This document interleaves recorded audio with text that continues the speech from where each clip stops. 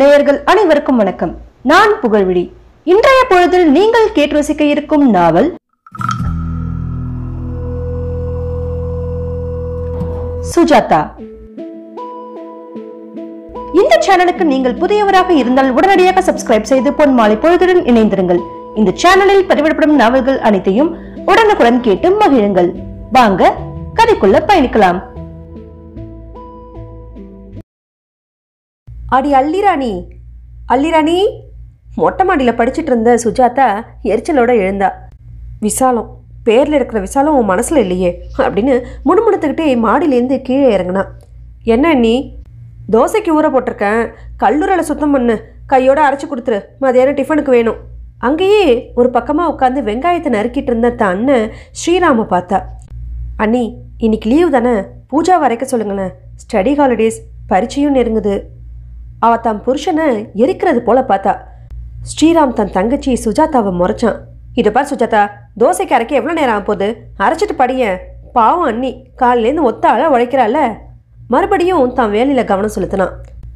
அண்ணி ஒத்த வேலை செய்கிறாங்களே நீ வெங்காயம் இருக்கிற நான் தோசைக்கு அரைச்சி கொடுக்குறேன். இப்போ அவங்க என்ன செய்ய போகிறாங்க அடுப்பு எதிரில் நின்றுட்டு வேலை செய்கிற மாதிரி பாவலை பண்ணுவாங்க. எனக்கு தெரியாதா?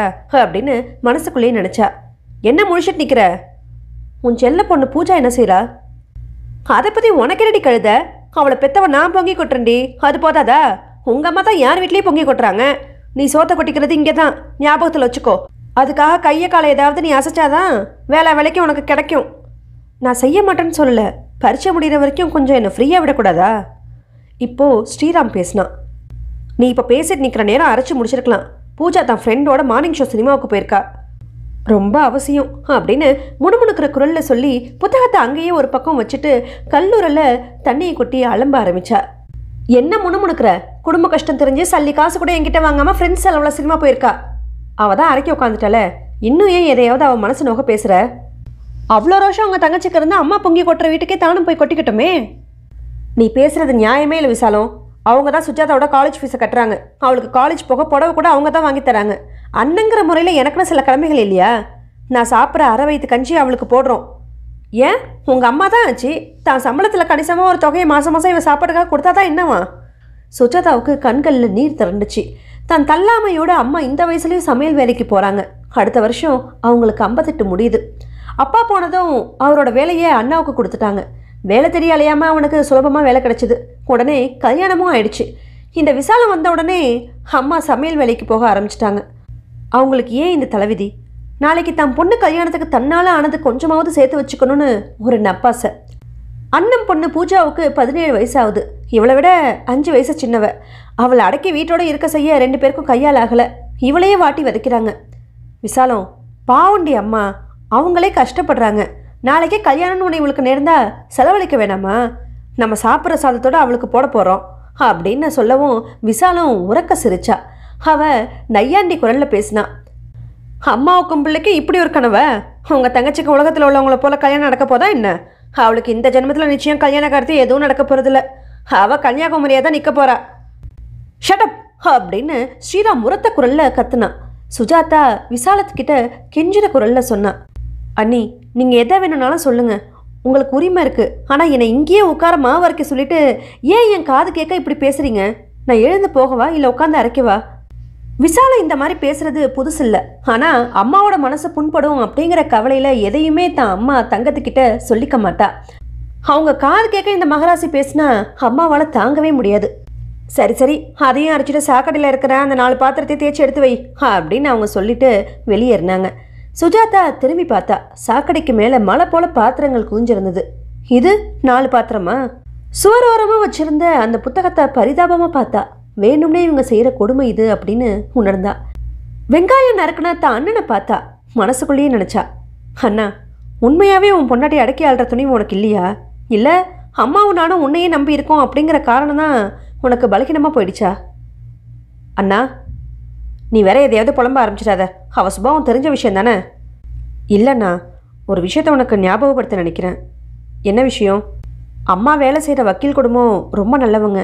இந்த வீடு அவங்களோட பிதிரார்ஜித வீடு. நமக்கு வாடகை இல்லாமல் விட்டுருக்காங்க. ஆமாம் அதுக்கு என்ன இப்போது அது கூட அம்மா முகத்துக்காகத்தானே. நீ வாடகைன்னு கொடுத்தா இந்த முழு வீட்டுக்கு எவ்வளோ கொடுக்க வேண்டியிருக்கும்? ஓட்டு வீடு தானே? காரை பேர்ந்து திடீர் திடீர்னு விழுது. ஒரு மழை பெஞ்சா அங்கங்கே ஒழுகுது. சுஜாதாவோட முகத்தில் புன்னகை தவிழ்ந்துச்சு. என்னன்னா நான் தான் ஹவுஸ் ஓனர் மாதிரி மேலே மேலே கம்ப்ளைண்ட் சொல்ல ஆரம்பிச்சிட்டேன் நீ கொடுக்குற பூஜை வாடகைக்கு இந்த வீடு நமக்கு கிடைச்சதே ஆச்சரியம். பதினஞ்சு வருஷங்களாக இருக்கும். ஆமாம் அப்படின்னு கூடத்தை எட்டி பார்த்துக்கிட்டே சொன்னான். நான் உன் குடும்பத்தில் ஒரு வேண்டாத சுமையாக தான் இருக்கேன். நான் ஒத்துக்கிறேன். ஆனால் இந்த வீட்டுக்கு வாடகை தரத்துக்கு பதிலாக எனக்கு சோறு போட்டு ஆதரவு தரதான் நீங்கள் ரெண்டு பேரும் நினச்சிக்கலாமே. ஸ்ரீராம் நிமிந்து பார்த்தான். அப்படியே எழுந்து அவள் பக்கத்தில் போய் நின்னான். இதை நீ எனக்கு எடுத்து சொல்லியிருக்க வேணாம். அப்பாவோட வேலை எனக்கு கிடச்சிருக்குங்கிறத நான் மறக்கலை. உனக்கு முழு உரிமை இங்கே இருக்கிறதுக்கும் சாப்பிட்றதுக்கும் உண்டு. ஆனால் எனக்கு வந்தவக்கிட்ட அதை நான் சொல்ல முடியாது. சொன்னாலும் அந்த வக்கர குணம் மாறப்போகிறதில்ல அப்படின்னு ரகசியமான குரலில் திரும்பி திரும்பி பார்த்துக்கிட்டே பேசினான். சுஜாதா ஒவ்வொரு சமயம் நான் நினச்சிப்பேன். பதினெட்டு வருஷங்கள் நமக்குள்ளே வயசு வித்தியாசம் ஏற்பட்டிருக்கதே பெரிய தப்பாக போச்சுன்னு. நீ மாத்திரம் எனக்கு அடுத்து சீக்கிரமே பிறந்திருந்தா உனக்கு கல்யாணம் செஞ்சுட்டு நான் செஞ்சுட்டு இருந்திருப்பேன். இல்லை இந்த பூஜாவாவது ஆண் குழந்தையா பிறந்திருக்கலாம். சுஜாதா நிமிந்து அவனை பார்த்து சிரிச்சா. மாவு வழிச்சு பாத்திரத்தில் போட்டுட்டு இருந்த அவ முகத்தில் விழுந்த கேசத்தை புறங்கையால் தள்ளினான் பூஜா ஆண் குழந்தையா பிறந்திருந்தா நல்லதுன்னு நீ நினைக்கிறத விட நான் உன் தம்பியாக பிறந்திருக்கலாம் நீ நினச்சிருக்கலாமே. அம்மாவுக்கும் கவலை விட்டுருக்கோம். நீயும் அன்னிக்கிட்ட இவ்வளோ சரண்டர் ஆக வேணாம். குறும்பா வெங்காய துண்டுகளை பார்த்து ஜாடை கட்டி சிரிச்சா. அப்போவும் விசால உன்னை இப்படி வேலை வாங்க மாட்டாங்கிறது நிச்சயமே இல்லை. அதை விடுண்ணா. அம்மா நிச்சயம் சமையல் வேலைக்கு போயிருக்க மாட்டாங்க. அது போக நான் விட்டிருக்க மாட்டேன். ஸ்ரீராம் வேதனையோட பெருமூச்சு விட்டான். ஒன்றும் பேசாமல் நகர்ந்துட்டான். சுஜாதா அடுத்து பாத்திரங்கள் எல்லாத்தையும் பளிச்சுன்னு தேய்ச்சிட்டு அலமாரிகளில் அழகாக அடுக்குனான். அவள் அம்மா தங்கம் சின்ன வயசுலேருந்தே அவளை சமையலுக்கும் சரி சமையலறை சம்மந்தப்பட்ட வேலைகளுக்கும் சரி நல்ல பயிற்சி கொடுத்துருந்தாங்க.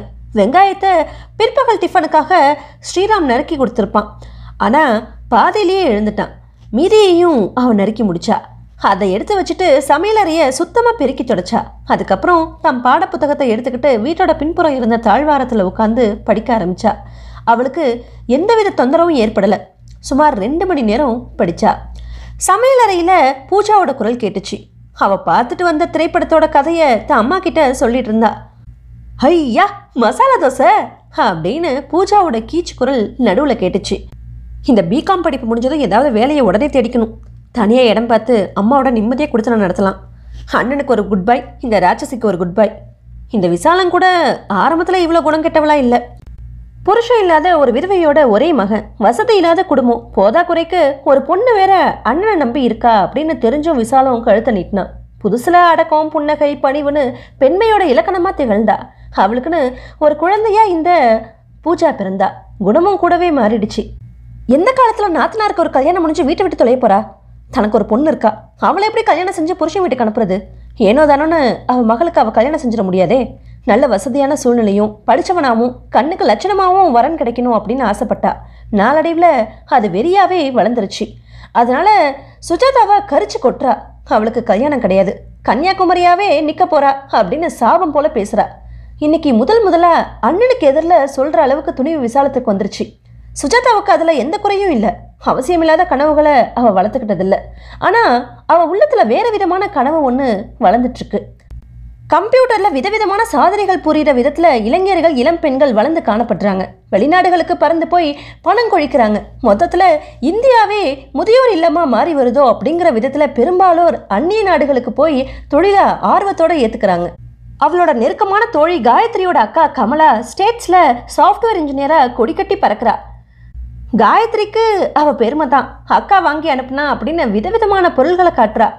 சுஜாதாவுக்கு அந்த பொருள்கள் மேல நாட்டம் ஏற்படல. தானும் எப்படியாவது கம்ப்யூட்டர்ல பயிற்சி பெற்று கமலா மாதிரி வெளிநாட்டில் பெரிய பதவி ஏற்றுக்கணும் ஆனா எப்படி அதில் பயிற்சி பெற முடியும்? ஆயிரக்கணக்கில் பணம் தேவைப்படும் அப்படின்னு சிநேகிதிகள் பேசுகிறப்போ கேள்விப்பட்டிருக்கா. அம்மா மூலமாக அவங்க சமையல் செய்கிற வேலை வீட்டில் உதவியை எதிர்பார்க்கலாமா? அந்த வக்கீல் வரதராஜனும் அவரோட மனைவி பத்மாவும் நல்லவங்க. அம்மாவை பார்க்க போகிற சமயங்களில் சுஜாதாவோட சகஜமாக பழகுவாங்க. காலேஜ் செலவை வழியை முன் வந்து ஏற்றுக்கிட்ட அவங்க கம்ப்யூட்டர் பயிற்சிக்கான செலவை ஏற்றுக்குவாங்களா இல்லை பண்டாரம் பிண்டத்தை கழுவுறான் சாமி சக்கரை பொங்கல் கழுத்துச்சான் அப்படிங்கிற விதத்தில் இவளோட ஆசையை பற்றி கிண்டல் செய்வாங்களா? பூஜா உன் அத்தை அள்ளிராணியை வந்து டிஃபன் எடுத்துக்க சொல்லு. சுஜாதா விரக்தியாக சிரிச்சா. அள்ளிராணின்னு பேரே வச்சிட்டா. டிஃபனுக்கு மாவு அரைச்சி பாத்திரங்களை தேய்ச்சி உழைச்சிட்டு தான் வந்திருக்கா. எந்த தேசத்து ராணி இப்படி உழைக்கிறான்னு தான் தெரியல. அத்தை டிஃபன் ரெடி அப்படின்னு பூஜா வந்து நின்னா. சுஜாதா வேண்டா வெறுப்போட எழுந்து உள்ளே போனா. சுஜாதாவுக்கு பரீட்சை முடிஞ்சிடுச்சு. அவளுக்கு திருப்தி அளிக்கிற விதத்தில் நல்லா எழுதியிருந்தா. அவளும் அவளோட தோழிகளும் கல்லூரியில் அவங்களுக்கு கடைசி நாள்னு அவங்களுக்குள்ள ஜாலியாக பொழுத கழிக்கணும் அப்படின்னு முடிவெடுத்தாங்க. ஹோட்டலில் டிஃபன் ஐஸ்கிரீம் சாப்பிடணும். அடுத்த ஒரு சினிமாவுக்கு போகணும். தலைக்கு ஐம்பது ரூபாய் கொண்டு வர வேண்டியிருக்கும். சுஜாதாவுக்கு தலை சுத்துச்சு. ஐம்பது ரூபாய் அவளோட குடும்பத்தோட நிலைமைக்கு பெரிய தொகை. எப்படி அவள் புரட்டுவா? அன்னைக்கு ராத்திரி அண்ணாவோட அறைக்குள்ளே எட்டி பார்த்தா விசாலும் சமையல் அறையில் இருந்தாங்க. அண்ணா எனக்கு ஐம்பது ரூபாய் கடனாக தர முடியுமா? அவன் அலட்சியமாக அவளை பார்த்தான். காலேஜில் எல்லாரும் சேர்ந்து ஃபேர்வெல் பார்ட்டி நடத்துகிறோம் அண்ணியை கேளு. அவ திகைப்போட அவனை பார்த்தா. சமையல் அறையில் இருக்கிற விசாலத்துக்காக இப்படி எச்சரிக்கை எடுத்துக்கிட்டு பேசுகிறானா இல்லை உண்மையாகவே அவளை கேட்க சொல்கிறானா என்ன பார்க்குற? ஒன்றும் இல்லை. அன்னிக்கிட்ட நீயே சொல்லி வாங்கி கொட. முதல்ல நீ அண்ணியை மதிக்க கற்றுக்கோ அண்ணா முற்றிலுமாக மாறிட்டான். பெரிய அளவில் அவனுக்கு எச்சரிக்கை உணர்வு ஏற்பட்டு ஒதுங்கிட்டான். அவள் மௌனமாக வெளியேறினான் அன்னிக்கிட்ட ரூபாய் கிட்ட நிற்கிறத விட நாளைக்கு காலேஜுக்கு போகாமலே இருந்துடலாம் அப்படின்னு நினச்சா. அவளோட ஃப்ரெண்ட்ஸ் நிச்சயமாக அவளை திட்டுவாங்க. இவளாலேயே அவங்களுடைய உற்சாகம் தொலைஞ்சு போயிட்டதா குற்றம் சாட்டுவாங்க. காயத்ரிக்கு இவளோட குடும்ப நிலைமை தெரியும். உண்மையை அவகிட்ட சொல்லிடலாம். காலையில் எழுந்த உடனே திடீர்னு அவளுக்கு ஒரு யோசனை தோணுச்சு. அம்மா வேலை செய்கிற இடத்துக்கு போய் அம்மாவே கேட்டா? அம்மா நிச்சயம் தருவாங்க. வக்கீல் மாமா கிட்ட கேட்டாவது வாங்கி தருவாங்க. வக்கீல் வரதராஜன் விசேஷ பண்டிகை நாட்களில் அவளை வர சொல்லி புடவை புதுசாக வாங்கி தாம்பூலத்தில் வச்சு தான் மனைவி பத்மாவை கொடுக்க சொல்வார். இவ காலையில எழுந்து அவசரமாக குளிச்சு ட்ரெஸ் பண்ணிக்கிட்டா. விசாலத்துக்கிட்ட நான் அம்மாவை பார்க்க போகிறேன் அப்படின்னு சொல்லி அவள் ஏதோ சொல்ல வாயை திறக்கிறதுக்குள்ள அவசரமாக ஓட்டமும் நடையுமா சாலையில் இறங்கிட்டா. அவள் கேள்வி கேட்டு குடையிறத இவ விரும்பல. அதிகாலைங்கிறதுனால பஸ்ஸில் கூட்டம் அதிகம் இல்லை சீக்கிரம் போய் சேர்ந்துட்டா. மெயின் ரோட்டில் இறங்கி நடந்து இடது புறமாக திரும்பினா மூணாவது வீடு. வரதராஜனுக்கு சொந்தம். அம்மாவை பார்க்க போகிறப்போலாம் அவள் வீட்டுக்குள்ளே நுழைஞ்சு போக மாட்டா. தோட்டத்து வழியாக தான் பின்பக்கம் போய் சமையலறையில் இருக்கிற அம்மாவை பாப்பா. இவ போகும்போது வராண்டாவில் வரதராஜன் ஊஞ்சலில் உட்காந்து ஆடிட்டு இருந்தார் வாமா சுஜாதா. அவள் தயக்கத்தோட வராண்டாவோட படிகளில் ஏறினான் பரிச்சலாம் நன்னா எழுதுனியா? ம் அப்படின்னு முனங்கினா அம்மாவை பக்கம் வந்தியா? ஆ ஆமாம் மேலே என்ன செய்ய போகிற வேலை தான் தேடணும். ஒன்று செய்ய. நல்ல வேலை கிடைக்கிறப்போ கிடைக்கட்டும். எனக்கு நெருங்கின ஃப்ரெண்டோட ஒய்ஃபு ஒரு ஸ்கூல் நடத்தின்னு இருக்கா. அதில் டீச்சர் வேலை வாங்கி கொடுத்தா போறியா? சுஜாதா முகம் மலர அவரை நன்றியோட பார்த்தா. ரொம்ப தேங்க்ஸ் மாமா. அது சரிம்மா. நீ வேலைக்கு அப்ளிகேஷன் போடணும். போஸ்டேஜ் செலவு நிறைய ஆகும். நீ என்ன செய்வ? பாவம். அப்படின்னு இடுப்புலேருந்து பர்ஸ் எடுத்தாரு. ரெண்டு நூறுரூபா நோட்டுகளை எடுத்து நீட்டினாரு. இவ்வளோ பணம் எதுக்கு? அசடு. உனக்கு தெரியாது. வேலைங்கிறது அவ்வளோ சுலபமாக சீக்கிரம் கிடச்சிடாது. இந்த பணமே போதாமல் போயிடும். கூச்சமே இல்லாமல் வந்து கேளு. அவ அதை வாங்கிக்கிட்டா. ஏதோ டீச்சர் வேலைன்னு சொன்னீங்களே. அப்படின்னு தயக்கத்தோட இழுத்தா நீ திரும்பி போகும்போது லெட்டர் எழுதி தரேன். அதுக்குள்ள வரதராஜனோட மனைவி பத்மா வாசலுக்கு வந்தாங்க. வாமா சுஜாதா சௌக்கியமா? ரொம்ப நாளாக இந்த பக்கம் வரதே இல்லையே. பத்மா தங்கம் மம்மி கூச்சப்பட்டுட்டு சொல்ல மாட்டாங்க. இவ்வளோ சாப்பிட வச்சு அப்புறமா அனுப்பு. நழுவ போறா சொல்லாமலே. பத்மா ஆதரவோடு அவளை அணைச்சிக்கிட்டு உள்ளே போனாங்க. இவங்க ரெண்டு பேருக்கும் பெண் குழந்தைகள் கிடையாது. சிவராமன் ஜெயராமன்னு ரெண்டு பிள்ளைங்க மட்டும்தான். சிவராமன் சட்டம் படிச்சுட்டு தன் அப்பா கிட்டேயே ஜூனியராக இருந்தான். ஜெயராமன் இன்ஜினியரிங் படிச்சுட்டு வட இந்தியாவில் வேலையாக இருந்தான். மாமி யார் வந்திருக்கான்னு பாருங்க அப்படின்னு சொல்லிக்கிட்டே பத்மா சமையல் அறைக்குள்ளே சுஜாதாவோட நுழைஞ்சாங்க. என்னடியாச்சி இங்கே தேடிட்டு வந்துட்ட? மாமி ஏன் இப்படி கேட்குறீங்க பாவம் அவங்கள பார்க்க வந்திருக்கலாம். அது போகட்டும் எங்கள் ரெண்டு பேரோட இவ்வளோ சாப்பிட போறா. நீங்கள் அவளை விரட்டி அனுப்பிச்சிடாதீங்க. இவளுக்கு விசால சமைச்சு வச்சிருப்பா. வீணா போச்சுன்னா அவள் கத்துவா. மாமி உங்கள் மாட்டு பணம் பற்றி எனக்கு நன்னாவே தெரியும். சுஜாதா அரை வயிற்றுக்கு சாப்பிட்றதையே அவள் வேஸ்ட்டாக நினைக்கக்கூடியவ. சுஜாதா இங்கே சாப்பிட போகிறா அவ்வளோதான் பத்மா போயிட்டாங்க. அம்மா இவங்க பரவாயில்ல. இவங்க பிள்ளையும் கூட உட்காந்தா நான் எப்படிம்மா சாப்பிடுவேன்? யாரு சிவராம சொல்கிறியா அவன் ஊர்லேயே இல்லை. கேஸ் விஷயமா வக்கீல் தன் பிள்ளைய வெளியூருக்கு அனுப்பியிருக்காரு. அது சரி நீ எதுக்கு இப்போ இங்கே வந்த? காலேஜில் கடைசி நாள் இல்லையா? அதுக்கு பணம் வேணும்னு வந்தேன்.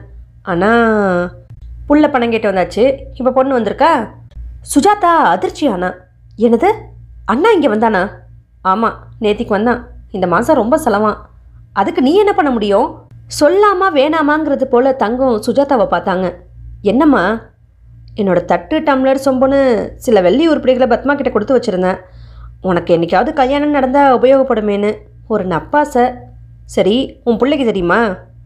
இத்தனை நாளாக அவன் ஒன்றுமே கேட்கல நேற்றுக்கு திடீர்னு இங்கே வந்து அதெல்லாம் எங்கே போச்சுன்னு கேட்டான். உனக்கு அதை பற்றி என்னென்னு கேட்க வேண்டியதானே? எப்படி முடியும்? அது சரி அப்படின்னு ஏளன குரலில் சொன்னான். நீ இப்போ பணம் வேணும்னு அம்மாவை தேடி வந்த அவனும் தேடி வந்தான். அவனும் என் வயிற்றில் பிறந்தவன் தானே? அதில் என்ன சந்தேகம்? நீ நக்கலாக பேசுகிறன்னு தெரியுது. பத்மா கிட்டே இருக்குன்னு சொன்னேன். வெள்ளித்தட்டை வாங்கி கொடு. நான் அதை அடகு வச்சு பணம் வாங்கிக்கிறேன். மூணு மாதத்தில் மீட்டு கொடுத்துருவேன்னு கெஞ்சினாண்டி நான் வாங்கி கொடுத்துட்டேன். கவலைப்படாதம்மா. மூணு மாதத்துக்குள்ளெல்லாம் எனக்கு கல்யாணம் நிச்சயம் ஆயிடாது. சுஜாதா நீ எதையும் மனசில் வச்சுட்டு இப்படி வெறுப்போட பேசுகிற நீ சமையலை முடிச்சுட்டு அடுப்பு அணைச்சிட்டு வா.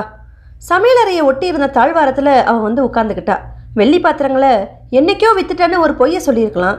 இல்லைனா அவனுக்கு தேவையான பணத்தை கேட்டு பணமாகவே கொடுத்து தொலைச்சிருக்கலாம்.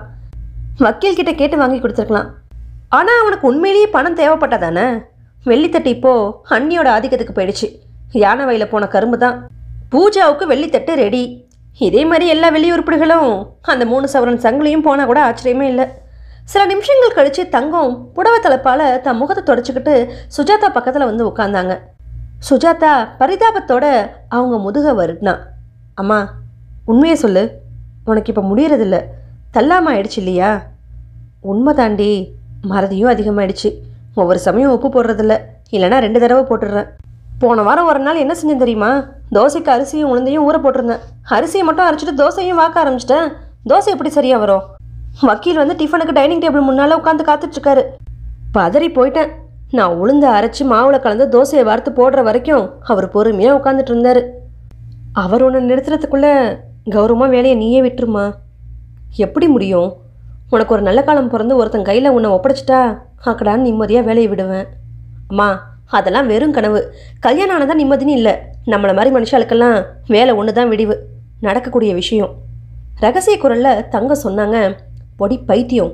இது வரைக்கும் என் சம்பளத்தை கை நீட்டி வாங்காமலேயே பத்மா கிட்ட சேர்த்து வச்சுருக்கேன். அந்த பணத்தோட தாங்களும் மேலே போட்டு உன் கல்யாணத்தை நடத்தி தரதா வக்கீல் சொல்லியிருக்காரு. வெறும் பணத்தால் மட்டும் கல்யாணம் முடிஞ்சிடாதுமா. இன்னும் சீர் எத்தனையோ வேணும். தெரியும்டி. இவா உறவுக்காரரு ஃப்ரெண்ட்ஸு கட்சிக்காரர் யார் வந்தாலும் நான் நல்லா கவனிச்சுப்பேன். அவங்கெல்லாம் பத்மா மூலமாக என்னை பற்றி தெரிஞ்சுக்கிட்டு கல்யாணம் கூடி வரும்போது பொருளாகவே உதவி செய்கிறதா சொல்லியிருக்காங்க. அம்மா ஒன்று செய்ய. இந்த கிச்சன்லேயே ஒரு பெரிய உண்டியில் வச்சு என் பேரையே எழுதி ஒட்டி வையேன் ஏண்டி இப்படி பேசுகிற பின்ன எப்படிம்மா பேச சொல்கிற முந்தா நாள் நான் வந்திருந்து நீ இதெல்லாம் சொல்லியிருந்தா நான் கேட்டால் சந்தோஷப்பட்டிருப்பேன். கல்யாணம் எனக்கு நடக்க போகுதுன்னு கழுத்தை தடவிட்டு காத்திருப்பேன். ஆனால் நேற்றுக்கு அண்ணா வந்தான். வெள்ளித்தட்டை வாங்கிட்டு போனான். அடுத்ததாக சொம்பு டம்ளர்னு மறுபடியும் வருவான் பாரு.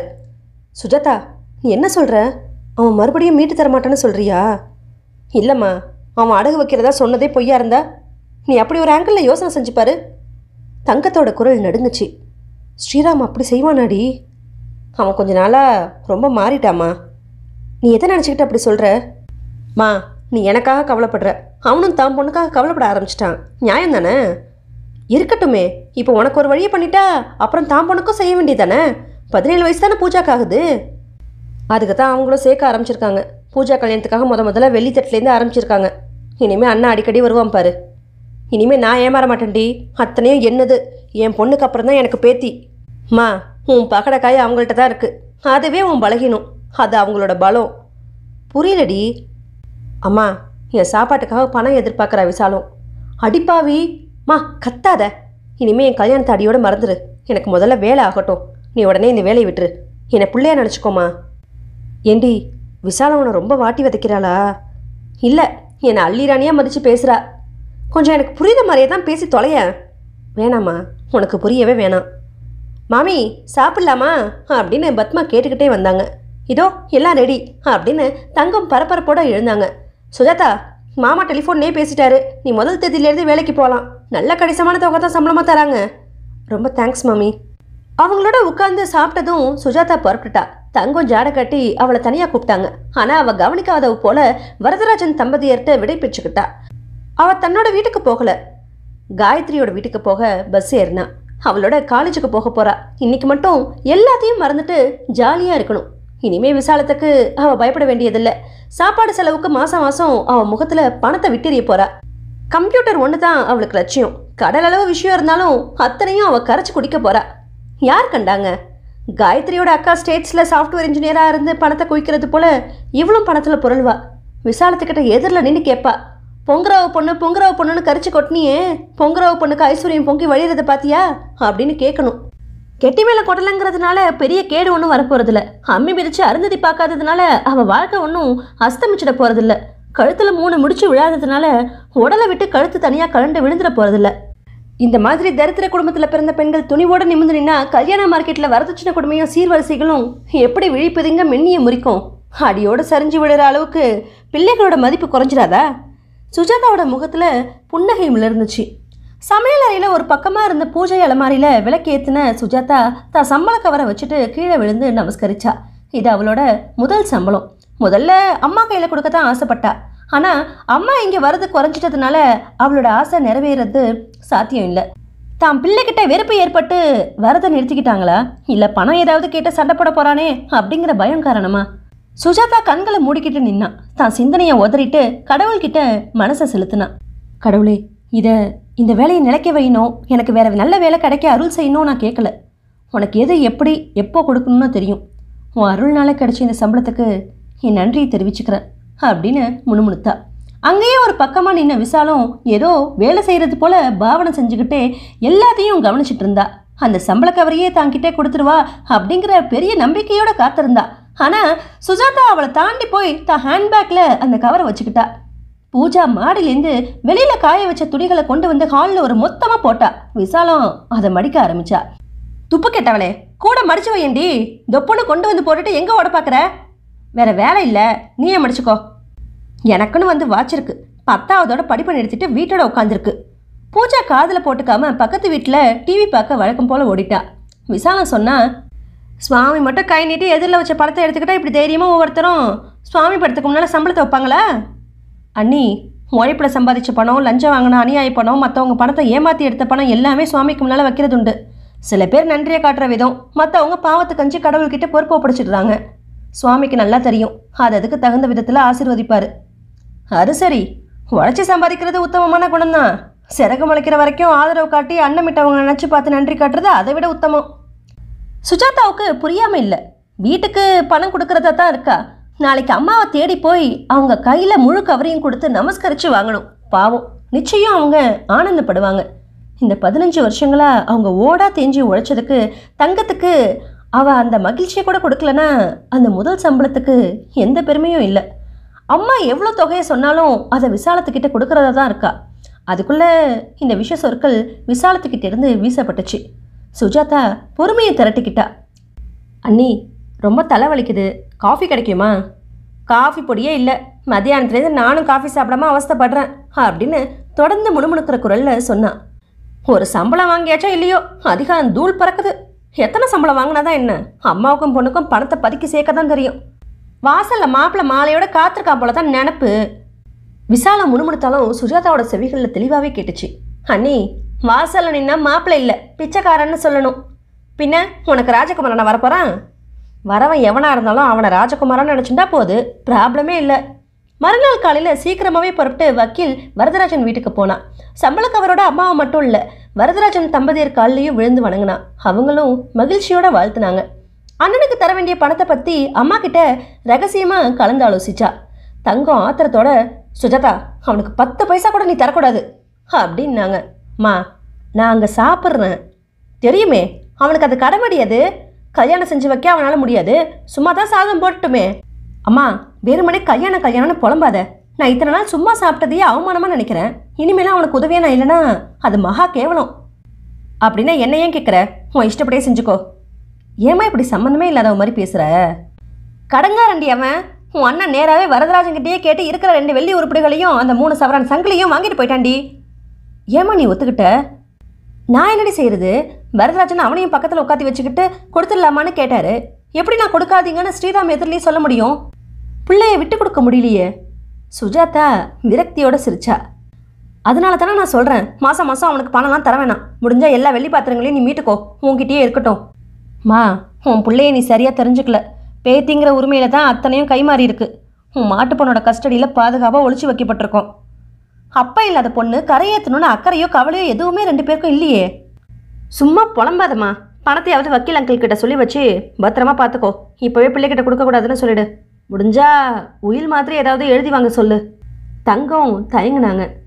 எங்கள் பெரியவா சொல்லுவா உயில் எழுதுனா உடனே இல்லாட்டாலும் சீக்கிரமாக போயிடுவான்னு சொல்லுவாங்களே. சுஜாதா சிரிச்சா. ஆமாம்மா ஃபோட்டோ எடுத்துக்கிட்டா கூட தான் போயிடுவாங்கன்னு உங்கள் காலத்தில் சொல்லுவாங்க. எது இது புத்திசாலித்தனமான காரியமோ அதை செய்யாமல் இருக்க ஏதாவது ஒரு சாஸ்திரம் மூடத்தனமாக சொல்வீங்களே? அப்படின்னா உயில் எழுதிட சொல்கிறியா உனக்கு உயிர் பயம் இருந்தால் வேணாம். எனக்கு உன் பணம் இருந்தால் கல்யாணத்துக்கு இல்லைனாலும் கம்ப்யூட்டர் கிளாஸ் சேரலான்னு ஆசைப்பட்டேன். அது போதாததுக்கு வக்கீல் அங்கிள்கிட்ட மேலே ஆகிறத கடனாக கேட்கலான்னு இருந்தேன். கல்யாணம் வேணாங்கிறியா? மறுபடியும் பாரு கல்யாணங்கிற பேச்சே மறுபடியும் எடுக்காத. நானே விட்டுட்டேன். அண்ணியே பேச்சு பேச்சு சொல்லிட்டு இருக்காங்க என்ன சொல்கிறா கல்யாணம் குடும்பம்னு ஒன்றும் எனக்கு கிடையாதுன்னு உன் அருமை மாட்டு பொண்ணு சொல்கிறா அடி பாவி அவன் நல்லாவே இருக்க மாட்டான். நாசமாக போயிடுவா. அம்மா அப்படின்னு சுஜாதா அதட்னா என்னம்மா இப்படி பேசுகிற அவங்க என்னை திட்டலாம். ஆனால் நீயும் நானும் அவங்கள பதிலுக்கு ஒரு அவசல் கூட சொல்லக்கூடாது. உன் பிள்ளைய தான் அது பாதிக்கும். அவன் நாசமாக போயிடணும்னு நம்ம மனசால் கூட நினைக்கக்கூடாதுமா தங்கம் சட்டுன்னு கன்னத்தில் போட்டுக்கிட்டு கிருஷ்ணா பண்ணோன்னு ரெண்டு தடவை அவசரமாக சொன்னாங்க. அம்மா கம்ப்யூட்டர் கிளாஸ்க்கு வேலையில் இருந்துக்கிட்டே போகிறேன் சிரமப்பட்டு அதை படிச்சுட்டா நல்ல வேலையே கிடைக்கும். அமெரிக்கா போகிறத ஆசையை அம்மா கிட்ட அவள் சொல்லலை. ஆமாம் பத்மா கூட அன்றைக்கி ஒரு நாள் சொன்னாங்க. ஆனால் அதில் நிறைய கோர்ஸ்லாம் இருக்காமே. ஆயிரக்கணக்கில் செலவழியும் சொன்னாங்களே. அது மட்டும் இல்லை வேலை ஒன்றும் அவ்வளோ சுலபமாக கிடைக்கிறது இல்லையா? எங்களுக்கு இது பிரயோஜனமே இல்லை. அதான் வேணும்னு எதையாவது நம்ம படிக்காததாக பார்த்து குறிப்பிட்டு சொல்லி அனுப்பிச்சிட்றாங்களாம் அம்மாவே இவ்வளோ தூரம் தெரிஞ்சு வச்சுருக்காங்களே? அப்படிங்கிற முறையில் சுஜாதா அவங்கள வியப்போட பார்த்தா ஏதாவது கிடைக்காம போகாதுமா நான் அண்ணாவுக்கு மாதம் ஐநூறுரூவா கொடுக்கலான்னு நினைக்கிறேன். நீ என்ன சொல்கிற முந்நூறுரூவா போதும். நீ வேலையை விட்டுருமா? முடியலன்னு சொல்லிடு. நேற்றுக்கு வெட்டின கிணத்துல இன்றைக்கி முதல்ல புகுந்துச்சான். இன்றைக்கி தான் முதல் சம்பளம் வாங்கியிருக்க. இதை நம்பி பதினஞ்சு வருஷம் சர்வீஸ் வேலையை விட சொல்கிறியா ஷோ மெல்ல பேசுமா. நான் பிள்ளையும் பொண்ணையும் நம்பி இருக்க விரும்பலை. இதுக்கு மேலே நான் என்ன சொல்ல முடியும்? அப்படின்னு சுஜாதா விரக்தியோட சொன்னான் சுஜாதா எந்த நேரத்தில் தங்கத்தை வேலையை விடுன்னு சொன்னாலோ அது பழிச்சிடுச்சு. பொண்ணு ரெண்டாவது சம்பளம் வாங்கி பத்து நாட்கள் கூட ஆகலை. தங்கம் நிரந்தரமாக வேலையிலேருந்து விலகிட்டாங்க. சமையல் அறையில் பிற்பகல் டிஃபன் செஞ்சுட்டு இருக்கும்போது தங்கம் ஒரு நாள் திடீர்னு கீழே விழுந்துட்டாங்க. நல்ல வேலையா பத்மா அங்கே கூட இருந்தாங்க. அவங்களோட குடும்ப டாக்டரை டெலிஃபோன் மூலமாக கூப்பிட்டு வந்து காட்டினாங்க. அவர் பாராலிட்டிக் அட்டாக் இடதுபுறம் பாதிக்கப்பட்டிருக்கு. அதனால இதயமும் பாதிக்கப்பட்டிருக்கு அப்படின்னு சொன்னார். அவங்களே முழு பொறுப்பையும் ஏற்று நர்சிங் ஹோமில் தங்கத்தை அட்மிட் செஞ்சுட்டாங்க. சீரியஸுங்கிறத அந்த நர்சிங் ஹோம் டாக்டரும் வரதராஜன் கிட்ட சொல்லிட்டாரு. பக்கத்தில் இருந்த பத்மா கண்ணீர் விட ஆரம்பித்தாங்க பத்மா நீ அழாத மாமிக்கு வயசாச்சு. இது வரைக்கும் வஞ்சனை இல்லாமல் நமக்காக உழைச்சிட்டாங்க பாவம். பாவம் சுஜாதா அவளை நினச்சி தான் நான் அழறேன். கஷ்டம்தான் பாவம். நாம் என்ன செய்ய முடியும்? அவளை கல்யாணம் நேர்ந்ததும் மாமி பணத்தோட மேலே போட்டு முழு செலவையும் நாமளே ஏற்றுக்கிட்டு உதவி செய்வோம். ஸ்ரீராமும் விசாலமும் அவளுக்கு நல்லது எதுவும் செய்வாங்கன்னு எனக்கு தோணலை. அவங்களுக்கும் வயசுக்கு வந்து ஒரு பொண்ணு இருக்குல்ல. சுஜாதாவுக்கும் நாம் செலவழித்து செஞ்சுட்டா அவங்க பொண்ணுக்கு அவங்க செய்கிறதுல என்ன சிரமம்? அவங்க பொண்ணுக்கு கிடைக்காத வசதி சுஜாதாவுக்கு கிடைக்குதான்னு தோணலாம்ல. சுஜாதாவை நம்ம பொண்ணாவே நம்ம தத்தை எடுத்துக்கிட்டா போச்சு. பத்மா விசித்திரமா அவரை பார்த்தாங்க. நீங்கள் தெரிஞ்சு தான் பேசுகிறீங்களா நான் சொன்னதில் என்ன தப்பு? நம்ம சிவராமன் கல்யாணத்துக்கு இருக்கான். வளர்ந்த பையன். எப்படி சரிப்படும்? அது மட்டும் இல்லை. நீங்கள் தத்து பொண்ணு நினச்சாலும் மற்றவங்க அதை ஏற்றுக்க மாட்டாங்கல்ல? அம்மா போயிட்டா அவளுக்கு பதிலாக பொண்ணை உதவி கழிச்சிட்டு போயிருக்காங்கன்னா நான் கூசாமல் எல்லாரும் பேசுவாங்க? Oh God. அப்படி வேற ஒன்று இருக்கா? நல்லவனும் தூர்த்தனும். அண்ணனோட தான் சுஜாதா இருக்கணும். அவள் கெட்டிக்காரி. சமாளிச்சுப்பா. புவர் கேர்ள் நீங்கள் சுஜாதாவுக்கு உதவி செய்யணும்னு நினச்சா செய்ய ஒரு வாய்ப்பு இருக்குது தங்க மம்மி தனியாக அடிக்கடி என்கிட்ட புலம்புவா. என்ன அது? உங்கள் குமாஸ்தா சுந்தரம் இருக்காரே. அவர் மாமிக்கிட்ட அடிக்கடி சொல்லுவாராம் உன் பொண்ணை எனக்கு கல்யாணம் செஞ்சு கொடுத்து வேற நல்ல வரன் அவளுக்கு கிடைக்காதுன்னு மிரட்டு வரான் உங்கள் காதில் இதை போடக்கூடாதுன்னு தங்க மாமி சத்தியம் வாங்கிட்டதுனால நான் சொல்லலை. அவனுக்கு நாற்பது வயசுக்கு மேலே இருக்குமே. இப்போ எனக்கு என்ன பயம் தெரியுமா? மாமி போய் சேர்ந்ததும் அண்ணங்காரன் அவருக்கே தங்கையும் கொடுத்தாலும் கொடுத்துருவான் தான் நான்சென்ஸ் சுஜாதா சம்பாதிக்கிற பொண்ணு. அண்ணனை எதிர்த்து போராடுற திறமை அவளுக்கு உண்டு. டிரைவர் அனுப்பி காரில் விசாலத்தை அழைச்சிட்டு வர ஏற்பாடு செஞ்சுருந்தாரு. ஸ்ரீராம் ஆஃபீஸ்க்கும் சுஜாதாவோட ஸ்கூலுக்கும் டெலிஃபோன் செஞ்சு ரெண்டு பேருக்கும் செய்தியை தானே தெரிவிச்சிட்டாரு. விசாலம் வரும்போதே அது நர்சிங் ஹோம் அப்படிங்கிறத கூட மறந்து உரத்த குரல்ல கத்திக்கிட்டே வந்தா. அம்மா வேலைக்கு போக வேணாம் எங்களோட இருந்து அரை வயது கஞ்சியை பகிர்ந்துட்டு சாப்பிடலான்னு சொன்னனே நீங்க கேட்கவே இல்லையே. மற்ற வாழ்க்கை உழைச்சே உங்க உடம்ப கெடுத்துக்கிட்டீங்களே இப்படி எங்க தலையில உங்க பொண்ணையும் கட்டிட்டு மோசம் செய்ய பாக்குறீங்களேன்னு கதறி தலையில படீர்னு அடிச்சுக்கிட்டா. வரதராஜன் கோவத்தினால முகம் செவக்க எழுந்தாரு. சாக்கடை விடுங்க அப்படின்னு ரகசிய குரலில் சொன்ன பத்மா அவரோட கையை பிடிச்சி அழுத்துனாங்க. பத்மா நான் போகிறேன் நீ இருந்து சுஜாதாவை பார்த்து பேசிட்டு வா. நீ ஃபோன் பண்ணதும் காரை மறுபடியும் அனுப்புகிறேன் அப்படின்னு அவர் வெறுப்போடு வெளியேறினார். பத்மா அவரை வழி அனுப்புகிற சாக்கில் வராண்டாவில் வந்து நின்றுக்கிட்டாங்க சுஜாதா முதல்லையும் அடுத்து ஸ்ரீராமும் வந்து சேர்ந்தாங்க. ஸ்ரீராம் வரத்துக்குள்ள பத்மா சுஜாதா கிட்ட விசாலம் நடந்துக்கிட்ட விதத்தை விவரித்து சொன்னாங்க. அதனால வரதராஜன் வீட்டுக்கு திரும்பிட்டாரு அப்படின்னு அவங்க சொன்னதும் சுஜாதா வருத்தத்தோட தன்னோட அன்னிக்காக தான் மன்னிப்பு கேட்டுக்கிட்டதா தெரிவிக்க சொன்னான் இந்தா சுஜாதா இந்த பணத்தை செலவுக்கு வச்சுக்கோ. மேலே தேவைப்பட்டாலும் நாங்கள் தரோம் அப்படின்னு சொல்லிட்டு பத்மா போயிட்டாங்க. விசாலம் வராண்டாவுக்கு வந்து எட்டி பார்த்தா நல்ல வேளையா சுஜாதா பணத்தை தன்னோட ஹேண்ட்பேக்குள்ளே போட்டுக்கிட்டா. பேஷண்ட்டோட யாராவது ஒரு லேடி இருக்கலாம் சீரியஸ் கேஸுங்கிறதுனால வெளியில் வராண்டாவில் ஒரு ஆம்பளை அவசியம் இருந்தாகணும் அப்படிங்கிறத டாக்டர் அறிவிச்சார். ஸ்ரீராம் விசாலத்தை பஸ்ஸில் ஏற்றி அனுப்பிவிட்டான். ஹோட்டலில் டிஃபன் சாப்பிட்டு சுஜாதாவுக்கும் வாங்கிட்டு வந்தான். சுஜாதாவுக்கு உண்மையிலேயே சாப்பிடவே பிடிக்கல. வாங்கிட்டு வந்ததை வீணாக்க விரும்பாமல் வேண்டா வெறுப்பா சாப்பிட்டா. நினைவற்ற நிலையில் இருந்த தங்கத்தை ஸ்ரீராம் பார்த்தான். சுஜாதா அம்மாவுக்கு ஏதாவது ஆச்சுன்னா உங்ககிட்ட பணம் இருக்கா? அவன் வெறுப்போட அவனை பார்த்தா. அண்ணா அம்மாவுக்கு தொடர்ந்து வைத்தியம் செய்ய பணம் இருக்கான்னு கவலைப்படு. அதில் அர்த்தம் இருக்குது நியாயமாக வரதராஜன் தான் இந்த செலவுக்கெல்லாம் கொடுக்கணும். கொடுக்கட்டுமே அவருக்கு என்ன கேடு? சுஜாதா சட்டுன்னு அவனை திரும்பி பார்த்தா. இவன் பொண்டாட்டிய பஸ்ஸில் ஏற்ற போயிருக்கான். அந்த நேரத்தில் இவன் தலையில் விஷயத்த ஏற்றி விட்டுருக்கா. ராத்திரி பன்னெண்டு மணிக்கு மேலே தங்கம் கண்களை திறந்தாங்க. சுஜாதாவை பார்த்ததும் பலகீனமான அந்த நிலைமையிலையும் மெல்ல சிரித்தாங்க அண்ணா இங்கே தான் வெளியில் நிற்கிறான் கூப்பிட்டோமாமா அவங்க முகத்தை சுழிச்சாங்க. அவளை பக்கத்தில் நெருங்கி வரும்படி வலது கையால் ஜாடை காட்டினாங்க. மூச்சு திணறலோட மெல்ல பேச முயற்சி பண்ணாங்க. முடியாத சமயத்தில் ஜாடையாக வலக்கையை உபயோகிச்சாங்க. அண்ணனை நம்பாத. கல்யாணத்தை நீயே முடிச்சுக்கோ. நல்ல குணம்தான் முக்கியம். உன் வழியை நீயே தேடிக்கோ. இதை தட்டு தடுமாறி சொன்னதும் அவங்களோட கண்கள்லேருந்து நீர் பெருகுச்சு. ரொம்ப பக்கத்தில் குனிஞ்சிருந்த சுஜாதாவோட தலையில் நடுங்கிற தாம் வலது கையால் பரிவோடு தடவுனாங்க. கண்கள் தானாகவே மூடிக்குச்சு. உடம்பு ஒரு தடவை குலுங்குச்சு. அதுக்கப்புறம் எந்த அசைவுமே இல்லை. சுஜாதா சத்தமில்லாம அழுதா.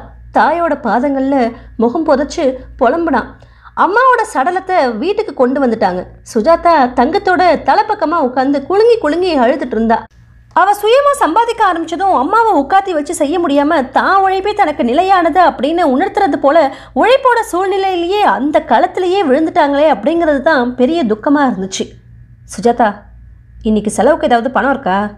அவ திகைப்போட அவனை பார்த்தா. என்ன பார்க்குற பிள்ளைங்கிற முறையில் என் கடமையை செய்ய நீ தான் பணத்தை செலவழிக்கணும். அது உன் கடமை. நீயும் தானே சம்பாதிக்கிற? ஒத்த ஆள். பிக்கல் படுங்கள் இல்லை? அண்ணா இப்போ இப்படி பேசுகிற அளவுக்கு உனக்கு என்ன ஆச்சு? அம்மா உடம்பையும் வச்சுக்கிட்டு கடமைகளை பற்றி பேசணுமா? விசாலம் இப்போ குறுக்கிட்டா. இப்போ பேசினா தான் உண்டு. அப்புறம் நீ காணாமல் போயிடுவ. உனக்கும் இந்த குடும்பத்துக்கும் சம்மந்தம் இல்லைன்னு ஓடி போயிடுவ. அண்ணி எதுக்கும் ஒரு எல்லை உண்டு. ரொம்ப வரம்பு மீறி பேசுறீங்க. பார்த்தீங்களா அவளுக்கு தைரியம் வந்திருக்குன்னு நான் சொல்லலை ஏற்கனவே. நீங்கள் தான் தங்கச்சிக்கு பறிஞ்சு பேசுனீங்க. சப்போர்ட் இருக்கிற தைரியம் பேசுகிறா அண்ணி எனக்கு ஏது சப்போர்ட்டு? இருந்த ஒரு சப்போர்ட்டும் போயிடுச்சு. அண்ணாவை தவிர எனக்கு ஆதரவு யாருமே இனிமே இல்லையே. அது தெரிஞ்சிருந்தா போதும். உனக்கு உண்மையிலேயே அந்த எண்ணம் இருந்தால் உன்கிட்ட இருக்கிற எல்லா பணத்தையும் அண்ணா கிட்ட கொடுத்துரு. அதே சமயம் வாசல்ல கார் வந்து நிற்கிற சத்தமும் அதை தொடர்ந்து கார் கதவை வேகமாக மூடுற சத்தமும் கேட்டுச்சு. பத்மாவும் சிவராமனும் கார்லேருந்து இறங்கி உள்ளே வந்தாங்க. பத்மா தங்கமாமின்னு அலர்ந்தபடியே உடல் மேலே விழுந்து அழுதாங்க. சிவராமன் கண் கலங்க பக்கத்தில் நின்னான். வாசலுக்கு நேராக சுஜாதா நின்றுட்டு இருந்தா. கார் ஹாரன் ஒழிச்சுது அவ திரும்பி பார்த்தா வரதராஜன் அவளை வெளியில் வரும்படி கூப்பிட்டாரு. அவள் வெளியில் போனா சாரிம்மா சுஜாதா உங்கள் அம்மா இவ்வளோ சீக்கிரம் போயிடுவான்னு நான் நினைக்கவே இல்லை. உன்னை பார்த்தா தான் எங்களுக்கு பரிதாபமாக இருக்குது நான் வாங்கிட்டு வந்த வரம் போல இருக்கு சார். இனிமே தாம்மா நீ தைரியமாக இருக்கணும். இன்றைக்கி செலவுக்கு வேண்டிய பணம் இதில் இருக்குது உனக்கு உதவியாவோ இல்லை அந்த கோழ ராஸ்கல் ஸ்ரீராமுக்கு கடனாவோ நான் இதை தரல. மாமியோட கடைசி பயணம் எங்களோடதாக இருக்கணும்னு நானும் பத்மாவும் முடிவு செஞ்சோம். சுஜாதா அது ரோடுங்கிறதையும் மறந்து அவர் காலடியில் விழுந்து கதர்னா. எழுந்துருமா சுஜாதா? அப்படின்னு குனிஞ்சு அவளது தூக்கி நிறுத்தினாரு. சுஜாதா உன் அண்ணனை நினச்சா எனக்கு உள்ளே வரவே பிடிக்கல. இங்கே நிற்கிறேன் உங்கள் அம்மா பயணம் தொடங்குற சமயம் நான் அந்த நாலு பேரில் ஒருத்தனாக இருக்கேன். சிவாவுக்கும் அந்த எண்ணம் இருக்குது ஆஸ்பத்திரியில் விசாலம் பேசினது இவர் மனசை ரொம்பவே பாதிச்சிருக்கு அப்படிங்கிறத சுஜாதா உணர்ந்தா. உள்ளே போனதும் ஸ்ரீராம் கிட்ட கவரை நீட்டினான் அவன் அந்த பணத்தோட கதையை யூகிச்சு தான் மனைவி கிட்ட கொடுத்துட்டான். வீட்டோட சூழ்நிலை பிடிக்காம சுஜாதா மூணாவது நாள்லேருந்து ஸ்கூலுக்கு போக ஆரம்பிச்சா. மறுநாள் வகுப்பில் பாடம் நடத்திட்டு இருக்கும்போது அவளுக்கு ஃபோன் வந்திருக்கிறதா பியூன் வந்து கூப்பிட்டான். சுஜாதா ஃபோன் எடுத்ததும் மறுபக்கத்துலேருந்து வரதராஜனோட குரல் கேட்டுச்சு. சுஜாதா இன்னைக்கு சாயந்தரம் நேராக எங்கள் வீட்டுக்கு வந்துரு. பெர்மிஷன் போட்டு கொஞ்சம் சீக்கிரம் வந்தால் கூட தேவலாம். Any problem as usual problem அப்படின்னு சொல்லி ஃபோனை வச்சுட்டாரு. அப்படின்னா ப்ராப்ளம் அண்ணனோட உருவில் தான் இருந்த பாத்திரம் மூணு சவரன் சங்கிலி எல்லாமே அம்மா இருக்கும்போதே வாங்கிட்டான். அந்த அதிர்ச்சியிலேயே அம்மாவுக்கு உடம்புக்கு வந்திருக்கு. இன்னும் என்னதான் அவன் எதிர்பார்க்குறான்? எதுவாக இருந்தாலும் இவகிட்ட ஒரு தடவை அவன் கலந்து ஆலோசிச்சிருக்கணும். அவள் பிற்பகலுக்கு மேலே லீவ் போட்டுட்டு வரதராஜன் வீட்டுக்கு போனான். அவர் முகம் நல்லாவே இல்லை. வழக்கம் போல் உற்சாகமாக வரவேற்காமல் மௌனமாக உட்காந்துருந்தாரு பத்மா டிஃபனும் காஃபியும் கொண்டு வந்து கொடுத்தாங்க. அவள் சாப்பிட்டு முடிகிற வரைக்கும் ரெண்டு பேரும் மௌனமாக உட்காந்துருந்தாங்க அவள் சாப்பிட்டு முடிச்சு தட்டை எடுக்கும் போது வேலைக்காரி அவளோட கையில் இருந்த பிடுங்காத குறையாக வற்புறுத்தி வாங்கிக்கிட்டு போனான் ஹாலில் ஒரு பக்கம் இருந்த வாஷ் பேசனில் கை கழுவிக்கிட்டு கரிச்சி ஃபாலை தொடச்சிக்கிட்டு வரதராஜன் எதிரில் உட்காந்தா ஸ்ரீராம் என்ன பேசினா? அப்படின்னு அவளே ஆரம்பித்தா அவன் எனக்கு பெரிய தலைவலியாக இருக்காமா?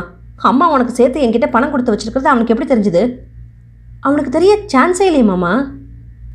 இன்னைக்கு காலையில் எங்கேருந்தோ ஃபோன் பண்ணான் நானும் விசாலமாக சாயந்தரம் வரோம். அம்மா அவங்கள்ட்ட கொடுத்து வச்சிருக்கிற பணத்தெல்லாம் பாக்கி இல்லாமல் கொடுத்துருங்கன்னு சொன்னான் அடக்கடவுளே நான் எந்த பணமும் என்கிட்ட கிடையாதுன்னு தான் முதல்ல சொன்னேன்.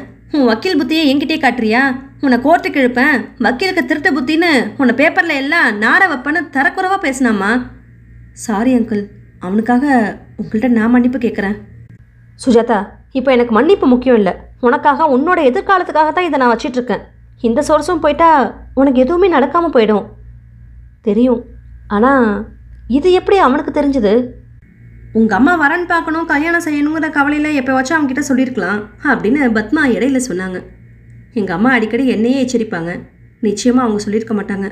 அவ யோசிச்சா யாரோ விஷயம் தெரிஞ்சவங்க அம்மா போனதும் அவனுக்கு சொல்லியிருக்கலாம். சமீபத்தில் யார் வந்து சந்திச்சாங்க? வீட்டுக்கு துக்கம் கேட்க வந்தவங்க ஒவ்வொருத்தரையும் வரிசைப்படுத்தினான். உங்கள் குமாஸ்தா சுந்தரத்துக்கு இந்த விஷயம் தெரியுமா? பேங்க் விஷயம் எல்லாமே உனக்கு தெரியாமல் இருக்க முடியாதுமா. டைப் அடிக்கிறதும் அவன் தான் பேங்க்கு போகிறதும் அவன் தான் கொஞ்சம் குடஞ்சி பார்க்குற புத்தியும் உண்டு. அவர் எங்கள் அண்ணனை அடிக்கடி பார்க்க வராரு. சந்தேகமே இல்லை. அவன் தான் சொல்லியிருக்கான். நாளைக்கே வெளியில் விரட்டி விடுறேன்.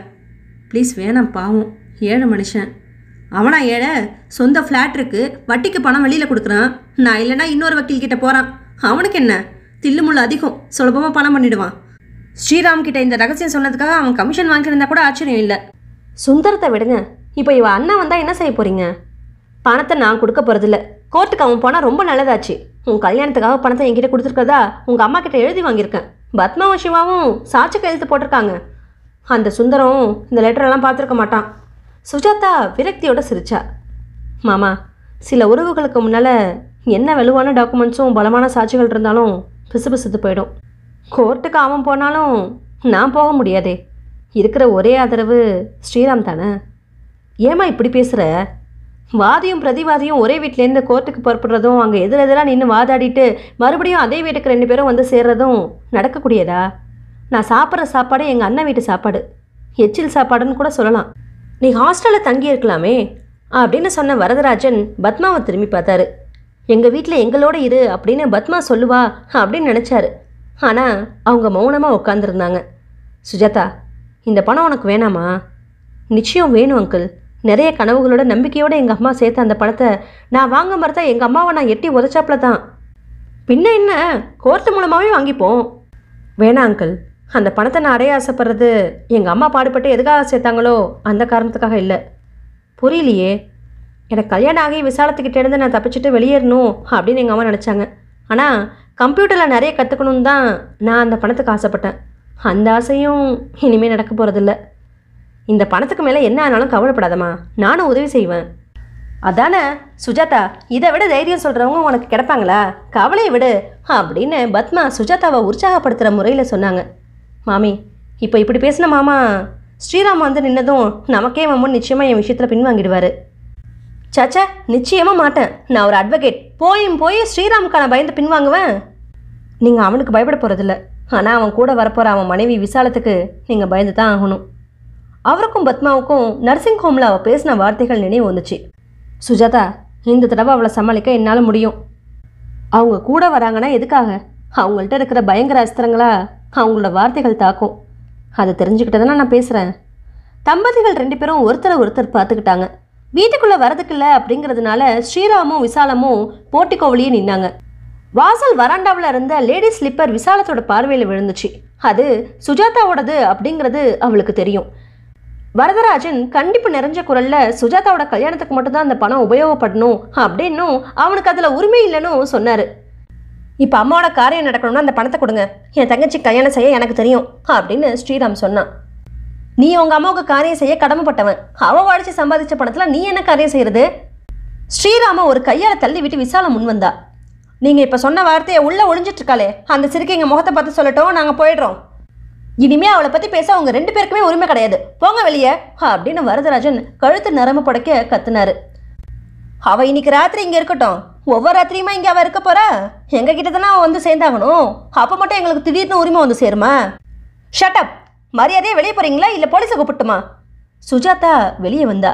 பாடி அம்மா வா. என்னவோ இந்த மகாராஜா உரிமையை பத்தி பேசுறாரு. கொஞ்சம் விவரமா தான் சொன்னேன். இங்க உனக்கு என்ன உரிமைன்னு? இங்க உன் அம்மா இருந்த இடம் கிடைச்சிருச்சா? இல்ல அதுக்கு மேல வசந்த இடம் கிடைச்சிருக்கா? உன்னை இவாத்திலே வச்சுக்க போறாங்களா? எப்படி வச்சுக்க போறாங்க? சமையல்காரியாவா வீட்டு எஜமானிக்கு அடுத்தபடியாவா சுஜாதா தலை குனிஞ்சு நின்னா. உடல் நடுங்க தடுமாறி சுவர் மேல ஆதாரமா சாஞ்சுக்கிட்டா. அதே சமயம் மோட்டார் பைக்கில் வெளியிருந்து வந்த சிவராமன் காம்பவுண்ட் கேட் பக்கத்தில் நின்று எல்லாத்தையும் கேட்டுட்டு இருந்தான். நான்சென்ஸ் பொம்பளையா நீ? போடி வெளியே. அப்படின்னு கத்திக்கிட்டே அவளை நெருங்கினான். போறேன்டா. உங்கள் அப்பனை பணத்தை தூக்கி விட்டுறிய சொல்லு. எங்கள் வீட்டுக்கு இந்த சுஜாதாலாம் வேணாம். உங்கள் வீட்லேயே இருக்கட்டும். நாங்கள் போயிடுறோம். அப்பா தங்க மாமியே போயாச்சு. இந்த சாக்கடை குடும்பத்தோட சங்காத்தமே நமக்கு வேணாம். வரதராஜன் உள்ளே போய் செக்கை எழுதிக்கிட்டு வந்தார். அதை சிவா வாங்கி ஸ்ரீராம் கிட்ட நீட்டினான். குறுக்க பாஞ்ச விசாலம் வெடுக்குன்னு பிடுங்கிக்கிட்டு போனான். ஸ்ரீராம் சுஜாதாவை திரும்பி கூட பார்க்காம அவ பின்னாலேயே போனான். ஐம் வெரி சாரி சுஜாதா அப்படின்னு சொல்லிட்டு வரதராஜன் உள்ளே போயிட்டாரு. நீ உள்ளவாமா அப்படின்னு சொன்ன சிவா உள்ள அப்பாவை பின்தொடர்ந்து போனான். பத்மா சுஜாதாவை அணைச்சிக்கிட்டு வாமா உள்ள அப்படின்னாங்க.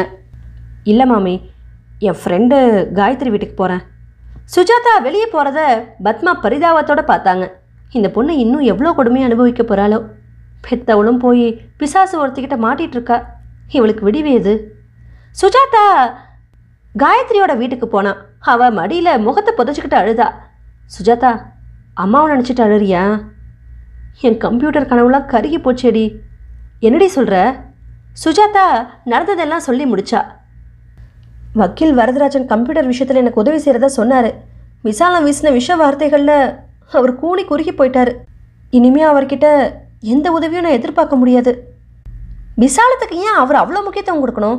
கிழக்குது கழுதுன்னு விட வேண்டியது தானே? அது சரி வாங்கிட்டு போன படத்தை என்ன செய்ய போகிறாளாம் யாருக்கு தெரியும்? அம்மாவுக்கு செய்ய வேண்டிய காரியங்களை கான்ட்ராக்டில் ரொம்ப சிம்பிளாக முடிக்க ஏற்கனவே ஏற்பாடு செஞ்சாச்சு. உன் அண்ணன் பொண்ணு பூஜாவுக்கு கல்யாணம் நடக்க வேணாமா? காயத்ரி என்னை போல ஏழை பொண்ணுங்க கம்ப்யூட்டர் படிக்க ஆசைப்படலாமா? பணக்கார பொண்ணுங்க தான் அதெல்லாம் படிக்க முடியும். காயத்ரி உறக்க சிரிச்சா. எங்கள் அக்கா மாதிரி என்னை படிக்க வைக்கணும்னு எங்கள் அப்பா ஆசைப்பட்றாரு. எனக்கு பிடிக்கலையே. நான் பணக்கார பொண்ணு தானே? வெற்றி கம்ப்யூட்டர் ஒன்றும் பெரிய விஷயம் இல்லை. அன்னைக்கு ராத்திரி காயத்ரியோட சுஜாதா தங்கினா. அவளோட பெற்றோர்களும் சுஜாதாவோட அன்பாக பழகுனாங்க. தாயை எழுந்து வேதனைப்படுற அவள் ஆறுதலுக்காக காயத்ரியை தேடி வந்திருக்கிறதா நினச்சாங்க. காயத்ரி தான் அக்காவுக்கு ஃபோன்லேயே பேசி அவள் ஏதாவது உதவி செய்ய முடியுமா அப்படின்னு கேட்குறதா சொன்னான் சுஜாதா அழுப்போட சொன்னான் வேண்டாம் காயத்ரி. எனக்கு எதுலேயுமே நம்பிக்கை இல்லை. அம்மா கிட்ட கம்ப்யூட்டர் விஷயம் சொல்லிட்டேன். அம்மாவும் சம்மதிச்சாங்க. என் துரதிருஷ்டம்? அம்மா போயிட்டாங்க. அந்த பணமும் பத்திரகாளி கையில் போய் சேர்ந்தாச்சு. ஸ்கூல் வேலையை விடு. எங்கள் அப்பா மூலமாக நல்ல கம்பெனி வேலையை ஒன்று பார்த்துக்கோ கம்பெனியே கம்ப்யூட்டர் கற்றுக்க உதவி செய்யும். ஃபாஸ்ட் ட்ராக்னு ஒன்று இருக்குது ஒரே வருஷத்தில் முடிச்சிடலாம். அது கூட இனிமேல் கஷ்டம். இந்த ஸ்கூல் வேலை ஒன்று இருக்கிறதுனால என் சம்பளத்துக்காகவாவது வீட்டுக்குள்ளே சேர்ப்பாங்க. இதுவும் இல்லைன்னா நடுவீதியில் தான் நான் நிற்கணும் சுஜாதா உன் பேருக்கும் உன் வாழ்க்கைக்கும் சம்மந்தமே இல்லை. அவ சிரிச்சா. ஏன் இல்லை? சோகமும் கஷ்டங்களும் ஏதோ ஒரு வகையில் அழகு தானே அப்படின்னு சொல்லி சிரிச்சா. எப்படி நீ சிரிக்கிற? ரொம்ப அழகாக இருக்கே. சிரிக்க கூட எனக்கு அருகதை இல்லையா? உங்கள் அம்மாவாவது இன்னும் சில விஷயங்கள் இருந்திருந்தா உனக்கு கொஞ்சம் தெம்பாக இருந்திருக்கும். இல்லடி அவங்க போனதே அவங்களுக்கு நல்லது. பிள்ளையாலேயே அவன் பொண்டாட்டியாலேயே அதிகம் வேதனைப்பட்டாங்க. ஏமாற்றங்கள் அதிகமாக போச்சு. கல்யாணம் எனக்கு பண்ணணும்னு துடியாக துடிச்சாங்க. அவங்க போனதோட அவங்க கவலையும் விட்டுச்சு. சுஜாதா ஸ்கூல்லேருந்து நேராக இங்கே வந்துரு. சி அம்மாவுக்கு காரியங்கள்லாம் நடக்கணும். வெளியிடங்களில் நான் தங்கினா நல்லா இருக்காது. சாயந்தரம் ஸ்கூல்லேருந்து அவள் திரும்பும்போது விசாலம் தான் அவளை பார்த்தா. வாங்க வாங்க அப்படின்னு கிண்டலாக வரவேற்றா. என்னங்க உங்களை தான் தங்கச்சி எங்கே போனாலோ தற்கொலை செஞ்சுட்டு இருப்பாளோ தவிச்சு போயிட்டீங்களே. அள்ளி மகாராணி வந்து சேர்ந்துட்டா. அம்மா சேர்த்த துக்கம் கூட இல்லாமல் இன்னொருத்தன் வீட்டில் ரெண்டு நாளாக கழிச்சிட்டு வரா பாருங்க. நிறுத்துங்க அண்ணி அப்படின்னு சுஜாதா கத்துனா. இந்த மாதிரி பேசுறது இனிமேல் நிறுத்திக்கோங்க. நான் நேற்று ராத்திரி காயத்ரி வீட்டில் தான் தங்கினேன். காலையில் ஸ்கூலுக்கு போயிட்டு நேராக வரேன். அம்மா தெய்வமாக மதிச்சு வணங்கின ஒருத்தரா அவர் வீட்டு வாசலில் நின்று அசிங்கமாக பேசின உங்கள் ரெண்டு பேரையும் விட நான் ஒரு தப்பும் பண்ணல. கழுத இந்த மாதிரி எதிர்த்து பேசுறதுலாம் வந்த வழியாவே போயிடு. இந்த வீட்லலாம் உனக்கு இடம் கிடையாது. அப்படின்னு ஸ்ரீராம் கத்துனான் விசாலம் சட்டுன்னு குரலை தாழ்த்திக்கிட்டு நயமான குரலில் ஸ்ரீராம் கிட்ட சொன்னா என்ன இப்படி பேசுறீங்க? அம்மா போனதும் வயசுக்கு வந்த பொண்ணா தங்கச்சிங்க கூட பார்க்காம விரட்டிட்டானே. ஏன் தலைத்தானே எல்லாரும் உருட்டுவாங்க? சுஜாதாவோட உதறுகளில் ஏளன புன்னகை தவிழ்ந்துச்சு. இந்த நயம் பரிவு எல்லாம் அவளோட சம்பளத்துக்கு தர மரியாதை.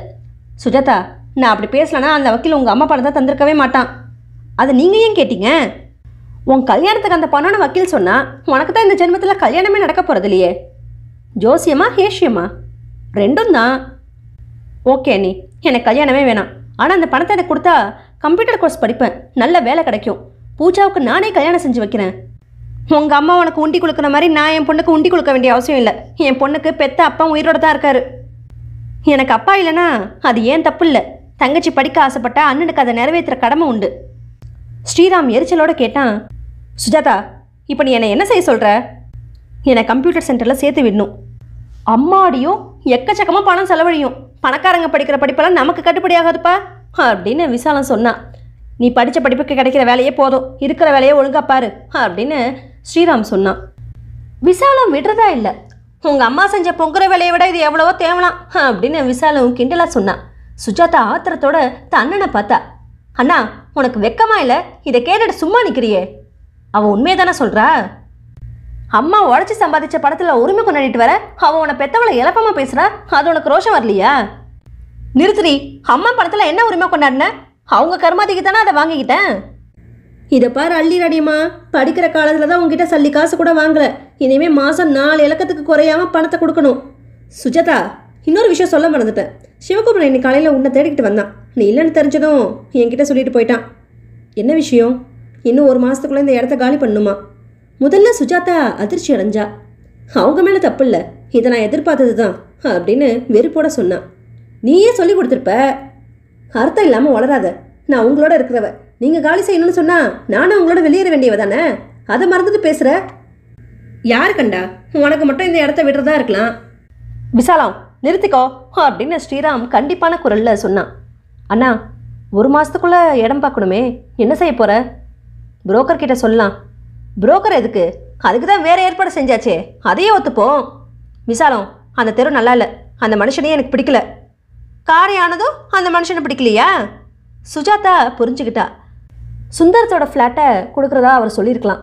தெருவை விடு. ஃப்ளாட் நல்லா இருந்தால் போகலாமே அவருக்கு தங்க வேற இடம் இருக்கா? சுஜாதா தந்திரமா வாயப்படுங்க பார்த்தா. நமக்கே அந்த கவலை. அந்த இடத்துக்கு நான் போகிறதா இல்லை. விசாலம் நக்கலாக சொன்னான் உங்கள் அண்ணாவுக்கு அந்த ஃப்ளாட் பிடிக்காம இல்லை. சுந்தரம் போடுற கண்டிஷன் தான் பிடிக்கல.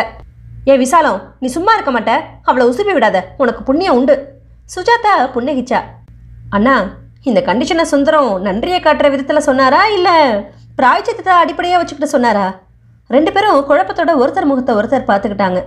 இவ என்னடி சொல்கிறா யாருக்கு புரியுது? டீச்சர் அம்மா ஏதோ டீச் பண்ணுறப்பல இருக்குது உங்கள் ரெண்டு பேருக்கும் புதையல் இருக்கிற இடத்த சொல்கிறப்பல எங்கள் அம்மாவோட பணம் இருக்கிற விவரத்தை சொல்லி பணத்தை வாங்கி தந்தாரே. அதுக்கு நன்றி காட்டுற விதத்தில் இந்த கண்டிஷன் அவர் சொன்னாரா?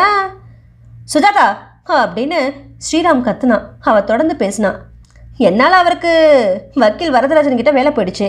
அதோட பிராய்ச்சித்தமாக இந்த கண்டிஷன் ஐ மீன் என்ன அவருக்கு கல்யாணம் செஞ்சு கொடுக்கும்படி கேட்டாரா? அவருக்கு மட்டும் வேலை போலடி. நம்மளையும் வந்து அந்த வரதராஜன் அடுத்த தெருக்கு விரட்டியாச்சு.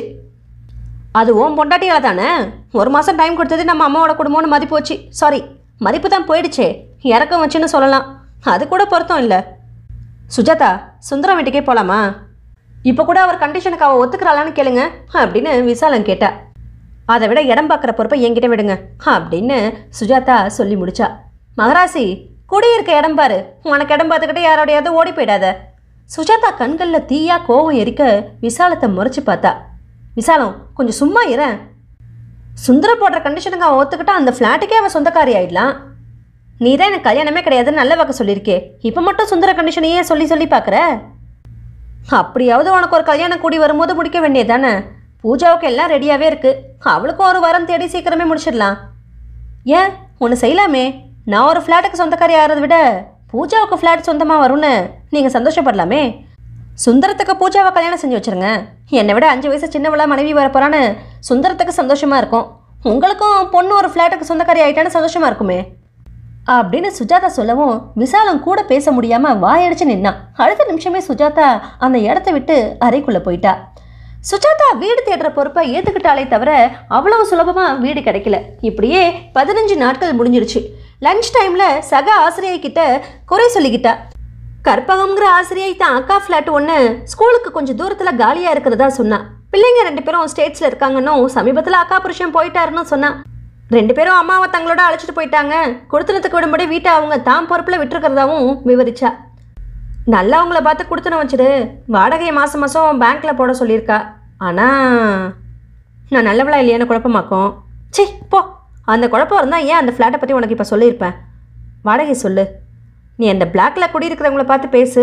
அவங்க என்ன வாடகை தராங்களோ அதை கூட போதும். அட்வான்ஸ்லாம் வேணாம்.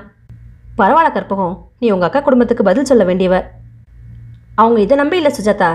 அது இப்போ காலியாக தான் இருக்குது எப்போ வேணும்னாலும் நீங்கள் அங்கே குடி போகலாம் சுஜாதா பெரிய பிரச்சனை தீர்ந்துச்சு அப்படிங்கிற நிம்மதியோட கற்பகத்துக்கு நன்றி சொன்னான் ஃப்ளாட் நல்லா இருந்தது. ஸ்கூல்லேருந்து நடக்கக்கூடிய தூரம். ஆனால் ரொம்ப பக்கத்தில் இருந்ததுன்னு சொல்ல முடியாது. ஒரு ஞாயிற்றுக்கிழமை வீட்டை காலி பண்ணிட்டு ஃப்ளாட்டுக்கு கூட்டி போயிட்டாங்க. சாவியை கொடுக்க சுஜாதாவே போனா. பத்மா மட்டும்தான் இருந்தாங்க. புது சமயக்காரி காஃபி கொண்டு வந்து வச்சா. பத்மா சொன்னாங்க சுஜாதா எங்களை நீ தப்பாக நினச்சிக்க மாட்டேன்னு நம்புகிறேன் நிச்சயமாக இல்லை மாமி. டைம் தாராளமாக கொடுத்ததுக்கு நான் தான் தேங்க்ஸ் சொல்லணும். கம்ப்யூட்டர் விஷயம் என்னாச்சு? கம்ப்ளீட்டாக அந்த ஆசையை நான் மறந்துட்டேன். நான் மாமாவை கேட்டு பார்த்தேன். உனக்கு உதவி செய்யலாம்னு நினச்சேன். ஆனால் அவள் எதிர்காலம் பாழாயிடும்னு கல்யாணத்துக்கு இருக்கிற பொண்ணு மேலே ஏதாவது பழி போட நாம் இடம் கொடுக்கக்கூடாதுன்னு சொல்லிட்டாரு. சின்னவன் டெல்லியிலேருந்து ஃபோன் பண்ணான் உன்னை பற்றி ரொம்ப விசாரிச்சான். அவனுக்கு கூட எங்கள் மேலே ரொம்ப கோவம். அண்ணனும் அண்ணியும் பேசினதுக்கு சுஜாதா என்ன பண்ண முடியும்? காலி பண்ண சொல்லியிருக்க வேணான்னு அப்பா கிட்ட சொன்னான் குடும்பத்தில் ஒருத்தையே நான் அவங்களோட இருக்கேன். தனிப்பட்ட முறையில் எனக்கு மட்டும் எப்படி இறக்க காட்ட முடியும்? பத்மா வெத்தலை பாக்கு எடுத்துகிட்டு வர போனாங்க. இந்த சின்னவன் ஜெயராம் காலேஜில் படிச்சுட்டு இருந்தான். இவளுக்கு பள்ளிக்கூட பருவம். இவளும் ஜெயராமும் இணை பழகுவாங்க. சுஜாதாவை தன் வீட்டுக்கு போகவே விட மாட்டான் கேரம் தாயம்னு ஏதாவது விளையாடிக்கிட்டே இருப்பாங்க. சுஜாதாவுக்கு பாடங்களில் ஏதாவது சந்தேகம் வந்தாலும் சொல்லி தருவான். திடீர்னு ரக்ஷாபந்தன் பண்டிகை அன்னைக்கு அம்மா ரெண்டு ரக்ஷாபந்தன் வாங்கி சுஜாதாவை அவங்க ரெண்டு பேர் கைகள்லையும் கட்டிவிட செஞ்சாங்க. இதை வரதராஜன் அன்னைக்கு கேலி செஞ்சார். என்ன மாமி நாங்களா ஆசைப்பட்டு சுஜாதாவை தேர்ந்தெடுத்தாலும் நீங்கள் ஒத்துக்க மாட்டீங்க போல இருக்கே அப்படின்னு. ஏழைக்கு எல்லூருன்னு கிடைச்சா போதுமே. குழந்தைங்க மனசில் அனாவசிய ஆசைகள் ஏற்படாமல் இருந்தால் பிரச்சனைகளும் ஏற்படாமல் இருக்கும். அன்னைக்கு சுஜாதாவுக்கு புரியல. அன்னைக்கு அம்மா சொன்னதில் இருந்த உண்மை இப்போ உரைக்குது. ஜெயராம் இன்னும் மாறலை போல இருக்கு. அந்த ரக்ஷாபந்தனுக்கு அவன் அர்த்தம் எதுவும் வச்சிருக்க மாட்டான். ஆனால் இத்தனை அனர்த்தங்கள் ஆனதுக்கப்புறம் அந்த ஜெயராமோட நம்பிக்கை கைவிட்டு போயிடுச்சுன்னு தான் சொல்லணும். மாமி வெத்தலை பார்க்க மஞ்சள் தேங்காயோட புதிய ரவிக்கை துண்டு ஒன்றை வச்சு கொடுத்தாங்க. அவள் கீழே குனிஞ்சு வணங்கின உடனே உன் மனசில் இருக்கிற ஆசையெல்லாம் நிறைவேறட்டும் அப்படின்னு ஒரு மொத்தமாக ஆசிர்வதிச்சாங்க. விசாலா உத்தரவிட்டபடி சுஜாதா நாலு இலக்கத்தில் பணத்தை மாதம் மாதம் கொடுக்க ஆரம்பித்தா அதனால் புதிய ஃப்ளாட்டுக்கு போனதும் வாடகை பொறுப்பை தான் ஏற்றுக்கிட்டு மாதம் ஆயிரத்தி ஐநூறுரூபா வாடகையை கொடுத்தா. கையில் ஒன்று ரெண்டு நூறு தான் அவளுக்கு மீந்தது. பயிற்சி இல்லாத டீச்சருங்கிறதோட காரணமாக அவங்க கொடுத்த சம்பளத்தை வாங்கிக்கிட்டா. ஒரு நாள் நடுவகுப்பில் பியூன் வந்து அவளை ஹெச்எம் கூப்பிட்றதா சொன்னான் ஹெச்எம் அறையில் ஒரு வாலிபன் நின்றுட்டு இருந்தான். இவ வகுப்பில் படிக்கிற சங்கருங்கிறவன் பக்கத்தில் நின்னான். அவளுக்கு விஷயம் புரிஞ்சிருச்சு. அங்கிருந்த பியூனை தான் வகுப்புக்கு போய் கார்த்திக்குங்கிற பையனை அழைச்சிட்டு வர சொன்னான் என்ன உன் கிளாஸில் போய் இந்த மாதிரி கம்ப்ளைண்ட்ஸ்லாம் வரவிடலாமா? இந்த பையனோட முகம் மார்பெல்லாம் கீரலாக இருக்குது இந்த ஜென்டில்மேன் வந்து டீச்சர்லாம் குழந்தைய கவனிக்காமல் வம்பு பேசுகிறாங்களான்னு கேட்குறாரு சாரி மேடம் பசங்களுக்குள்ள பென்சில் பாக்ஸ் சண்டை. இவனை அந்த கார்த்திக்குங்கிற பையன் நகத்தால் பிராண்டினான். இவன் அவனோட கண்ணத்தை கடிச்சிட்டான். நான் தான் பிளாஸ்டரி போட்டு அந்த பையனை வீட்டுக்கு அனுப்புனேன். அதுக்குள்ளே அந்த கார்த்திக்கை பியூன் கையை பிடிச்சி அழைச்சிட்டு வந்தான். உண்மையிலேயே அவனோட கன்னத்தில் பெரிய பிளாஸ்டரி போடப்பட்டிருந்துச்சு. மேடம் அவங்க வீட்டில் இருந்து பெரியவங்க வருவாங்கன்னு எதிர்பார்த்தேன். கார்த்திக் வழக்கம் போல் ஸ்கூல் வேனில் இன்னைக்கு வந்தான். இது வரைக்கும் யாரும் வரல அப்படின்னு சொல்லி அந்த வாலிபனை திரும்பி பார்த்தா. அந்த வாலிபன் அசடு வழிய சிரிச்சான். ஹெச்எம் ரெண்டு சிறுவர்களையும் பார்த்து இனிமேல் இப்படி சண்டை போடக்கூடாது அப்படின்னு கண்டிக்க குரலில் சொன்னார். சுஜாதா ரெண்டு பேரையும் கூட்டிக்கிட்டு கிளாஸ்க்கு போகலாம் நீ. அந்த வாலிபனை முன்னால் போக விட்டு பின்னால் ரெண்டு பேரையும் கையை பிடிச்சி அழைச்சிக்கிட்டு கிளாஸ்க்கு போனான். ஷங்கர் வந்தவர் உனக்கு என்ன உறவு? உறவில்லை டீச்சர் எங்கள் சித்தப்பாவுக்கு ஃப்ரெண்டு இவரையே வந்தார்? உங்கள் பேரண்ட்ஸ் இல்லைன்னா உங்கள் சித்தப்பாவே வந்திருக்கலாமே. ஒரு நாள் எங்கள் வீட்டு வழியாக நீங்கள் போனீங்க. எங்கள் சித்தப்பாவும் இவரும் வாசலில் நின்றுக்கிட்டு பேசினாங்க. நான் உங்களை எங்கள் சித்தப்பா கிட்டே இவங்க தான் எங்கள் டீச்சர்னு காட்டினேன். இவர் தான் உங்கள் பேரெல்லாம் கேட்டார். சரி நீ உன் சீட்டுக்கு போய் உட்காரு. இந்த மனுஷன் சந்தர்ப்பத்தை பயன்படுத்திக்கிட்டு வந்திருக்கான். எவ்வளோ திமிரு. தனக்கு சம்மந்தம் இல்லாத பையனுக்காக இவளை சந்திக்கன்னு வந்திருக்கான். சுஜாதாவோட முகம் கோவத்தினால சிவந்துச்சு. அன்னைக்கு சாயந்தரம் ஸ்கூல் முடிஞ்சு அவள் வீட்டுக்கு திரும்பும்போது வழக்கம் போல நடந்து போனான் ரொம்ப பக்கத்தில் சைக்கிளோட மணி ஓசை கேட்டதும் திரும்பி பார்த்தா. காலையில் ஹெச்எம் ரூமில் அவள் சந்திக்க நேர்ந்த அந்த வாலிபன் ஒரு காலை சாலையில் ஊன்றி சைக்கிளில் ஸ்டைலாக உட்காந்துருந்தான் ஹலோ சுஜாதா அப்படின்னு குறும்போட சிரிச்சான். அவள் பதில் எதுவும் பேசாமல் அவனை வெறுப்போட பார்த்தா. எனக்கு உன் பேரும் தெரியும் உன் வீடும் தெரியும். ரொம்ப நாளாகவே உன்னை ஃபாலோ பண்ணுறேன் நீ தான் என்னை கவனிக்கிறதே இல்லை. சுஜாதா நடக்க ஆரம்பிச்சா. கொஞ்சம் நில்லு. சுஜாதா என் பேரையும் தெரிஞ்சுக்க வேணாமா? சக்திவேல் இதான் என் பேர். அவள் திரும்பி பார்க்காம வேகமாக நடந்தா. சாயந்தரம் இவனோட தொந்தரவுனா மறுநாள் காலையில் அவள் ஸ்கூலுக்கு புறப்படும் போது ஸ்ரீராம் சைக்கிளில் இவளை துரத்தி வந்தான். அப்படி அவன் வந்தா அவகிட்ட அவனுக்கு ஏதோ பண உதவி தேவைப்படுதுன்னு அர்த்தம். பூஜாவுக்காக சேர்க்குறாங்க அப்படின்னு புரிஞ்சு அவளும் பொறுமையை கடைபிடிச்சா. இப்போ ஆயிரக்கணக்கில் கேட்டா அவ தான் எங்கே போவா? என்னன்னா கூலி இல்லாத வளையல் வந்திருக்கு. வாங்கி வச்சா உனக்கோ இல்லை பூஜாவுக்கோ உபயோகப்படும். ஆனால் காலையிலே கேட்டிருக்கலாம்ல. தெருவில் வந்து கேட்குற விசாலத்துக்கு தெரியக்கூடாது. உன்கிட்ட பணம் வாங்குறது அவளுக்கு பிடிக்காது. இப்படி ஒரு கதையா? அவ சொல்லி தான் இங்கே வந்திருக்கான். இதில் இந்த வரட்டு ஜம்பம் வேற அப்படின்னு மனசுக்குள்ளே நினச்சி சிரிச்சா. அப்படியா? அப்படின்னு கேலியாக கேட்டா. அண்ணா போன மாதம் தான் மூவாயிரம் ரூபாய் இதே மாதிரி தெருவில் கேட்டேன் கொடுத்தேன். மறுபடியும் பெரிய தொகை கேட்டேன் நான் எங்கே போவேன்? ரெண்டு மாதமாக வாடகையை கூட நான் பேங்க்கில் கட்டவே இல்லை. வாடகை பாக்கி இப்போ நான் கேட்குற பணம் எல்லாத்தையும் வக்கீல் வரதராஜன் கிட்ட கடனாக கேட்டுப்பாரு. நீ கேட்டால் கட்டாயம் அவர் தருவார். சுஜாதா ரோட்டில் காரி துப்புனா உனக்கு இதை சொல்ல வெக்கமா இல்லை? அப்படின்னு சொல்லிட்டு விடுவிடன்னு நடந்து போனான் சக்திவேல் கூட தினமும் சாயந்தர வேலைகளில் ஸ்கூல்லேருந்து வரும்போது சைக்கிளோடு வந்து வட்டமிடுறான். அவன் விஷயத்தில் அவள் இன்னும் உறுதியாக தான் நடந்துக்கிறா. ஆனால் பேச்சு திறமையால் ஒன்று ரெண்டு வார்த்தைகள் பேசும்படி நேர்ந்துடுது. அவன் பேச்சில் கலந்த நகைச்சுவையில் அவள் அறியாமல் சிரிச்சிடுறா. அவளோட தனியாக உட்காந்து பேசணும்னு தினமும் நச்சரிக்கிறான். இது வரைக்கும் அவள் இடம் கொடுக்கவே இல்லை. அவனுக்கு தெரிஞ்ச நண்பன் ஒருத்தன் கம்ப்யூட்டர் ட்ரைனிங் கொடுக்குறான். ரொம்ப செலவு இல்லாமல் படிக்கலாம் அப்படின்னு சொல்லி அவன் சேர்த்து விட்டுறதா சொன்னான்.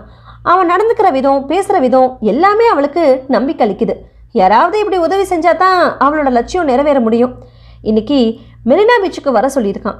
கடல் பக்கத்தில் அவன் உட்காந்துருப்பேன் அப்படின்னு உறுதி சொன்னான். அவள் கடற்கரைக்கு போகிறதுங்கிறது அவளோட வழக்கமான பாதையை விட்டு தள்ளி போகிறது போல ஆகும். வரும்போது இருட்டிடும். தைரியமாக தனியாக வரணும். சக்தி வேலை திருக்கோடி வரைக்கும் கொண்டு விடு அப்படின்னு கேட்டால் நிச்சயம் கொண்டு விடுவான். பெரிய இடத்த பிள்ளை போல இருக்கு. ரெண்டு ரைஸ் மில்லு நிலங்கள் நாலு வீடு சொந்தத்தில் இருக்குன்னு சொன்னதா நினைவு. அவன் தவறாக நினைக்காம இருந்தால் கம்ப்யூட்டருக்காக ஆகிற செலவை அவங்கிட்டயே கடனாக கேட்கலாம். சுஜாதா உற்சாகத்தோட பள்ளிக்கூடத்துக்குள்ள நுழைஞ்சா. யாரோ மூன்று வாலிபர்கள் உறக்க அமர்க்கலமா சிரிச்சுக்கிட்டு அங்க வந்து உட்கார்ந்தாங்க. கொஞ்சம் தூரத்துல இருட்டு பரவி உள்ள இடத்துல மணலோட மணலா ராஜசேகர் படுத்திருந்தாரு. அவரோட பழைய நினைவோட வேதனை அலைகள் மனசை வாட்டினப்பவும் பிஸ்னஸ்ல ஏதாவது குழப்பம் ஏற்பட்டாலும் இங்க கடற்கரையில வந்து ரொம்ப நேரம் படுத்திருப்பாரு. விரிஞ்ச வானமும் அகண்ட மணல் வெளியும் ஆர்ப்பரிக்கிற அலைகளோட ஓசையும் அவர் மனசுக்கு இதமா இருக்கும். ஒவ்வொரு பொண்ணையும் ஒரே வாரத்தில் வளைச்சிடுவ? என்ன பிரதர் இந்த பொண்ணுக்கு மட்டும் ஒரு மாதத்துக்கு மேலே ஆகுது? விவரம் தெரிஞ்ச பொண்ணாக இருக்குது இப்போ தான் கொஞ்சம் நம்மளான்னு என்கிட்ட பழக ஆரம்பிச்சிருக்கு. உனக்கு அது மசிலனா விடுறா. வேற குட்டியை பாரு. இந்த சக்திவேல் குறி வச்ச பொண்ணை அவ்வளோ சுலபமாக விட மாட்டான். இன்னைக்கு காரை எடுத்துக்கிட்டு வந்தோம். அந்த பொண்ணு முரண்டுனா? மச்சி ஒவ்வொரு பொண்ணுக்கும் ஏதாவது ஒரு பலகீனம் இருக்கும். சிலது சினிமா ஹோட்டல் டிஃபன்னா சுலபமாக படிஞ்சிரும் சிலது புடவைங்க நகைங்கன்னா நம்ம காலடியிலே விழுந்துடும் இந்த பொண்ணு எப்படி? இதை கண்டுபிடிக்கவே ரொம்ப டைம் ஆச்சு. இது ஒரு கம்ப்யூட்டர் வெறி பிடிச்ச பொண்ணு. இன்னைக்கு அதில் சேர்க்குறேன்னு சொல்லி வர சொன்னேன் எந்த நிமிஷமும் வருவா. குடும்பத்தை பற்றி விசாரிச்சு பார்த்தியா அப்புறம் ஏதாவது விவகாரமாக வளர்ந்துட போகுது அப்படிங்கிற ஒரு புதுக்குரல் ஒன்று கேட்டுச்சு. நல்லா விசாரிச்சிட்டேன். ஐயர் விட்டு பொண்ணு. பெத்தவங்க கிடையாது. அண்ணன் அண்ணி தான் இருக்காங்க. சும்மா இதுக்கிட்டே பணம் பிடிக்கிட்டே இருக்காங்க. பாவம் கொடுத்துட்டு முழிக்குது. உனக்கு ஏதாவது கொடுக்குறாளா? ராஸ்கல் அடிச்சுனா கடலில் போய் உழுவ. ஒரு அரிசி மில்லு ரெண்டு ஹோல்சேல் கடை நாலு வீடுங்க சொந்தம்னு ரீல் விட்டுருக்கேன். கம்ப்யூட்டருக்கு கடனாக பணத்தை கொடுத்து உதவுனா போதும்னு சொல்லுது. நீ எங்கே போவ? அட போடா இன்னைக்கு நம்ம காரில் அவள் ஏற போகிறா கம்ப்யூட்டர் சென்டருக்கு சேர்க்க போகிறேன்னு சொல்லி நம்ம சென்டருக்கு அழைச்சிட்டு போகிறேன் அவ்வளோதான் பூட்டின அறையில் நமக்கு அழுக்கிற வரைக்கும் அங்கேயே இருக்கட்டும். அப்புறம் இந்த பொண்ணை வித்துற வேண்டியதான் அப்போ என் ஃப்ரெண்டை புரோக்கர் அழைச்சிட்டு வர சொல்லட்டுமா? நான் சொல்கிறேன் அப்போ கூட்டிகிட்டு வா. இன்னொருதான் சொன்னால் ஏண்டா பாவம். மற்ற பொண்ணுங்களை நீ வித்ததா தெரியலையே? இதுவும் இருக்கட்டுமே. விவகாரம் எதுவும் வராதுன்னு சொல்கிற இல்லைடா இந்த பொண்ணை தற்கொலை செஞ்சுக்கிற டைப்பு நிச்சயம் அப்படி ஏதாவது நடந்தால் நம்ம மாட்டிப்போம். அதோட அப்படின்னு சொல்லி அவன் உறக்க சிரிச்சான். சொல்லிட்டு சரிடா. அந்த பொண்ணுக்கு கம்ப்யூட்டரில் நல்ல ட்ரைனிங் ஆனதும் ஃபாரின் போய் வேலை செய்ய ஆசை இருக்குது இப்போ இவ்வளோ விற்றா ஏதாவது வெளிநாட்டுக்கு தான் நிச்சயம் போவா. கொஞ்சம் தொழில் மாறுது. ஆனால் அவள் வெளிநாட்டு ஆசை தீருது. மூணு பேரும் உறக்க சிரிச்சாங்க. அந்த பொண்ணோட பேர் என்னடா? சுஜாதா. அப்படின்னா என்ன? அழகுன்னு அர்த்தம். ஒரு நண்பனோட கேள்விக்கு இன்னொரு நண்பன் பதில் சொன்னான். பேர்லேயே அழகு இருக்குது ஆனால் ஒரு தடவை கூட தொட்டு பார்க்க முடியலையே. பொண்ணு அந்த விஷயத்தில் விழிப்பாக இருக்குது சும்மா டூப்பிடாத ஆமாப்பா மகாபலிபுரம் போகலான்னு வழக்கம் போல் கூப்பிட்டேன். நான் ஸ்கூலில் குழந்தைங்களோட போயிட்டேன்னு சொல்லிடுச்சு. கதைகளில் வர மாதிரி தோளோட தோல் உராய்ஞ்சுன்னு இருக்குன்னா அது எப்போவும் என் சைக்கிளுக்கு மறுபக்கம் வருது. கவலை விடுறா. எதுக்கும் கொஞ்சம் மயக்க மருந்து எடுத்துக்கோ. காரில் கத்தி கத்தி தொலைக்க போறா. எப்படியோ? அந்த பட்டு மேனி நைட்டு உன் கையில். அது சரி சக்திவேல். எங்கள் ரெண்டு பேருக்கும் விருந்தில் பங்கு உண்டா? வழக்கம் போல் மிச்சம் மீது எல்லாம் உங்களுக்கு தான் என்னடா? இன்னும் அந்த பொண்ணு வரவே இல்லை? அப்படின்னு ஒருத்தன் கேட்டான். சக்திவேல் அந்த அரை இருட்டில் உத்து பார்த்தான். டே டேய் வராடா.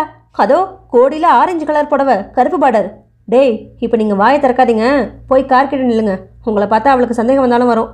நான் பக்கமாக பேசி அவளை கார் கொண்டு வரேன். ரெண்டு பேரும் வேகமாக போயிட்டாங்க. இவங்க பேச்சில் ஒரு வார்த்தை விடாமல் கேட்ட ராஜசேகர் தலையை மெல்ல தூக்கி பார்த்தாரு. இவங்க சொன்ன அடையாளத்தினால அந்த பொண்ணை அவரும் தெரிஞ்சுக்கிட்டாரு. பெண்கள் முன்னேற்றத்தில் அதிகம் விருப்பம் கொண்டவர் தான். ஆனால் இந்த மாதிரி ஆபத்துகள் இப்போது அதிகமாயிருக்கு. இந்த அப்பாவிகள் வழியே போய் வலையில் விழுறது தான். சுஜாதா நீ யாராக இருந்தால் என்ன? நீ எடுத்து வைக்கிற ஒவ்வொரு அடியும் உன்னை அதில் பாதாளத்துக்கு அழைச்சிட்டு போகிற பாதமா? அவர் இவளை எப்படி காப்பாத்துறதுன்னு ஒரு முடிவுக்கு வந்தார். அவள் வரா அப்படின்னு சக்திவேல் பரபரப்போட எழுந்திருக்கிறதையும் பார்த்தாரு. ஹாய் சுஜாதா உனக்காக தான் காத்துட்ருக்கேன். லேட் பண்ணிட்டேனா? இல்லை இல்லை காரை கொண்டு வந்திருக்கேன். ராஜசேகர் சட்டுன்னு எழுந்தார். பாஞ்சு போய் அவளோட தோலை பிடிச்சாரு. சுஜாதா எனக்கு ரொம்ப நாளாக சந்தேகம். உன் அண்ணன் உன்னை ஃபாலோ பண்ணும்படி சொன்னான். உன் காதல் விவகாரம் அம்பலமாயிடுச்சு. இவன் தான் உன் லவரா அப்படின்னு சக்திவேல் பக்கம் திரும்பினாரு. அவன் தூரத்தில் ஓடிட்டு இருந்தான். சுஜாதா திமிரி தன் தோலை அவர் பிடியிலேருந்து விலக்கிக்கிட்டா. யார் நீங்க? அப்படின்னு கோவமாக கேட்டா. வழிபோக்க ஆனாலும் உன்னை இந்த பொம்பளை பொறுக்கிக்கிட்டேருந்து காப்பாற்ற நினச்சேன். அவ குழப்பத்தோட பார்த்தா. உட்காரு சுஜாதா. நான் விவரத்தை சொல்கிறேன் அப்படின்னு சொல்லி சக்திவேல் அவன் நண்பர்கள் பேசின விவரங்களை நாசுக்கா சொன்னார். முடிவில் அவளை என்ன செய்கிறதா இருந்தாங்க அப்படிங்கிறதையும் சொன்னார். இதோ பார் சுஜாதா. நான் சொல்கிறது உண்மையா இல்லையாங்கிறதுல உனக்கு சந்தேகம் கூட வரலாம். என்னை கண்டதும் சக்திவேல் ஏன் அப்படி ஓடணும்? அவன் உண்மையானவனாக இருந்தா நின்று என்னோட பேசியிருக்கலாமே அவள் உடல் நடுங்குச்சு. அவள் இந்த விஷயத்தில் ஏமாற மாட்டா. ரொம்ப எச்சரிக்கையோடு இருக்கிற அளவுக்கு சாமர்த்தியம் உள்ளவ அப்படின்னு தன்னைத்தானே பாராட்டிக்கிட்டு இவ்வளோ தூரம் வளர்கிற அளவுக்கு அவனோட பழகுனா. அவ ஏமாந்துட்டா.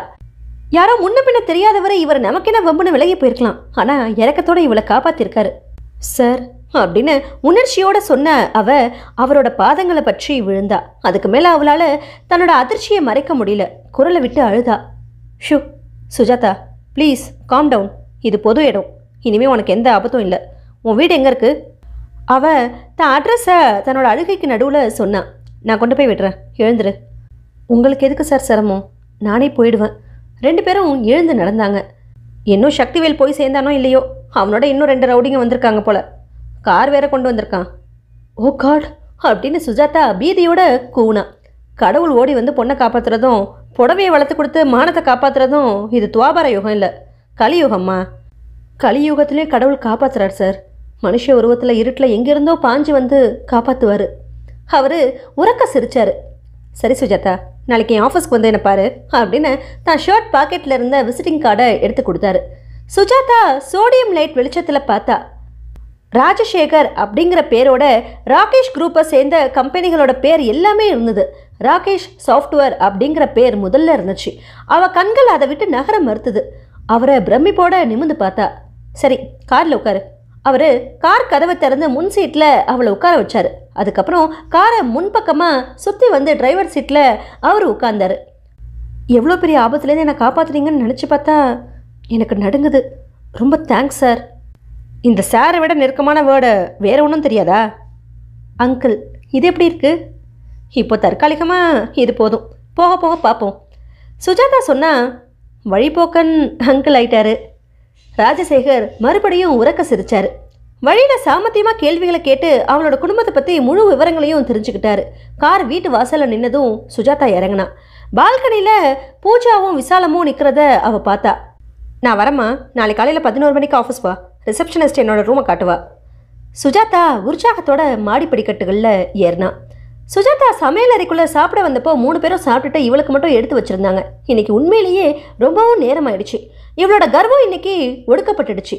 தன்னைத்தானே காப்பாற்றிக்க முடியும் அப்படிங்கிற கர்வம் எப்போவுமே இவளுக்கு உண்டு. சக்திவேல் தான் சகாக்களோட போட்டு வச்சிருந்த திட்டம் மட்டும் படிச்சிருந்தா இவளால் என்ன செஞ்சுருக்க முடியும்? கடவுளே இந்த ராஜசேகர் உருவத்தில் வந்து காப்பாற்றினார் அவன் ஆரம்பத்துலேருந்து ஜாடையாக பேசி பார்த்துருக்கான். இவ தான் புரிஞ்சுக்கல. பெரிய கலாரசிகன் போல மகாபலிபுரம் சிற்பங்கள் பார்க்க கூப்பிட்டான். ஸ்கூலில் குழந்தைகளோட போய் பார்த்துருக்கிறதா சொல்லிட்டா. திருப்பதிக்கு போய் பாலாஜி தரிசனம் செஞ்சுக்கிட்டு வரலாம் அப்படின்னா எங்கள் குடும்பத்தில் திருப்பதிக்கு போனால் குடும்பத்தோடு தான் போவோம். தனியாக போய் தரிசனம் செய்யக்கூடாது அப்படின்னு மறுத்துட்டா. உலகத்தில் இந்த மாதிரி ஆபத்துகள் கூட உண்டு அப்படின்னு தெரியாத பெண்ணாவே இருந்துட்டா. ராஜசேகர் கூட சொன்னார். பொண்ணுக்கு பாதுகாப்பாக பெரியவங்க புத்தி சொன்னாலும் அந்த பாதுகாப்பையே அடிமைத்தனமாக நினச்சிக்கிறீங்க. பலர் இந்த மாதிரி ஏமாத்து பேர் வழிகளுக்கு அதுவே சாதகமாயிடுது அப்படின்னு காரில் வரும்போது சொன்னார். அத்தை அப்பா அவனை கூப்பிடுறாரு. சுஜாதா தான் சாப்பிட்ட தட்டை கவனிச்சா சாப்பிட்டு முடிச்சா இருந்துச்சு அவ தான் சிந்தனையில் ஆழ்ந்தவளா கவனம் இல்லாமல் சாப்பிட்டுட்டு இருந்தா.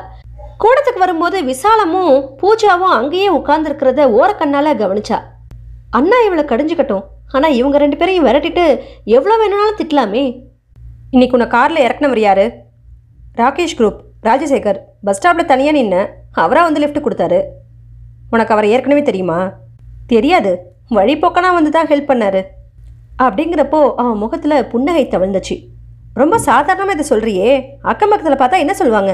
குடும்பத்துக்கு தலைக்குனிவு ஏற்படும்படியாக வம்பு பேசுவாங்க. அது மட்டும் இல்லை கல்யாணத்துக்கு இன்னொருத்தி வீட்டில் நிற்கிறா இந்த மகாராணியால் அவளுக்கு கல்யாணம் ஆகாமல் போயிடும். ஊர் இப்படி பேசினா எவன் இந்த குடும்பத்தில் சம்மந்தம் செய்வான்? அண்ணா ஊர் என்ன சொல்லணும்னு எனக்கு தெரியாது. ஊர் சொல்லாததுன்னு ஒரு விஷயம் மட்டும் எனக்கு தெரியும். என்ன சொல்கிற நீ? சுஜாதா சொந்தமாக கார் வாங்கிட்டா போல இருக்குன்னு மட்டும் சொல்லவே சொல்லாது. விடுங்க எச்சையில் காற்றுல பறக்குது. விலகி வந்துருங்க அப்படின்னு விசாலம் கடுமையான குரலில் சொன்னான் அண்ணா முதல் தேதி நெருங்குது. ஒரேடியாக விலகிறத. அப்புறம் வீதியில் என்னை துரத்திட்டு வந்து லோன் அப்ளிகேஷன் போடுவியே. அந்த சமயம் நான் விலகி ஓடிடுவேன். எச்சில் இலையை துரத்திட்டு ஓடி வந்தா ரொம்ப கேவலம். பூஜா இந்த முறை கத்துனா அத்தை வாய மூடு. எங்கள் அப்பா இடத்துல இருந்துக்கிட்டு அவர் கேவலமாக நீ தான் பேசுகிற கண்ணு இந்த இடம் நான் தேடி பிடிச்சது. மாச வாடகையாக நான் தான் செக் வெட்டுறேன். தெரிஞ்சுக்கோ. பூஜா பூஜைக்கு எது அழகு தெரியுமா? எந்தவித அனாவசியமான ஒளியும் இல்லாமல் அமைதியாக நின்று பூஜை செய்கிறது தான் போமா உள்ள நின்று உனக்கும் எனக்கும் ஒரே விஷயத்தில் ஒத்துமை உண்டு. இந்த குடும்பத்தில் ரெண்டு பேரும் சுமைகள் தான். நான் வேண்டாத சுமை நீ சுகமான சுமை. பூஜா தன்னோட அறைக்கு போயிட்டா. விசாலம் உன்னால் பேசாமல் இருக்க முடியாது. நீயும் போயிடு. உங்களை எவ்வளோ கேவலமாக பேசுகிறா என்னை விரட்டுறீங்களே. உங்களுக்கு வெக்கமா இல்லை? அவளை நீ தானே பேச வச்ச? நீ பணம் கேட்க சொல்லி என்னை விரட்டின. அப்போ கூட உனக்கு கௌரவம் குறையாதபடி உனக்கு தெரியாமல் பணம் கேட்குற மாதிரி நடித்தேன் நான் தான் சாக்கடை எச்சிலில் நரகல் நரகள் எல்லாமே அப்படின்னு ஸ்ரீராம் உண்மையிலேயே தன்னை நொந்துக்கிட்டு பேசினான் சாரிண்ணா அப்படின்னு சுஜாதா திரும்பினா. விசாலம் கத்துனா. நில்லடி நீ வாடகை கொடுக்குறான்னு சொல்லிட்டு வீட்டுக்கு எதுவுமே தரதில்ல. உன் ஃப்ரெண்டு உனக்கு சும்மாவே இந்த ஃப்ளாட்டை பூட்டி வச்சா பாலாகும்னு கூட கொடுத்துருக்கலாம். சுஜாதா பொறுமையை இழந்துட்டா சரி கற்பகம் அப்படி ஓசிலே கொடுத்த இடமாவே இருக்கட்டும். இப்போ என்ன செய்ய சொல்கிற உன் சாப்பாட்டுக்காக எதையாவது கொஞ்சமாவது பணத்தை கொடு. வீட்டுக்கு பணம் போகிறல அந்த பொண்ணுக்கும் நான் ஏதாவது சேர்க்க வேணாம் அதுக்கு என்ன எதிர்பார்க்காத? நீ எங்கேயாவது பொங்குற தொழிலுக்கு போ. ஏன்? வரதராஜன் குடும்பத்துக்கே பொங்கி கொட்டப்போ எனக்கு ஆட்சேபடம் இல்லை. உங்கள் தங்கச்சி என்ன சொன்னால் கேட்டிங்களா? கேட்டனே யூ டிசர்வ் இட் அப்படின்னா ஸ்ரீராம் சுஜாதா பூஜா படுத்திருந்த அறைக்கு போய் அவளுக்கு பக்கத்தில் படுத்துக்கிட்டா. திடீர்னு இத்தனை நேரமாக இருந்த நம்பிக்கை உற்சாகம் எல்லாமே மறைஞ்சிடுச்சு. ஒரு நாள் அறிமுகத்தில் ராஜசேகர் இவளுக்கு என்ன உதவி செய்வார்? நிறைய அட்வைஸ் தரலாம். இல்லை மரியாதைக்காக விசிட்டிங் கார்டு கொடுத்து ஆஃபீஸ்க்கு வான்னு கூட சொல்லியிருக்கலாம் அதை நம்பி அவள் ஆஃபீஸ்க்கு போகிறதா எங்கே வந்தேன்னு அவர் கேட்டா? அவர் பெரிய ஆபத்துலேருந்து இவளை காப்பாற்றிருக்காரு அவர் காப்பாற்றிருக்கலான்னா இவ்வளோ நேரத்துக்கு எப்படி சீரழிஞ்சிருப்பாளோ? அவளுக்கு தான் ஈகோவை மறந்து அவரை போய் சந்திக்கிறது அப்படிங்கிறது தலையாய கடமை. நீ யாருன்னு கேட்டாலும் அவன் தன்னை பற்றி தானே விளக்கிக்கிட்டு நன்றி சொல்லியாகணும். மனச்சோர்வு உடல் சோர்வு எல்லாமே சேர்ந்து அன்னைக்கு ராத்திரி அவளை ரொம்பவே வருத்துச்சு. சரியா தூங்காம சிரமப்பட்டா. அத்தை பூஜாவோட குரல் கேட்டதும் வாழ்க்கடையில் உட்கார்ந்துருந்த சுஜாதா திரும்பி பார்த்தா. என்ன? சாரி அத்தை. சுஜாதா புன்னகையோடு அவளை பார்த்தா. ராத்திரி நான் அப்படி பேசியிருக்கக்கூடாது உன் அப்பாவுக்கு நீ பறிஞ்சு பேசினதை நான் தப்புன்னு சொல்ல மாட்டேன். இல்லத்த அண்ணன் தங்கச்சிக்குள்ளே எத்தனையோ இருக்கும். நான் நடுவில் தலையிடுறது தப்பு தான் சரி தப்பாகவே இருக்கட்டும். இது தப்புன்னு எப்படி உனக்கு தெரிஞ்சுது? எப்போ இது திடீர் ஞான உதயம் ஏற்பட்டுச்சு? நீ பேசினதை கேட்டேன் இல்லையா? ராத்திரி தனியாக யோசனை செஞ்சு பார்த்தேன். பொய். நான் படுக்க வரும்போது நீ தூங்கிட்ட. இல்லத்த கண்களை மூடிக்கிட்டு படுத்துட்டு இருந்தேன். உன்கிட்ட மரியாதை இல்லாமல் பேசிட்டேன். அப்படியும் நீ கோவப்படாமல் என்கிட்ட நீ பேசின இல்லையா? ரெண்டு பேரும் சுமைன்னு சொன்ன நீ அடுத்து என்னை சுகமான சுமைன்னு சொன்னேன் அதனால் நான் உன்னை பேசினது தப்புன்னு தோணுச்சு. உன் மனசில் எவ்வளோ வேதனை இருந்தால் உன்னை வேண்டாத சுமன்னு சொல்லியிருப்ப என் அம்மா தான் உன்னை பல விதத்துலேயும் ஆட்டி வைக்கிறா. நானும் என் பங்குக்கு உன் மனசை புண்பட பேசிட்டேன்னு வேதனைப்பட்டேன். காலையில் எழுந்ததும் உன்கிட்ட மன்னிப்பு கேட்கணும்னு நேற்று ராத்திரியே முடிவு பண்ணிட்டேன். சுஜாதா எழுந்து அவளோட கன்னத்தில் முத்தமிட்டா. அத்தை ஸ்கூலுக்கு இன்றைக்கி போல? இன்னைக்கு லீவ் போட்டிருக்கேன். வாங்க த ரெண்டு பேருமா ஒன்றா சாப்பிட்லாம். அப்படின்னு சொல்லவும் சுஜாதா எழுந்து போனான் பதினோரு மணி அடிக்க சில நிமிஷங்கள் இருக்கும்போது நுங்கம்பாக்கம் நெடுஞ்சாலையில் உள்ள அந்த ஆஃபீஸ்க்கு போய் சேர்ந்தா. அவளுக்கு கொஞ்சம் பயமாகவே இருந்துச்சு. அவளோட வாழ்க்கையில் இது ஒரு திருப்பமாகவே நினச்சி ரொம்ப நம்பிக்கை வச்சு இங்கே வந்திருக்கா. நல்லபடியாக முடியணுமே அப்படின்னு கவலைப்பட்டா. அவளோட டேபிளில் வெள்ளை நிறத்தில் பெயர் பொறிச்ச கருப்பு போர்டு ஒன்று இருந்தது. டெய்ஸின்னு அதில் குறிக்கப்பட்டிருந்தது. அந்த ஆஃபீஸை சுற்றிலும் ஒரு தடவை பார்த்தா அந்த ஹாலில் கலர் கலராக நாற்காலிகள் வரிசையாக போடப்பட்டிருந்துச்சு. கண்ணாடி சுவர் கப்பால் பெரிய ஹாலில் நிறைய டேபிள்கள் ஸ்டேர்கள் இருந்துச்சு. ஒவ்வொரு டேபிள்லேயும் கம்ப்யூட்டர் இருந்தது. நிறைய பெண்கள் உட்காந்து வேலை செஞ்சுட்டு இருந்தாங்க. ஒவ்வொருத்தையும் சல்வார் கமிஸும் ஆம்பளைங்க மாதிரி ஜீன்ஸும் டிஷர்ட்டும் விதவிதமாக போட்டிருந்தாங்க. இவளுக்கு இந்த ஆஃபீஸில் வேலை செய்ய அருகதை இருக்குதா? அப்படின்னு கலக்கம் எழுந்தது. அதே சமயம் ரிசப்ஷனிஸ்ட் டேசியோட பார்வை இவ மேலே விழுந்தது. உங்கள் பேர் சுஜாதாவா? ஆமாம் எம்டி உங்களுக்காக காத்துட்ருக்காரு. வாங்க நான் அவர் ரூமை காட்டுறேன். டேசி எழுந்தா. சுஜாதா அவளை பின்தொடர்ந்தா. இன்னும் சில நிமிஷங்களில் அவளோட விதி அவளுக்கு தெரிஞ்சிடும் சுஜாதாவுக்கு பயத்தினால கால்கள் நடக்க முடியாமல் பின்னுச்சு. வழியில் ரெண்டு கால்களை கடந்ததுக்கப்புறம் எம்டியோட ரூமுக்கு எதிரில் நின்னாங்க. டெய்ஸி லேசாக கதவை தட்டினா. அதுக்கப்புறம் கதவை திறந்தா. உள்ளே போங்க அப்படின்னு அவள் கதவை மூடிக்கிட்டு போயிட்டா. உண்மையிலேயே அதை ஒரு ரூம்னு சொல்கிறதே பொருந்தாது. ஹால்னா சொல்லணும். ஹாலோட மத்தியில் பெரிய மேஜை ஒன்று போடப்பட்டிருந்துச்சு. அதுக்கு முன்னால் ராஜசேகர் உட்கார்ந்துருந்தார். அந்த ஹால் முழுதும் விலை உயர்ந்த கார்பெட் ஒன்று அழுத்தமான பச்சை கலரில் போடப்பட்டிருந்துச்சு. குளிர் சாதனம் பொருத்தப்பட்டு இருந்த அந்த அறையோட குளிர்ச்சி சுஜாதாவுக்கு உடம்பு சிலிர்க்க வச்சுது. அந்த நீண்ட மேஜையில் லைட் ப்ளூ சிகப்பு பச்சை வண்ணங்களில் மூணு டெலிஃபோன்கள் இருந்தது. பெரிய சைஸில் குளோப் ஒன்று அந்த டேபிளோட ஒரு பக்கம் இருந்துச்சு. உலகத்தையே தன் கைக்குள்ளே வச்சிருக்கிறது போல் அவர் கம்பீரமாக உட்காந்துருந்தார் சுஜாதா இது இன்டர்வியூ இல்லை. எந்த ஃபார்மாலிட்டி வேணாம்? எதிர சேரில் உட்காரு. அவன் சேரோட நுனியில் உட்காந்தா டீச்சர் வேலையை ரிசைன் பண்ணி லெட்டர் கொடுத்துட்டியா? இல்லை அப்படிங்கிற மாதிரியில் தலையசிச்சா. உனக்கு இங்கே வேலை கிடைக்கும்னு நம்பிக்கை இல்லைன்னு சந்தேகத்தோட தான் வந்திருக்க இல்லையா? சார் ஒரே ஒரு தடவை சந்திப்பு. அதுவும் அரை இருட்டில் அறிமுகமே சரியாக ஆகலை நீங்களே உங்களை வழிபோக்கன்னு சொல்லிக்கிட்டீங்க. வழிகாட்டின்னு சொன்னாலும் எனக்கு கொஞ்சம் நம்பிக்கை வந்திருக்கும். அவர் உறக்க குரலை விட்டு சிரித்தார் நல்லா பேசுகிற முகத்தில் துணிச்சல் தெரியுது படித்த பொண்ணு. எப்படிம்மா அந்த அயோக்கியங்கிட்ட ஏமாற பார்த்த? அனுபவம் இல்லாதது தான் சார். அவன் சைக்கிளில் வந்து காரில் கடத்த பார்ப்பான்னு நான் எதிர்பார்க்கல. அது மட்டும் இல்லை உன்னை பற்றி நல்லா தெரிஞ்சுக்கிட்டு அவன் கம்ப்யூட்டரை பற்றி பேசியே உன்னை தான் வழியில் வீழ்த்த பார்த்துருக்கான் இல்லையா? சுஜாதாவுக்கு அவர் உண்மையை சொன்னதும் முகம் குங்குமமாக செவந்துச்சு. அவர் தொடர்ந்தார். இந்த மாதிரி பொம்பளை பொறுக்கிங்க பொண்ணுங்களை வளைக்கிறதுல ரொம்ப கிளவராக இருப்பாங்க. சாமதான பேத தண்டம்னு நாலு வழிகளையும் கையாளுவாங்க. சினிமா ஹோட்டலுக்கே சில பெண்கள் விழுந்துடுவாங்க. சில பெண்கள் புடவை நகைகளுக்கு மிஞ்சிரும். லெட்டர்ஸ் ஃபோட்டோக்களை வச்சுக்கிட்டு பிளாக்மெயில் செய்கிறவங்களும் உண்டு. நீ எதுக்கும் அசைய மாட்டேன்னு அவனுக்கு தெரிஞ்சிருக்கும். அவன் கடைசி வழியை முதல்ல கையாண்டுட்டான். சார் நீங்கள் மட்டும் சமயத்தில் வரலனா என் வாழ்க்கையே அழிஞ்சிருக்கும். நம்ம சந்திப்பு உன்னை காப்பாற்றினதுக்காக நீ சொல்கிற கடவுள் உன் நன்மைக்காக நம்ம சந்திப்பை ஏற்படுத்தினதா கூட நீ சந்தோஷப்படலாம். அவ புன்னகிச்சா. அது இன்னும் கொஞ்ச நேரத்தில் ஐ மீன் இந்த ரூமை விட்டு நான் வெளியேறும்போது தெரியும். அவர் மறுபடியும் உறக்க சிரிச்சாரு. சுஜாதா உன்னை என்னவோ நினச்சேன். நான் ஸ்க்ரீன் கீழே நுழைஞ்சா நீ கோலத்துக்கு கீழே நிற்கிறியே இந்த ஆஃபீஸில் நீங்கள் என்னை எங்கே நிற்க வச்சாலும் நிற்பேன் சார் நின்னா மட்டும் போதாது சுஜாதா. சக்கரமாக சுற்றணும் ஏ டு இசட் தெரிஞ்சிருக்கணும். கம்ப்யூட்டரில் ஃபாஸ்ட் ட்ராக் மூலமாக எல்லாத்தையும் கற்றுக்கணும் சார் உண்மையாவா? அதுக்கு நான் தகுதி தானா என்னால் முடியுமா? முடிஞ்சாகணும் சார் கொஞ்ச நேரம் முன்னால் சொன்னீங்களே சாமதான பேத தண்டம்னு. இப்போ நீங்கள் சொன்னது முதலாவதா ரெண்டாவதா? அவர் கோவத்தோட அவளை உத்து பார்த்தாரு. வாட் யூ மீன் சார் என் படிப்புக்கு ஏற்ற வேலையை நீங்கள் கொடுத்தாலே போதும். டெஸ்பாச் கிளாக் மாதிரி சின்ன வேலைகளே போதும். எதுக்கு கம்ப்யூட்டர் பயிற்சிலாம் இலவசமாக தரணும்? மேனேஜ்மெண்ட்லாம் நான் தெரிஞ்சுக்கணும்னு ஏன் எதிர்பார்க்குறீங்க? அவர் அவளை விரிச்சு பார்த்தாரு. அவளும் அவரோட பார்வையை எதிர்த்து நின்னா. நாட்டி கேர்ள் என்னை சக்திவேல் மாதிரி விடலை பசங்க குரூப்பில் சேர்த்துட்டியே. சாரி சார் இதில் என்னோடய சுயநலம் ஒன்று மறைஞ்சிருக்கு. ஆனால் அதை இப்போ நான் சொல்கிறதுக்கு இல்லை. என் தன்மானம் கௌரவம் எதையும் பாதிக்காத அளவுக்கு உங்கள் சுயநலம் இதில் மறைஞ்சிருந்தா அதை பற்றி நான் கவலைப்பட மாட்டேன். நிச்சயமாக அதை ஒன்றும் பாதிக்காது. ஆனால் ஒரே ஒரு கண்டிஷன் உண்டு. அதுக்கு நீ ஒத்துக்கிட்டா வேலையில் சேரலாம். கண்டிஷனா ம் ஆமாம் ஆனால் கண்டிஷனை கேட்டால் நீயே வேலையில் சேரமாட்ட. பெண்களுக்கு வாழ்க்கையில் அதான ஜீவஸ்ருதி சொல்லுங்கள் நீ அஞ்சு வருஷத்துக்கு கல்யாணம் செஞ்சுக்கக்கூடாது ஆனால் அஞ்சு வருஷங்கிறது ரொம்ப லேட் ஆகிடும் உனக்கு இப்போ என்ன வயசு? இருபத்தி மூணு சரி அஞ்சு வருஷங்களா மூணு வருஷங்களா குறைச்சிடுறேன். இன்னும் மூணு வருஷத்துக்கு கல்யாணம் செஞ்சக்கூடாது சுஜாதா சிரிச்சா. சார் நீங்கள் அஞ்சு வருஷங்களே கண்டிஷன் போட்டாலும் நோ அப்ஜெக்ஷன் கல்யாணங்கிறது எனக்கு ஜீவஸ்ருதியும் இல்லை ஆதார சுருதியும் இல்லை. வெறும் கள்ளிச்செடி. ஏம்மா அப்படி சொல்கிற அது என்னோட பர்சனல் விஷயம் சார் அவ்வளோதான் என்னால் சொல்ல முடியும். ஓகே நாளைக்கு நீ ஜாயின் பண்ணலாம். அந்த பெரிய நிபந்தனையை உங்ககிட்ட சொல்ல தயங்கினேன் நீ அதை இவ்வளோ சுலபமாக ஏற்றுப்பன்னு நான் நினைக்கவே இல்லை. இன்னும் சின்ன சின்ன கண்டிஷன்ஸ் தான் உண்டு. கம்ப்யூட்டர் தான் உனக்கு முக்கியமாக இருக்கணும். லஞ்ச் தினமும் என்னோட சாப்பிடுவேன் அதுக்கு மேலே என் கார்லேயே கம்ப்யூட்டர் கிளாஸ்க்கு போகணும். நைட் உங்கள் வீட்டில் சாப்பிட்லாம். மார்னிங்கில் கூட எங்கேயே டிஃபன் சாப்பிடணும். சார் உங்கள் ஒய்ஃப் தான் சிரமப்பட வேண்டியிருக்கும். இல்லை நிச்சயம் அவன் சிரமப்பட மாட்டா. ஏன் சார் சமைக்கிற வேலைக்கு ஆள் இருக்காங்களாக்கும்? ஆள் இருக்கான் ஆனால் என் ஒய்ஃப் இந்த உலகத்திலே இல்லை. சாரி சார் உன் பரிதாபத்தை வேஸ்ட் பண்ணாத. அவளும் சுகப்படலை என்னையும் சுகப்பட வைக்கல.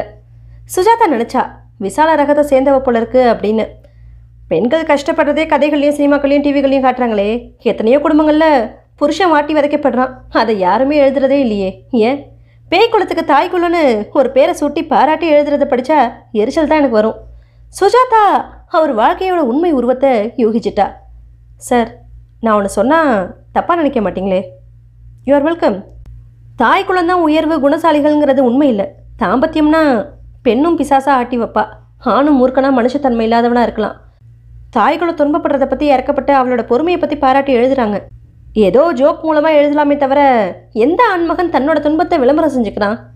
காரணம் அதை மானம் போகிற விஷயமா நினைக்கிறான். பொண்டாட்டியை அடக்கி ஆள முடியலங்கிறத தான் கையால் ஆகாத தனமாக நினச்சி அதை வெளியில் சொல்லாமல் மனசுக்குள்ளேயே புதைச்சிடுறான். அதை விளம்பரம் செஞ்சுக்க விரும்புறதில்ல. ஆணும் சரி பெண்ணும் சரி. அவங்க இனத்தை அவங்களே தாழ்வாக எழுதுறதுக்கு தயங்குவாங்க. ராஜசேகர் விசித்திரமாக அவளை பார்த்தாரு. சில நிமிஷங்கள் தொடர்ந்து பார்த்துக்கிட்டே இருந்தார். சுஜாதா இவ்வளோ தூரம் பேசினேன் உன் சம்பளத்தை பற்றி பேசவே இல்லை.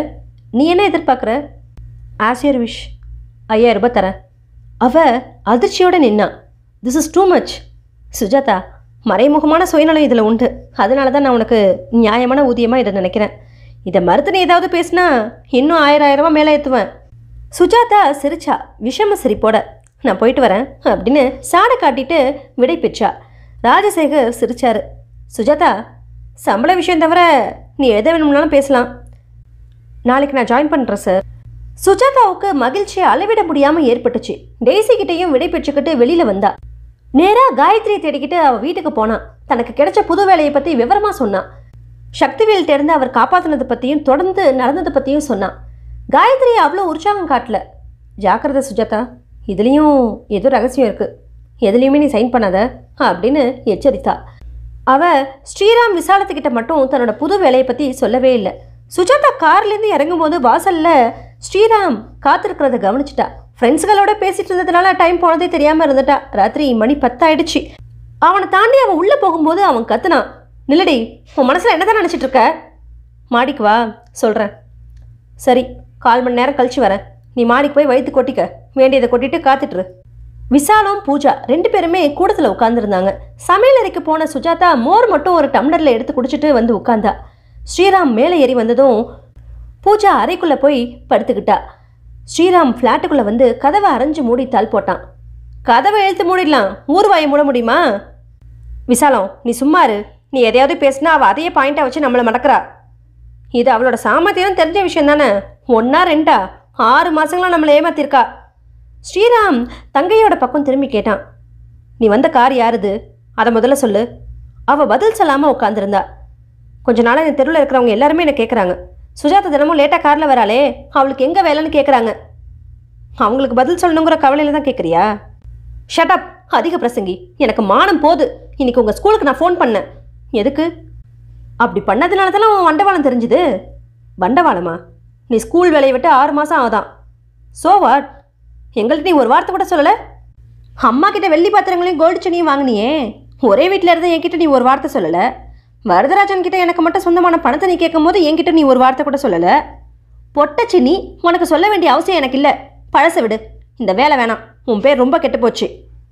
கம்ப்யூட்டர் கிளாஸ்க்கு போயிட்டு வர லேட் ஆகுது. பாதுகாப்பாக இருக்கட்டும் ராஜசேகர் கார் அனுப்புறாரு. உன் பாதுகாப்பை பற்றி அவருக்கு என்ன கவலை? அப்படின்னு ஸ்ரீராம் கேட்டான். கவலைப்பட வேண்டியவர் கவலைப்படலை. வழிபோக்கம் கவலைப்படுறாரு. நீ சம்பாதிச்சு ஒன்றும் ஆக போகிறதில்ல இந்த கம்ப்யூட்டர் வேலைவெல்லாம் வேணாம். வேலைக்கு நீ போக வேணாம். ஏன் நீ? பூஜாவை கல்யாணம் பண்ண வேணாமா? உனக்கே பணம் சேர்த்து அழுத்து போயிடுச்சா என்ன? விசாலும் படப்படக்க ஆரம்பிச்சா. என்ன சேர்த்தா என்ன? என் பொண்ணுக்கு நான் கல்யாணம் பண்ண முடிய போதா என்ன? நீ ஒருத்தி கன்னியாகுமரி மாதிரி இந்த வீட்டில் இருக்கிற வரைக்கும் பூஜா கல்யாணம் எங்கே நடக்க போகுது? அப்படின்னு அழ ஆரம்பிச்சிட்டா. இதை பாருண்ணா பூஜா உன்னோட அக்கா தங்கச்சி இல்லை. தலைமுறை வேறுபட்டவங்க. தாராளமாக அவளுக்கு கல்யாணம் பண்ணிக்கோ. நான் குறுக்க விழுந்து மறிக்கல. நீ சொல்லலாம். ஊரில் உள்ளவங்க எல்லாரும் எங்களை தப்பாக பேசுவாங்களே அப்படின்னு ஸ்ரீராம் சொன்னான். நான் இன்னும் அஞ்சு வருஷத்துக்கு கல்யாணம் பண்ணிக்க கூடாது. அப்படி பண்ணிட்டா இந்த வேலை போயிடும். இப்போ புரிஞ்சுதா? அப்படின்ட்டு விசாலும் புருஷனை பார்த்து நக்கலாக கேட்டா. நீ சும்மாரு அப்படின்னு ஸ்ரீராம் எரிஞ்சு விழுந்தான். சுந்தரத்தை வேணான்னு சொன்னால் மட்டும் என்ன? இன்னொரு கிழவன் கிடைச்சான். மொத்தத்தில் உன் தலையில் கிழவன் தான் கிடப்பான்னு எழுதியிருக்கு. சனினே உன் வாயை வச்சுட்டு சும்மா இரு அப்படின்ட்டு ஸ்ரீராம் சீர்னான் பொங்கி வந்த கண்ணீரை மறைக்க சுஜாதா பூஜா படுத்திருந்த அறைக்குள்ளே போயிட்டா. ஒரு நாள் சுஜாதாவுக்கு ஆஃபீஸில் இருக்கும்போது காயத்ரி கிட்டேருந்து ஃபோன் வந்தது. சுஜாதா வெளியில் டெய்ஸியோட இடத்துக்கு வந்து அங்கேருந்து டெலிஃபோன் மூலமாக பேசினா. காயத்ரி கிட்டேருந்து நிஷ்டூரமான குரல் கேட்டது. என்னடி பெரிய மனுஷி வர வர உன்னை பார்க்கவே முடியல? சாரிடி காயத்ரி ஆஃபீஸ்லேயே சரியாக இருக்குது ஏய் எங்கள் அப்பா மாருதி கார் வாங்கியிருக்காரு. ஹே கங்க்ராச்சுலேஷன்ஸ் தேங்க்ஸ் கடைசியில் நான் ஃபோனை கீழே வைக்கிற சமயம் இன்னொரு தடவை நீ கங்க்ராட் செய்யும்படியாக இருக்கும். என்ன கல்யாணமா? எப்படி கண்டுபிடிச்ச? இதில் என்ன ஆச்சரியம்? நீ டிகிரியை முடிச்சுட்டு வீட்டோட இருக்கிறவ. உன்னை கங்க்ராட்ஸ் பண்ண வேண்டியிருக்குன்னு சொன்னால் கல்யாணமாக தானே இருக்க முடியும்? கேளு வேடிக்கையை. எங்கள் அம்மாவும் பத்மா மாமியும் டான்ஸ் ப்ரோக்ராமில் அடுத்தடுத்து உட்காந்துருந்தாங்களாம் அலாரிப்பில் பேச்ச ஆரம்பித்து அவவர்ணம் பாடுறப்போ ஜாதகத்தை பற்றி பேச்சு வந்தது. எங்கள் அம்மாவே அறக்குறை ஜோசியர் தானே. பத்து பொருத்தத்தில் ஏழு பொருத்தம் இருக்குன்னு சொன்னாங்க. தட்டு டான்ஸ் ஆடுறப்போ தட்டு மாற்றிக்க தீர்மானம் ஆயிடுச்சு யார்? சிவாவுக்கு தானே? பின்ன சிவராமுக்கு ஆகாமல் ஜெயராமுக்கு கல்யாணம் பண்ண முடியுமா? ஏன் முடியாது? கமலாவுக்கு ஆகாமல் இங்கே காயத்ரிக்கு நிச்சயம் ஆகுதே. சுஜாதா ரகசியமாக மனசோட வச்சுக்கோ. கமலா அங்கேயே ஒரு அமெரிக்கனை எப்போவோ கல்யாணம் பண்ணிக்கிட்டாலாம் எனக்கு மாத்திரம் ரகசியமாக ஃபோன் பண்ணி சொல்லிட்டு யூ கோ ஹெட்னு க்ரீன் சிக்னல் கொடுத்துட்டா. அப்பா கிட்ட பயம். விஷயத்த சொல்லாமல் எனக்கு கல்யாணமே வேணாம்னு சொல்லிட்டா. நிச்சயதாமலம் எப்போ? நெக்ஸ்ட் ஃப்ரைடே நான் கல்யாணத்துக்கு வரேன். நிச்சயதார்த்தத்துக்கு கஷ்டம். ரெண்டு சைட்லேயும் நெருக்கம் நீ. அதான் சங்கடம். நேரில் பார்க்குறப்ப விவரம் சொல்கிறேன் உங்ககிட்ட இருந்து நல்ல நியூஸ் கிடைச்சதுக்காக ரொம்ப சந்தோஷம். ரெண்டு நல்ல நியூஸ் சொன்னேன் ரெட்ட சந்தோஷம் நீ சொல்லணும். உங்கள் அப்பா கார் வாங்கினதுக்கு உனக்கு எப்படி சந்தோஷம் சொல்வேன்? நீ போகிற இடத்துல கார் ரெண்டு இருக்குது பெருசு ஒன்று சின்னது ஒன்று மூணு கார்னு சொல்லு என் வீட்டுக்காரர் தான் மூணாவது கார். சிப்போ கழுத நீ உதப்படுவ அப்படின்ட்டு காயத்ரி ஃபோனை வச்சுட்டா. அவங்க பக்கம் அழைப்பு வந்தால் நிச்சயதார்த்தத்துக்கு போகலாம் இல்லைன்னா கல்யாணத்துக்கு மட்டும் போகலாம் அப்படின்னு முடிவெடுத்தா. அடுத்த வாரமே திங்கக்கிழமை சுஜாதாவுக்கு பிறந்தநாள் வந்துச்சு. மைசூர் கிரேப் சில்க் நல்ல நீல நிறத்தில் வாங்கிக்கிட்டா. அதை உடுத்திக்கிட்டு ஆஃபீஸ்க்கு புறப்படும்போது பூஜா வந்தா. பிறந்தநாளுக்காக அவளை பாராட்டிட்டு புடவை அவளுக்கு ரொம்ப பொருத்தமாக இருக்குது அப்படின்னு சொன்னா. புடவையை தடவி பார்த்தா. பூஜா உனக்கு ஒரு நாள் தரேன். உடுத்திக்கோ. நீ இவ்வளோ பெருந்தன்மையாக சொன்னதுக்கே தேங்க்ஸ் அத்தை. ஏன் பூஜா பெருந்தன்மைலாம் பெரிய பெரிய வார்த்தைலாம் சொல்கிற வர வர எங்கள் அம்மாவோட சின்ன புத்தியை நினச்சி பார்த்தா உங்ககிட்ட பேசவே எனக்கு வெக்கமாக இருக்கத்த அசடு அப்படின்னு அவள் கன்னத்தில் செல்லமாக தட்டினான் விசாலம் கூடத்துக்கு வந்தவ ரெண்டு பேரும் சிரித்து பேசிட்டு இருக்கிறத பார்த்தா சுஜாதா அவளை வணங்கி ஆசீர்வாதம் வாங்க நினச்சா. அடுத்த நிமிஷம் விசாலம் வீசின விஷ சொற்களில் மனசு செதஞ்ச சுஜாதா நல்ல வேலையா இவளுக்கு நமஸ்காரம் செய்யாமல் இருந்தோமே அப்படின்னு நினச்சா. ஒரு பொண்ணுக்கு புது புடவைகளும் போக வர கார் இருந்தால் மட்டும் போதாது. கழுத்தில் ஒரு மஞ்சள் கயிறு தொங்குறதான் கௌரவம். திருட்டு வாழ்க்கையில் எந்த பெருமையும் ஏற்படாது. சுஜாதா கண்கள் சிவக்க அவளை பார்த்தா. பூஜா மஞ்சள் கயிறு விசேஷம்னா இல்லைன்னு நான் சொல்லலை. ஆனால் அந்த புனித கயிறுக்கும் எத்தனையோ அர்த்தங்கள் உண்டு. அதை தெரியாமல் வாழ்கிறவங்க கழுத்தில் தொங்குற மஞ்ச கயிறும் ஆணியில் மாட்டி வைக்கிற மஞ்சள் கயிறும் ஒன்று தான் அடி பூஜா உன் அத்தை அர்த்தம் சொல்கிறா கேட்டுக்கோடி. கழுத்தில் மஞ்ச கயிறு இல்லாமலேயே அர்த்தம் மட்டும் தெரிஞ்சுக்கிட்டு இருக்கா. உன் கெட்டிக்கார அத்தை. அம்மா போதும் நிறுத்திக்கோ அப்படின்னு பூஜா கத்துனா. பூஜா இப்போ உங்கள் அம்மா பேசுகிற விதம் நடந்துக்கிற விதம் இதெல்லாம் தான் கழுத்தில் கட்டப்பட்ட தாலிக்கு அர்த்தம் தெரியாதவங்கன்னு சொல்ல காரணமாகுது. தாலி கட்டின புருஷன் புருஷனை சேர்ந்த குடும்பம் எல்லாமே தன்னோடதுன்னு அனுசரிச்சுக்கிட்டு குடும்பத்தை நடத்திட்டு போனா தான் கட்டிக்கிட்ட தாலிக்கு மேன்மையை கொடுக்கும். உங்கள் அம்மாவை பார்த்ததுக்கப்புறம் எனக்கு எந்த இயக்கமும் இல்லை. கல்யாண ஆசையும் போயிடுச்சு. அவள் அதுக்கு மேலே நிற்காம போயிட்டா. ஏதோ வேகத்தில் விசாலத்துக்கிட்ட பேசினாலே தவிர அவள் சொன்ன தரம் குறைஞ்ச வார்த்தைகள் கூறிய முட்களாக மனசில் தச்சுது. தன்னோட சீட்டில் உட்காந்து ரொம்ப நேரம் அழுதா. டெய்ஸி தற்செயலா அங்கே வந்தவ சுஜாதா கிட்ட வந்து அவளை சமாதானம் செய்ய முயற்சி பண்ணா. என்னாச்சு? சுஜாதா ஏன் அழற? டெய்ஸி பேருக்கு ஒரு மஞ்சக்கயிறை கழுத்தில் கட்டிக்கிட்டு என் சிஸ்டரின் நான் எதிரில் போய் எனக்கு கல்யாணம் ஆச்சு பாருடின்னு சொல்லலாம் போல இருக்குது டெய்ஸி அவளை சிரிக்க வைக்க நினச்சா. அது சரி சுஜாதா மஞ்சக்கயிறு யார் கட்டுறது? நான் கட்டட்டா உங்கள் இடத்துல சுஜாதா சட்டன சிரிச்சிட்டா. அப்போ கதவை பிரிச்சுக்கிட்டு ராஜசேகர் நிற்கிறத பார்த்ததும் அதிர்ச்சி அடைஞ்சா. டெய்ஸியும் அவளும் எழுந்து நின்னாங்க. என்னம்மா சுஜாதா என்ன ப்ராப்ளம் நோ ப்ராப்ளம் சார் பொய் சொல்கிற அழுதழுது உன் முகம் வீங்கியிருக்கு. சுஜாதா குனிஞ்ச தலையோட நின்னா. டெய்ஸி நீ போய் உன் வேலையை பாரு. அவள் அறையோட கதவை மூடிட்டு போயிட்டா. சுஜாதா நீ சொன்னதையும் டெய்ஸி பதிலுக்கு கேட்டதையும் நான் கேட்டேன். டெய்ஸியை விட இந்த விஷயத்தில் நான் செய்கிற உதவி உனக்கு ரொம்ப வசதியாக இருக்கும். சுஜாதா அதிர்ச்சியோடு அவரை பார்த்தா அவர் உண்மையை பேசுகிறாரு விளையாட்டாக பேசலை அப்படிங்கிறத அவரோட முகம் காட்டுச்சு. கல்யாண தரகர் வந்ததும் ஸ்ரீராம் சுவாரஸ்யம் இல்லாமல் வரவேற்றான். என்னையா சரியான வரன்களே கொண்டு வர மாட்டிங்களா? ஜவுளி கடை குமாஸ்தா மளிகை கடையில் வேலைன்னு ரொம்ப சாதாரண வரன்களை கொண்டு வரீங்க. இன்னைக்கு கவர்மெண்ட் வேலையில் இருக்கிற வரனை கொண்டு வந்திருக்கேன்.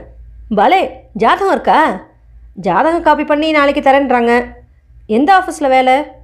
போஸ்ட்மேன் உத்தியோகம் தான் ஸ்ரீராம் அவரை முறைச்சி பார்த்தான். எழுந்து போயா இன்ஜினியர் ஆடிட்டர் டாக்டர்னு கொண்டு வந்தால் உங்கள் ஸ்கேலுக்கு சரிப்பட்டு வருமா? விசாலம் உள்ளேருந்து வந்தா. உங்களுக்கு ஏன் அந்த கவலை. அவங்க என்ன கேட்டாலும் அதை நாங்கள் செய்ய போகிறோம் அது சரிம்மா. ஆனால் சீர்வரிசையை பற்றி இங்கே பிரச்சனையே இல்லை. பின்ன என்ன பிரச்சனை? நீங்கள் என்னை கோச்சிக்க கூடாது. அட சொல்லியா டாக்டர் இன்ஜினியர் வக்கீல் ஆடிட்டர் வரன்கள்லாம் அவங்க அளவுக்கு படித்த பொண்ணுங்களாம் வந்தால் ஜோடியாக தொழில் செய்யலான்னு நினைக்கிற காலம் இது. ஒன்றுமில்ல டிகிரி வாங்கினவன் கூட கிராஜுவேட் பொண்ணா பாரியா அப்படிங்கிறான். உங்காத்து பொண்ணு டென்த்து பாஸாக அதுவும் ஃபெயிலான்னு கூட எனக்கு தெரியாது. கரஸ்பாண்டன்ட் கோர்ஸில் பிகாம் படிக்கிறா அப்படின்னு பொய்ய சொல்லலாம். ஸ்ரீராம் இடைமறிச்சான். உங்களுக்கு புண்ணியம் உண்டு. பொய்ய சொல்லி கல்யாணத்தை முடிக்க பார்க்காதீங்க. அப்புறம் என் பொண்ணை பாடாக படுத்துவாங்க. எனக்கு தாங்காது. என் பொண்ணை கண் கலங்காமல் வச்சுக்கணும். இப்போ கூட ஒரு வரம் ஜாதகத்தோட வந்திருக்கேன். பையனுக்கு இருபத்தி வயசு ஆகுது. ராகேஷ் குரூப்பில் வேலையாக இருக்கான். அதில் ஏதோ ஆஃபீஸருக்கு பர்சனல் அசிஸ்டண்ட்டாக இருக்கானா? பன்னெண்டாயிரம் ரூபாய் மாத சம்பளம். அவனுக்கு யாருமே கிடையாது. நானே ஜாதக பொருத்தம் பார்த்தேன். பிரமாதமாக பொருந்திருக்கு ஸ்ரீராமும் விசாலமும் ஒருத்தரை ஒருத்தர் பார்த்துக்கிட்டாங்க. பையன் பேர் என்ன? கணேசன். என்ன படிச்சிருக்கான்? எம்பிஏ படிச்சிருக்கான். சுஜாதாவை விசாரிக்க சொல்லாமா? சும்மா இருங்க. கிணறு விட்ட பூதங்கிழமில் கதையாயிடும். இவளுக்கே அங்கே என்ன மாதிரி வேலைன்னு நமக்கு தெரியாது. இந்த கல்யாணத்தை நடக்க விடாமல் அவளே பண்ணிடுவா. சி அந்த மாதிரி பொண்ணு இல்லடி அவ. யாரு கண்டா? இல்லை இவளை பற்றி விவரம் அந்த பையனுக்கே தெரிஞ்சாலும் ஆபத்து தான் இந்த மாதிரி சம்மந்தம் வேண்டான்னு விலகிடுவான். இவங்க ரகசிய குரலில் பேசவும் தரகருக்கு ஒன்றுமே புரியல. உங்களுக்கு என்ன சந்தேகம்? நீங்கள் பையனை ஏதாவது விசாரிக்கணும்னா சொல்லுங்கள் ஆஃபீஸ்லேயே விசாரிச்சுக்கலாம். தேவையில்லை. பொண்ணு பார்க்க பையன் எப்போ வர முடியும்? ஒழிஞ்ச மடம். பெத்தவாளும் இல்லை கூட பிறந்தவாளும் இல்லை. வீட்டோட அப்படியே இருக்க சொன்னாலும் இருக்கக்கூடியவன் தான் பார்க்க நல்ல பர்சனாலிட்டியாக பீமசேன மாதிரி இருப்பான். ஆனால் ஒல்லியில் தான் சேர்த்தி. விசாலும் ஸ்ரீராமை கூப்பிட்டு உள்ளே அழைச்சிட்டு போனான் இதோ பாருங்கள் நாளைக்கு உங்கள் தங்கச்சி சுஜாதா காயத்ரி கல்யாணத்துக்கு போயிடுவா. நாளைக்கு முகூர்த்த நல்லா இருக்கு. பொண்ணு பார்க்க ஏற்பாடு செய்யலாம். தரகர் மறுநாள் சாயந்தரம் பிள்ளைய பெண் பார்க்க அழைச்சிட்டு வரதா சொல்லிட்டாரு. பையனுக்கு பொண்ணை பிடிச்சா லௌகிக விஷயம்லாம் பேசலாம் அப்படின்னு முடிவெடுத்தாங்க. சுஜாதா காயத்ரியோட கல்யாணத்துக்காக முதல் நாள் சாயந்தரமே சத்திரத்துக்கு போயிட்டா. அவளுக்கு மணப்பெண்ணுக்கு உண்டான அலங்காரம் செய்கிற பொறுப்பை தானாகவே ஏற்றுக்கிட்டா அவங்களோட படித்த கல்லூரி தொழில்கள் ரெண்டு பேரும் வந்திருந்தாங்க. சுஜாதாவுக்கு ரொம்பவே சந்தோஷமாக நேரம் கழிஞ்சுது. இது வரைக்கும் இந்த மாதிரி சந்தோஷத்தை இவ அனுபவிச்சதே இல்லை. வரதராஜன் குடும்பத்தினர் ஒவ்வொருத்தரும் அவளை பார்த்தாங்க. ஆனால் வெறும் புன்னகையோட சரி. பத்மா கூட அவகிட்ட பேச முன்வரலை. மறுநாள் முகூர்த்தம் முடிஞ்சதும் ஆஃபீஸ் அவசரங்கிறதுனால பந்தி போட்டுட்டாங்க. பெரும்பாலானவங்க சாப்பிட்டுட்டு புறப்பட்டாங்க. சுஜாதா வாசல் நின்று எல்லாருக்கும் தாம்பளம் பை கொடுத்துட்டு இருந்தா. ஜெயராம் புன்னகையோட அவ பக்கத்தில் நின்னான் ஹலோ சுஜாதா. ஹலோ அப்படின்னு புன்னகையோட அவனை பார்த்தா. அண்ணி வந்தாளா? ம் உன்னோட படித்தவளாமே ஆமாம் அதில் உங்களுக்கும் உங்கள் ஃபேமிலிக்கும் ஆட்சேபனை எதுவும் இல்லையே. சுஜாதா உங்ககிட்ட நான் கொஞ்சம் தனியாக பேசணும். நீங்கள் போங்க ஃபைவ் மினிட்ஸில் நான் வரேன். சத்திரத்தோட வாசலில் வராண்டாவில் ஊஞ்சல் மாற்ற இடத்துல இருந்த நாற்காலிகளில் ஒன்றில் உட்காந்தான் கொஞ்சம் பரபரப்பு குறைஞ்சதும் சுஜாதா தன் ஃப்ரெண்ட்ஸ் ரெண்டு பேர்கிட்டையும் பொறுப்பை ஒப்படைச்சிட்டு ஜெயராம் உட்காந்துருந்த இடத்துக்கு போனான் ஜெய் எப்படி இருக்கீங்க? இந்த சைடு உங்களை மாற்ற சான்ஸே இல்லையா? நான் அந்த சான்ஸுக்கெலாம் ஆசைப்படல. வேற ஒரு விஷயத்தில் எனக்கு சான்ஸ் கிடைக்குமான்னு ஏங்குறேன். நீங்கள் என்ன சொல்கிறீங்க அப்படின்னு புரியாத போல கேட்டா. சுஜாதா உங்கள் அம்மா போனதுக்கப்புறம் நீங்கள் வரதே இல்லைன்னு நான் கேள்விப்பட்டேன். ஏன் இப்படி நீ ஒதுங்கிட்ட? சுஜாதா சிரிச்சா. ஜெய் நீங்களே காரணத்தை சொல்லிட்டீங்க. உங்கள் அம்மா போன பிறகுன்னு. நீங்கள் சொன்னீங்களே அதான் காரணம். நாங்கள் உங்ககிட்ட அப்படியே பழகணும். உங்கள் அம்மாவோட எல்லாம் முடிஞ்சு போச்சுன்னு நீ நினைக்க முடியாமல் நாங்கள் நடந்துக்கிட்டோம். ஜெய் எங்கள் அம்மா இறந்ததுக்கப்புறம் நடந்ததெல்லாம் அன்னார்த்தங்கள் தான். உங்கள் அம்மா அப்பா முகத்தில் முழிக்க கூட எனக்கு கூச்சமாக இருக்குது இதான் காரணமாக இருக்கணும் எங்கள் அப்பா சொன்னார். நான் உடனே அப்பா கிட்ட வருத்தப்பட்டுட்டேன் சுஜாதா. நீங்கள் அப்படி நடந்திருப்பீங்க. அதான் சுஜாதா ஒதுங்கிட்டா அப்படின்னு சொன்னேன். உங்கள் பேரண்ட்ஸ் அம்மாவோட கடைசி நாட்களில் பணத்தை வாரி எரிச்சாங்க. அவங்க மேலே எந்த தப்பும் இல்லை ஜெய். வீட்டை காலி செய்ய சொன்னது தப்பு. உனக்கு கம்ப்யூட்டர் விஷயத்தில் இன்ட்ரெஸ்ட் இருக்குன்னு தெரிஞ்சும் அப்பா உனக்கு எந்தவித உதவியும் செய்யலை. ஐயோ ஜெய் கொஞ்சம் பொறுமையாக நான் சொல்கிறத கேளுங்களேன். இப்போ எனக்கு எந்த ப்ராப்ளமும் இல்லை. என் ஆசை நிறைவேறியாச்சு. நல்ல வேலையிலையும் இருக்கேன். காயத்ரியோட சிஸ்டர் கமலா ஹெல்ப்பில் நான் ஸ்டேட்ஸ் போக போகிறேன் என்னோடய வாழ்த்துக்கள். இந்த ஜெயராமை பற்றி உன் மனசில் எதுவுமே இல்லையா? நல்லா யோசிச்சுப்பாரு என் மனசில் எந்த எண்ணமும் இல்லை. இனிமேல் நீங்கள் இப்படி பேசினா உங்கள் குடும்பத்தில் வரவேற்பு எதுவுமே கிடைக்காது. இல்லை சுஜாதா அவங்கள என் வழிக்கு கொண்டு வந்தாச்சு. நீயும் நானும் பேசி முடிவு எடுத்ததுக்கப்புறம் அவங்களும் மேலே ஆக வேண்டியதை கவனிப்பாங்க. ஜெய் எங்கள் காலேஜில் படிக்கும்போது உங்களோட கையில் ரக்ஷாபந்தன் கட்டினனே. உங்களுக்கு ஞாபகம் இருக்கா? சிவாவுக்கும் கட்டினனே. நான் அந்த சமயத்தில் அதுக்கு எந்த அர்த்தமும் வைக்கல சுஜாதா. ஆனால் நான் அர்த்தத்தோடு தான் கட்டினேன். எங்கள் அம்மாவோட ஏற்பாடு தான் அது. என் மனசுலேயே அந்த பதிய வச்சுட்டாங்க. அம்மா போனதும் வேறு விதமாக உறவை நான் மாற்றக்கூடாது நீங்கள் எப்போவும் என் சகோதரனாக தான் இருக்க முடியும். சுஜாதா நீ சொல்கிறதெல்லாம் ஒரு சாக்கு சுஜாதா அப்படின்னு அவன் கொஞ்சம் கோவத்தோட சொன்னான். இன்னொரு விஷயம் யோசனை செஞ்சு பாருங்கள் நான் என் அண்ணன் அண்ணி ஆதரவில் இருக்கேன். அவங்க ரெண்டு பேருமே கீழ்த்தரமாக பேசி எங்கள் குடும்பத்தோட மதிப்பையே குறைச்சிட்டாங்க. நீங்கள் ஆசைப்படுற மாதிரி நம்ம கல்யாணம் நடந்தால் என் அண்ணன் அண்ணி உங்கள் பேரண்ட்ஸுக்கு சரிக்கு சரியா? ஐ மீன் சம்மந்திங்களாக நிற்க வேண்டியிருக்கும். அந்த விதத்தில் உங்கள் பேரண்ட்ஸோட மதிப்பை குறைக்க நான் விரும்பலை. இது எல்லாத்தையும் விட இன்னொரு முக்கியமான காரணம் இருக்குது என்ன அது? நான் இன்னும் அஞ்சு வருஷங்கள் கல்யாணமே செஞ்சுக்க முடியாது. இப்போ தான் ஏழு மாதம் ஆகியிருக்கு நான்சென்ஸ் அக்ரிமெண்ட்டில் சைன் போட்டிருக்கியா? இல்லை. அப்படிங்கிற பாவனையில் தலையசைச்சா. வேலையை ரிசைன் பண்ணிடு சுஜாதா. ஜெய் உங்கள் அண்ணாவுக்கு இப்போ தான் கல்யாணம் முடிஞ்சிருக்கு. காயத்ரி அவர் கூட அவ்வளோ சுலபமாக ஆர்டர் பண்ணிட முடியாது. நீங்கள் அண்ணனா இந்த ஆர்டரை எனக்கு போட்டால் நான் ஏற்றுக்க வேண்டியது தான் ஜெய் முகம் செவக்க எழுந்தான். நீ ரொம்ப மாறிட்ட சுஜாதா. ஆமாம் ஜெய். உங்களையும் அதே மாதிரி மாற்றிக்க சொல்கிறேன் எனக்கு கல்யாண ஆசையே இல்லை. ப்ளீஸ் அதை நம்புங்க. மனசில் ரொம்ப புண்ணாகி வேதனைப்பட்டுட்ருக்கேன் நீங்கள் ஆறுதல் சொல்ல வேணாம் ப்ளீஸ். என்னை ஏன் வழியிலே விட்டுருங்க. ஜெய் பதில் சொல்லாமல் நடந்து போனான் சுஜாதா அவனை பற்றின வேதனையினால அங்கேயே உட்காந்துருந்தா ரிசப்ஷன் அப்போது ஜெயராமை தவிர மற்றவங்க உற்சாகமாக தான் இருந்தாங்க. அவன் மட்டும் முகத்தில் சோர்வோட ஒரே இடத்துல உட்காந்துருந்தான் அவளால் அவனுக்காக பரிதாபப்பட தான் முடிஞ்சுது. ஜெயராம் டெல்லிக்கு புறப்படுற நாள் வந்துச்சு. காயத்ரியும் சிவராமும் ஹனிமூன் முடிஞ்சு இன்னும் வரவே இல்லை. பத்மா மெல்ல கேட்டாங்க. ஜெய் உனக்கு வரன் பார்க்க ஆரம்பிக்கலாமா? அம்மா இன்னும் நாலஞ்சு வருஷங்களுக்கு நான் கல்யாணம் செஞ்சுக்க போகிறதில்ல உளராத நீ ஏன் அப்படி சொல்கிறேன்னு எனக்கு தெரியும். அவர் ரக்ஷாபந்தன் காரணம் காட்டினதுக்கப்புறம் நீ கௌரவமாக விலகிக்கணும்டா.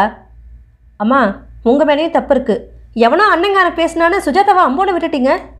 தங்க மாமி எப்படி மறந்தீங்க? ஊர்வாய்க்கு பயந்தோம். அம்மா எனக்கு பிடிக்கணும் ஒவ்வொரு பட்சணத்தையும் பொடி ஊருக்கான தயாரிச்சு இப்போ என்கிட்ட அனுப்புறியே. இந்த மாதிரி ஜெயராம் சுஜாதாவை விரும்புகிறான்னு நினைவு வச்சுக்கிட்டு இந்த சுஜாதாவோட பொறுப்பை நீங்கள் எடுத்துகிட்டு இருக்கலாம்ல? அவள் ஆசைப்பட்ட கம்ப்யூட்டர் லைன்லேயே அவளை சேர்த்து நம்ம இடத்துலையே அவளை இருக்க சொல்லியிருக்கலாம். உங்களுக்கு மாட்டு பொண்ணா ஆக போகிறவ இங்கேயே இருந்தால் என்ன தப்பு? ஊர் அப்படி என்ன சொல்லும்? அப்படி ஊர் சொன்னாதான் என்ன? இவ்வளோ பேசுகிறிய நீ. ஒரு கடிதம் எழுதி இல்லை ஃபோனில் பேசும்போதாவது சொல்லியிருக்கலாம்ல? அம்மா சிவாவுக்கு கல்யாணம் ஆகிறதுக்கு முன்னாடி என் கல்யாணத்தை பற்றி நான் ஏற்பாடு செஞ்சுக்கிறதா? நீயும் அப்பாவும் நினச்சிக்க போறீங்கன்னு தான் பயந்தேன். அதே மாதிரி தான் ஊருக்கு பயந்து சுஜாதா கிட்டேருந்து நாங்கள் விலகணும். அவளை நாங்கள் ஏற்றுக்கிட்டு இருந்தா அந்த ராட்சசி விசாலம் கேவலமாக பேசி ஊரெல்லாம் பரப்பி அவள் எதிர்காலத்தையே அழிச்சிடுவான்னு பயந்தோண்டா பாவம் சுஜாதா. சுஜாதா பாவம்னு பரிதாபப்படுறோம். ஆனால் அந்த ரெண்டு பேரையும் நினச்சா கூட பாவம் தான் ஏறும். ஜெய் சுஜாதா கூட அந்த ரெண்டு பேருக்காக பயந்து தான் அஞ்சு வருஷங்கள் கல்யாண பேச்சே கிடையாதுன்னு மழுப்புறா. ரக்ஷாபந்தனெல்லாம் நினைவுபடுத்துறாடா. சரிம்மா என்னை கொஞ்சம் நேரம் தனியாக விட்டுறியா? பத்மா பெருமூச்சோட வெளியே போனாங்க. ஆறு மாதம் ஓடிடுச்சு. சுஜாதா படுவேகமாக முன்னேற்றம் கண்டா. ஆஃபீஸ் நிர்வாகத்துலேயும் கம்ப்யூட்டர் ப்ரோக்ராம் தயாரிக்கிறதுலையும் அத்துப்படி ஆயிட்டா. ராஜசேகர் வராத நாட்கள்லையும் நிர்வாகம் செய்கிறதுல திறமை மிகுந்தவளாயிட்டா. வெள்ளி விழா நெருங்கி வந்துச்சு. அந்த தினத்தை விமர்சையாக கொண்டாட ஏற்பாடுகள் செஞ்சாங்க. அன்னைக்கு ராத்திரி விழா முடிஞ்சதும் பெரிய அளவில் ஃபைவ் ஸ்டார் ஹோட்டல் ஒன்றில் பார்ட்டி ஒன்று ஏற்பாடாக இருந்துச்சு சுஜாதா அந்த பார்ட்டியோட முழு பொறுப்பையும் ஏற்றுக்கணும் அப்படின்னு ராஜசேகர் சொல்லிட்டாரு. டெய்ஸி அவளோட பியூட்டி பார்லர் ஒன்றுக்கு போகும்படி ஏற்பாடு செஞ்சார். எதுக்கு டெய்ஸி எம்டி தான் சொன்னார்.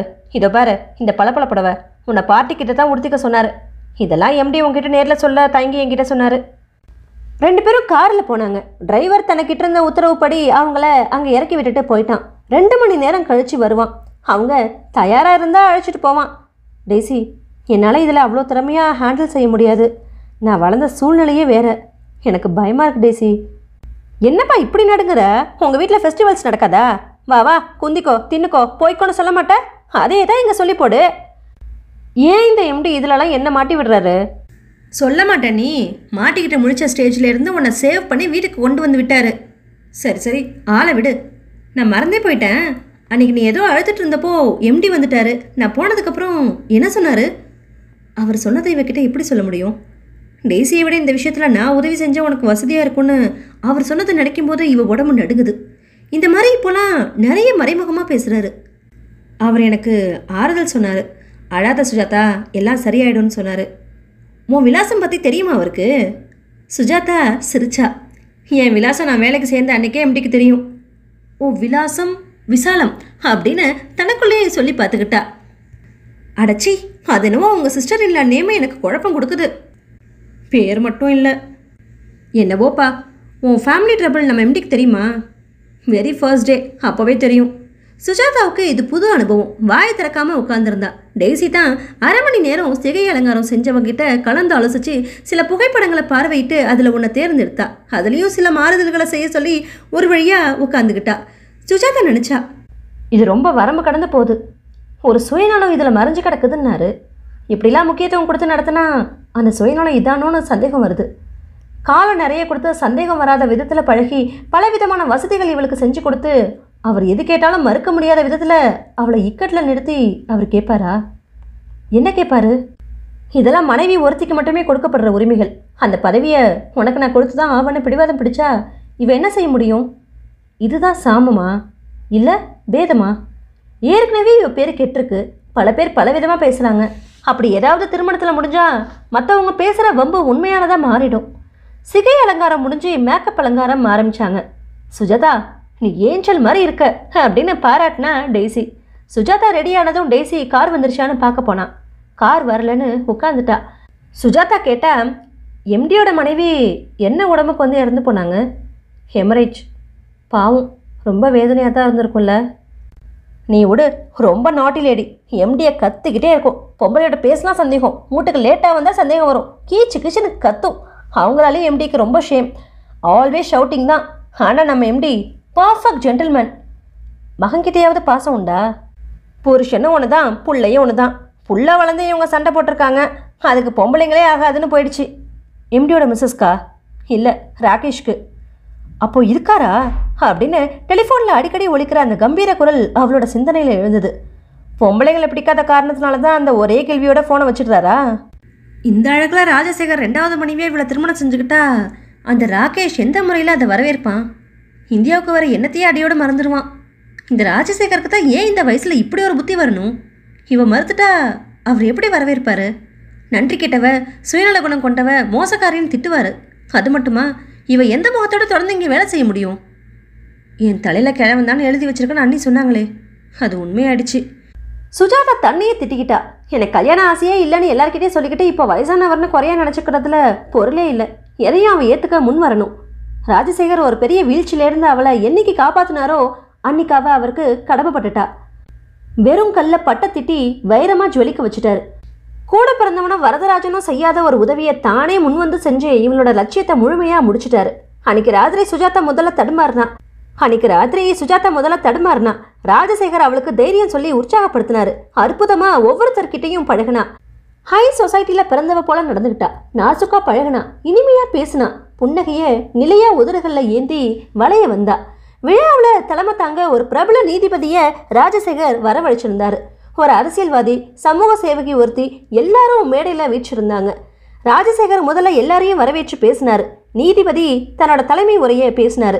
சுஜாதா மேடையில் ஏறி வருடாந்திர ரிப்போர்ட்டை ஆங்கிலத்தில் படித்தா மற்றவங்க அடுத்ததாக பேசினாங்க. விழா முடிய பத்து மணி ஆயிடுச்சு. அதுக்கு மேலே பார்ட்டி வீடியோவும் ஏற்பாடு செஞ்சுருந்தாங்க. வீடியோ கேமரா தன்னையே சுற்றி சுற்றி வரதை கவனிச்ச சுஜாதாவுக்கு எரிச்சல் வந்துச்சு. அவளே அவரை நெருங்கி விஐபிஸ் வந்திருக்காங்க. கெஸ்டெல்லாம் எடுங்க அப்படின்னா. அவன் பணிவோட எனக்கு எப்படி இன்ஸ்ட்ரக்ஷன்ஸ் கொடுக்கப்பட்டிருக்குதோ அதை தான் நான் செய்கிறேன் மேடம் அப்படின்னா. யார் கொடுத்தாங்க? மிஸ்டர் ராஜசேகர். அவ கோவத்தோட மேடையில் உட்காந்துருந்த ராஜசேகரை பார்த்தா. அவர் அங்கேருந்தே இவளை பார்த்து குறும்போடு சிரிச்சார். அவ தான் உட்கார்ந்துருந்த இடத்துக்கு திரும்பினா. வழக்கம் போல் வீடியோ கேமராவும் அவளை தொடர்ந்து வந்துச்சு. ஒரு வாரத்துக்கு அப்புறம் ஹனிமூன்லேருந்து வந்ததும் காயத்ரி அவளுக்கு ஃபோன் பண்ணா. ஜெயராமுக்கு பிடி கொடுத்து சரியாக அவள் பேசலை அப்படிங்கிறத பத்மா மூலமாக கேள்விப்பட்டு கோவத்தோட பேசினா. என்னடி சுஜாதா உனக்கு பைத்தியம் பிடிச்சிருச்சா என்ன? ஏன் அப்படி கேட்குற ஜெயராம கல்யாணம் பண்ணிக்க மறுத்துட்டியா? உன்னோட ஒரே குடும்பத்தில் இருக்க பயந்து தான் சி விளையாடாத உண்மையை சொல்லு. ஜெயராம் உன்னோட ஹஸ்பண்ட் ரெண்டு பேருக்குமே நான் ராக்கி கட்டியிருக்கேன். என் மனசில் எப்படி வேறு மாதிரி உணர்வுகள் வர முடியும்? ஏ அது ரொம்ப சின்ன வயசுடி. இல்லடி ஜெய் அப்போ காலேஜில் படிச்சுட்டு இருந்தாரு. நான் ப்ளஸ் டூ படிச்சுட்டு இருந்தேன். ஆனால் ஜெயராம் மனசு மாதிரி இருக்குடி. நான் என்ன செய்கிறது காயத்ரி நான் தங்கத்தோட பொண்ணு தாண்டி அவங்க வீட்டில் சமையல் செஞ்சவளோட பொண்ணு. நானே தங்கச்சோரங்கம் இல்லை. இந்த வேற்றுமையை அவங்க பெருசாக பாவிக்கவே இல்லை. நானும் அதையே ஒரு காரணமாக நினச்சி மறுத்துடல. அதுவும் ஒரு காரணம். அவ்வளோதான் இன்னும் கூட காரணம் இருக்கா? ஸ்ரீராம் தன் மனைவியோட உன் மாமனார் மாமியாருக்கு எதிரில் நிற்கக்கூட தகுதி இல்லாதவன். நான் என் மதிப்புக்கு உகந்த திரு வரதராஜனையும் திருமதி பத்மா வரதராஜனையும் தெய்வமாக நினைக்கிறேன். அவங்கள கீழே இறக்கி கௌரவத்துக்கு எடுக்க நான் விரும்பலை. எத்தனையோ சங்கடமான சூழ்நிலைகளை நான் தவிர்க்க விரும்பினேன். ஜெய் இதை பற்றி புரிஞ்சுக்கலனா நான் என்ன செய்ய முடியும்? ஏ உன் அண்ணன் அண்ணி சம்மந்தமே வேணாம். வேற யாராவது தம்பதிகள் ஏற்பாடு பண்ணலாம். அவ்வளோ எதுக்கு? எங்கள் அப்பா அம்மாவே போதுமே. நீ ஒன்றும் சிரம தசையில் இல்லை. கை நிறைய சம்பாதிக்கிற. அவங்க தான் உங்ககிட்ட எதுவுமே எதிர்பார்க்கலையே. நீ ஒருத்தி புரியாமல் பேசுகிற விசாலம் எனக்குன்னு ஒரு நல்ல வாழ்க்கை வர அவ்வளோ சுலபமாக விட்டுருவாளா? கல்யாண பந்தலில் வந்து முதல்ல உங்கள் அப்பா அம்மாவை தான் திட்டுவா. ஓடி போயிடுவாங்க உன் பேரண்ட்ஸு ஏற்கனவே பட்ட அனுபவம். விசாலம் தெருக்கோடியில் வர்றது தெரிஞ்சால் போதும். உன் மாமனார் மாமியாரும் காணாமலே போயிடுவாங்க. நீ அவளுக்கு ரொம்ப தண்ணி பயப்படுற. நான் இந்த தடவை இருக்கேன். ஒரு கை பாப்பம் பாரு. ஜான்சி ராணி தான் நீ? ஒத்துக்கிறேன். காயத்ரி இதெல்லாம் அனாவசிய பேச்சு. என் மறுப்புனால ஜெய் கொஞ்ச நாள் வருத்தமாக இருப்பார். அப்புறம் சரியாயிடும் பாரு. உங்கள் குடும்பம் இப்போ நிம்மதியாகவே இருக்கும். நீ எதையாவது சொல்லி வைக்காத. இந்த முடிவு தான் எனக்கும் உன் குடும்பத்துக்கும் நல்லது. சாரி சுஜாதா. வர வர உன்னை என்னால் புரிஞ்சிக்கவே முடியல. போகட்டும். நீ வாழ்க்கையை புரிஞ்சிட்ருப்பியே அது போதும். சிபோ கழுத. அவள் ஃபோனை வச்சிட்டா. சுஜாதா புன்னகையோட ஃபோனை வச்சா. விசாலும் வருத்தத்தில் இருந்தா. காயத்ரி கல்யாணத்துக்கு சுஜாதா போகிறதுனால பொண்ணு பார்க்குற படலத்தை அன்னைக்கு அவள் ஏற்பாடு பண்ணியிருந்தா. ஆனால் மாப்பிள்ளை அன்னைக்கு தனக்கு வசதிப்படாதுன்னு தரகர்கிட்ட சொல்லி அனுப்பிட்டான். அதுக்கப்புறம் தனக்குன்னு இருக்கிற ஒரு மனுஷன் அந்த ஆஃபீஸர் தான். அவர்கிட்ட கேட்காம பொண்ணு பார்க்க வர முடியாதுன்னு சொல்லிட்டான். தரகரும் அவனை தேடி அடிக்கடி நடந்தார். அவனும் ஏதோ சாக்க சொல்லி அனுப்பிடுவான். வேற பையன் பார்க்கலாமா அப்படின்னு விசாலும் யோசனை செய்ய ஆரம்பிச்சா. இவங்களோட அமைதியும் இவளை வம்பிழுக்காம விசாலம் ஒதுங்கி நின்னதும் சுஜாதாவுக்கு ரொம்பவே வியப்பாக இருந்துச்சு. பூஜா கூட அவள் நின்ன இடத்துல நிற்காம தவிர்த்தா. பேசிட்டு சகஜமாக பழகின பூஜாவோட புதிய மாறுதல் அவளுக்கு உண்மையிலேயே அதிர்ச்சியாக இருந்தது. இந்த மாதிரி சூழ்நிலையில் சுஜாதா இல்லாத சமயத்தில் தரகர் ஒரு நாள் வந்தார். திடீர்னு அந்த கணேசா அன்னைக்கு சாயந்தரம் பொண்ணு பக்கம் வரதா சொல்லிட்டான் சுஜாதா ஆஃபீஸ்லேருந்து லேட்டாக வருவா. அதுக்குள்ளே அவன் வந்துட்டு போயிடணும் அப்படின்னு விசாலம் ஸ்ரீராம் கிட்ட கண்டிப்பாக தெரிவிச்சிட்டா. எல்லாம் நல்லபடியாகவே நடந்து முடிஞ்சுது. பையனுக்கும் பொண்ணை பிடிச்சு போச்சு. லௌகிக விஷயமும் பேசி ஆயிடுச்சு. பையனே கெட்டியாக இருந்தான். பதினஞ்சு சவரன்களும் கையில் ஏழாயிரம் வெள்ளி பாத்திரம் மூணு கிலோ அப்படின்னு மடபடன்னு சொல்லிட்டான். ஸ்ரீராம் யோசனையோடு கேட்டான். விசாலம் தரகர் சொன்ன விதமாக இவன் வேலை இருந்தா இவன் சொல்கிற சீர்வகைலாம் ரொம்ப குறைவு. எதுக்கும் ஆஃபீஸில் விசாரித்து பார்த்தா என்ன? அவர் நம்ம பூஜாவை பார்த்து மயங்கிட்டார். கல்யாண மார்க்கெட் விவரெல்லாம் அவருக்கு என்ன தெரியும்? சின்ன பிள்ளை தானே. நமக்கு லாபமாச்சு விடுங்க. அவ சொன்னதும் ஸ்ரீராம் அதோட விட்டுட்டான். சுஜாதாவுக்கு தெரியாம பூஜாவோட கல்யாண ஏற்பாடுகள் மறைவாவே நடந்துட்டு இருந்தது. உண்மையான விஷயம் தெரியாத சுஜாதா தன்னை நடத்தக்கிட்டவன்னு அவங்க முடிவு கட்டி தன்னை ஒதுக்கிட்டாங்க அப்படின்னு வேதனைப்பட்டு இருந்தா. திடீர்னு பழைய ஃப்ரெண்டு ஸ்கூல் டீச்சர் கருப்பவன் ஃபோன் பண்ணான் வாடகை ரெண்டாயிரத்தி ஐநூறுரூபா இனிமே நீ தரணும் அப்படின்னு சொல்லிட்டா. அவளோட அக்கா பிள்ளைங்க இதை நம்பி இல்லை அப்படின்னு சொன்னவ இப்போ வாடகை அதிகம் எதிர்பார்க்குறா. ஏன் அவளும் இவளை பற்றின வம்பு எதையாவது கேள்விப்பட்டிருப்பா? அவளுக்கு பணத்தை பற்றி எந்த கவலையும் இல்லை. அதனால் கற்பகம் எதிர்பார்த்த வாடகையை தந்துட்டா. அது மட்டும் இல்லை ஆறு மாத வாடகையை அட்வான்ஸாக அவள் கேட்காமலேயே கொடுத்துட்டா. அந்த செக்கையும் பேங்க்கில் வழக்கம் போல கட்டிட்டா. ஆஃபீஸில் ராஜசேகருக்கு வழக்கத்தை விட அதிகமான மகிழ்ச்சியும் உற்சாகமும் முகத்தில் நிறைஞ்சி இருந்தது. அன்னைக்கு வரும்போதே ரொம்ப வேகமாக வந்தார். ஹாலில் நின்று ஸ்டாஃப் ஒருத்திக்கிட்ட ஃபைலை கொடுத்த சுஜாதா அவரை ஓட்டமும் நடையுமா பின்தொடர்ந்தா. சுஜாதா எங்க? கூப்பிடுங்க. அப்படின்னு அவர் கத்துனது அவள் காதில் தெளிவாகவே விழுந்துச்சு. இன்னும் ஒன்று ரெண்டு மாசத்துல நீ ஸ்டேஜுக்கு போற அப்படின்னு அவர் சொன்னதும் அவர் அவளோட கையை பிடிச்சி குலுக்குனாரு. சுஜாதா உணர்ச்சியோட திணறினா "ச- சார் நிஜமாவா சொல்றீங்க? ஏம்மா சுஜாதா இந்த சாரை தவிர வேற நெருக்கமான வார்த்தை எதுவும் தெரியாதா? அங்கிள்னு கூப்பிடலாம் ஆனால் இது ஆஃபீஸ் இங்கே அப்படி கூப்பிட முடியாதே. ஓகே தற்காலிகமாக அங்கிள்னு கூப்பிடு ஆனால் சீக்கிரத்துலேயே அந்த வார்த்தையும் மாற்ற வேண்டியிருக்கும். எல்லா ஆம்பளைங்களும் ஒரே ரகம்தான். மறைமுகமாகவே அவர் பயமுறுத்திட்டு இருக்காரு. கடவுளே என்னை இன்னும் எப்படிலாம் ஆட்டி வைக்க போறியோ?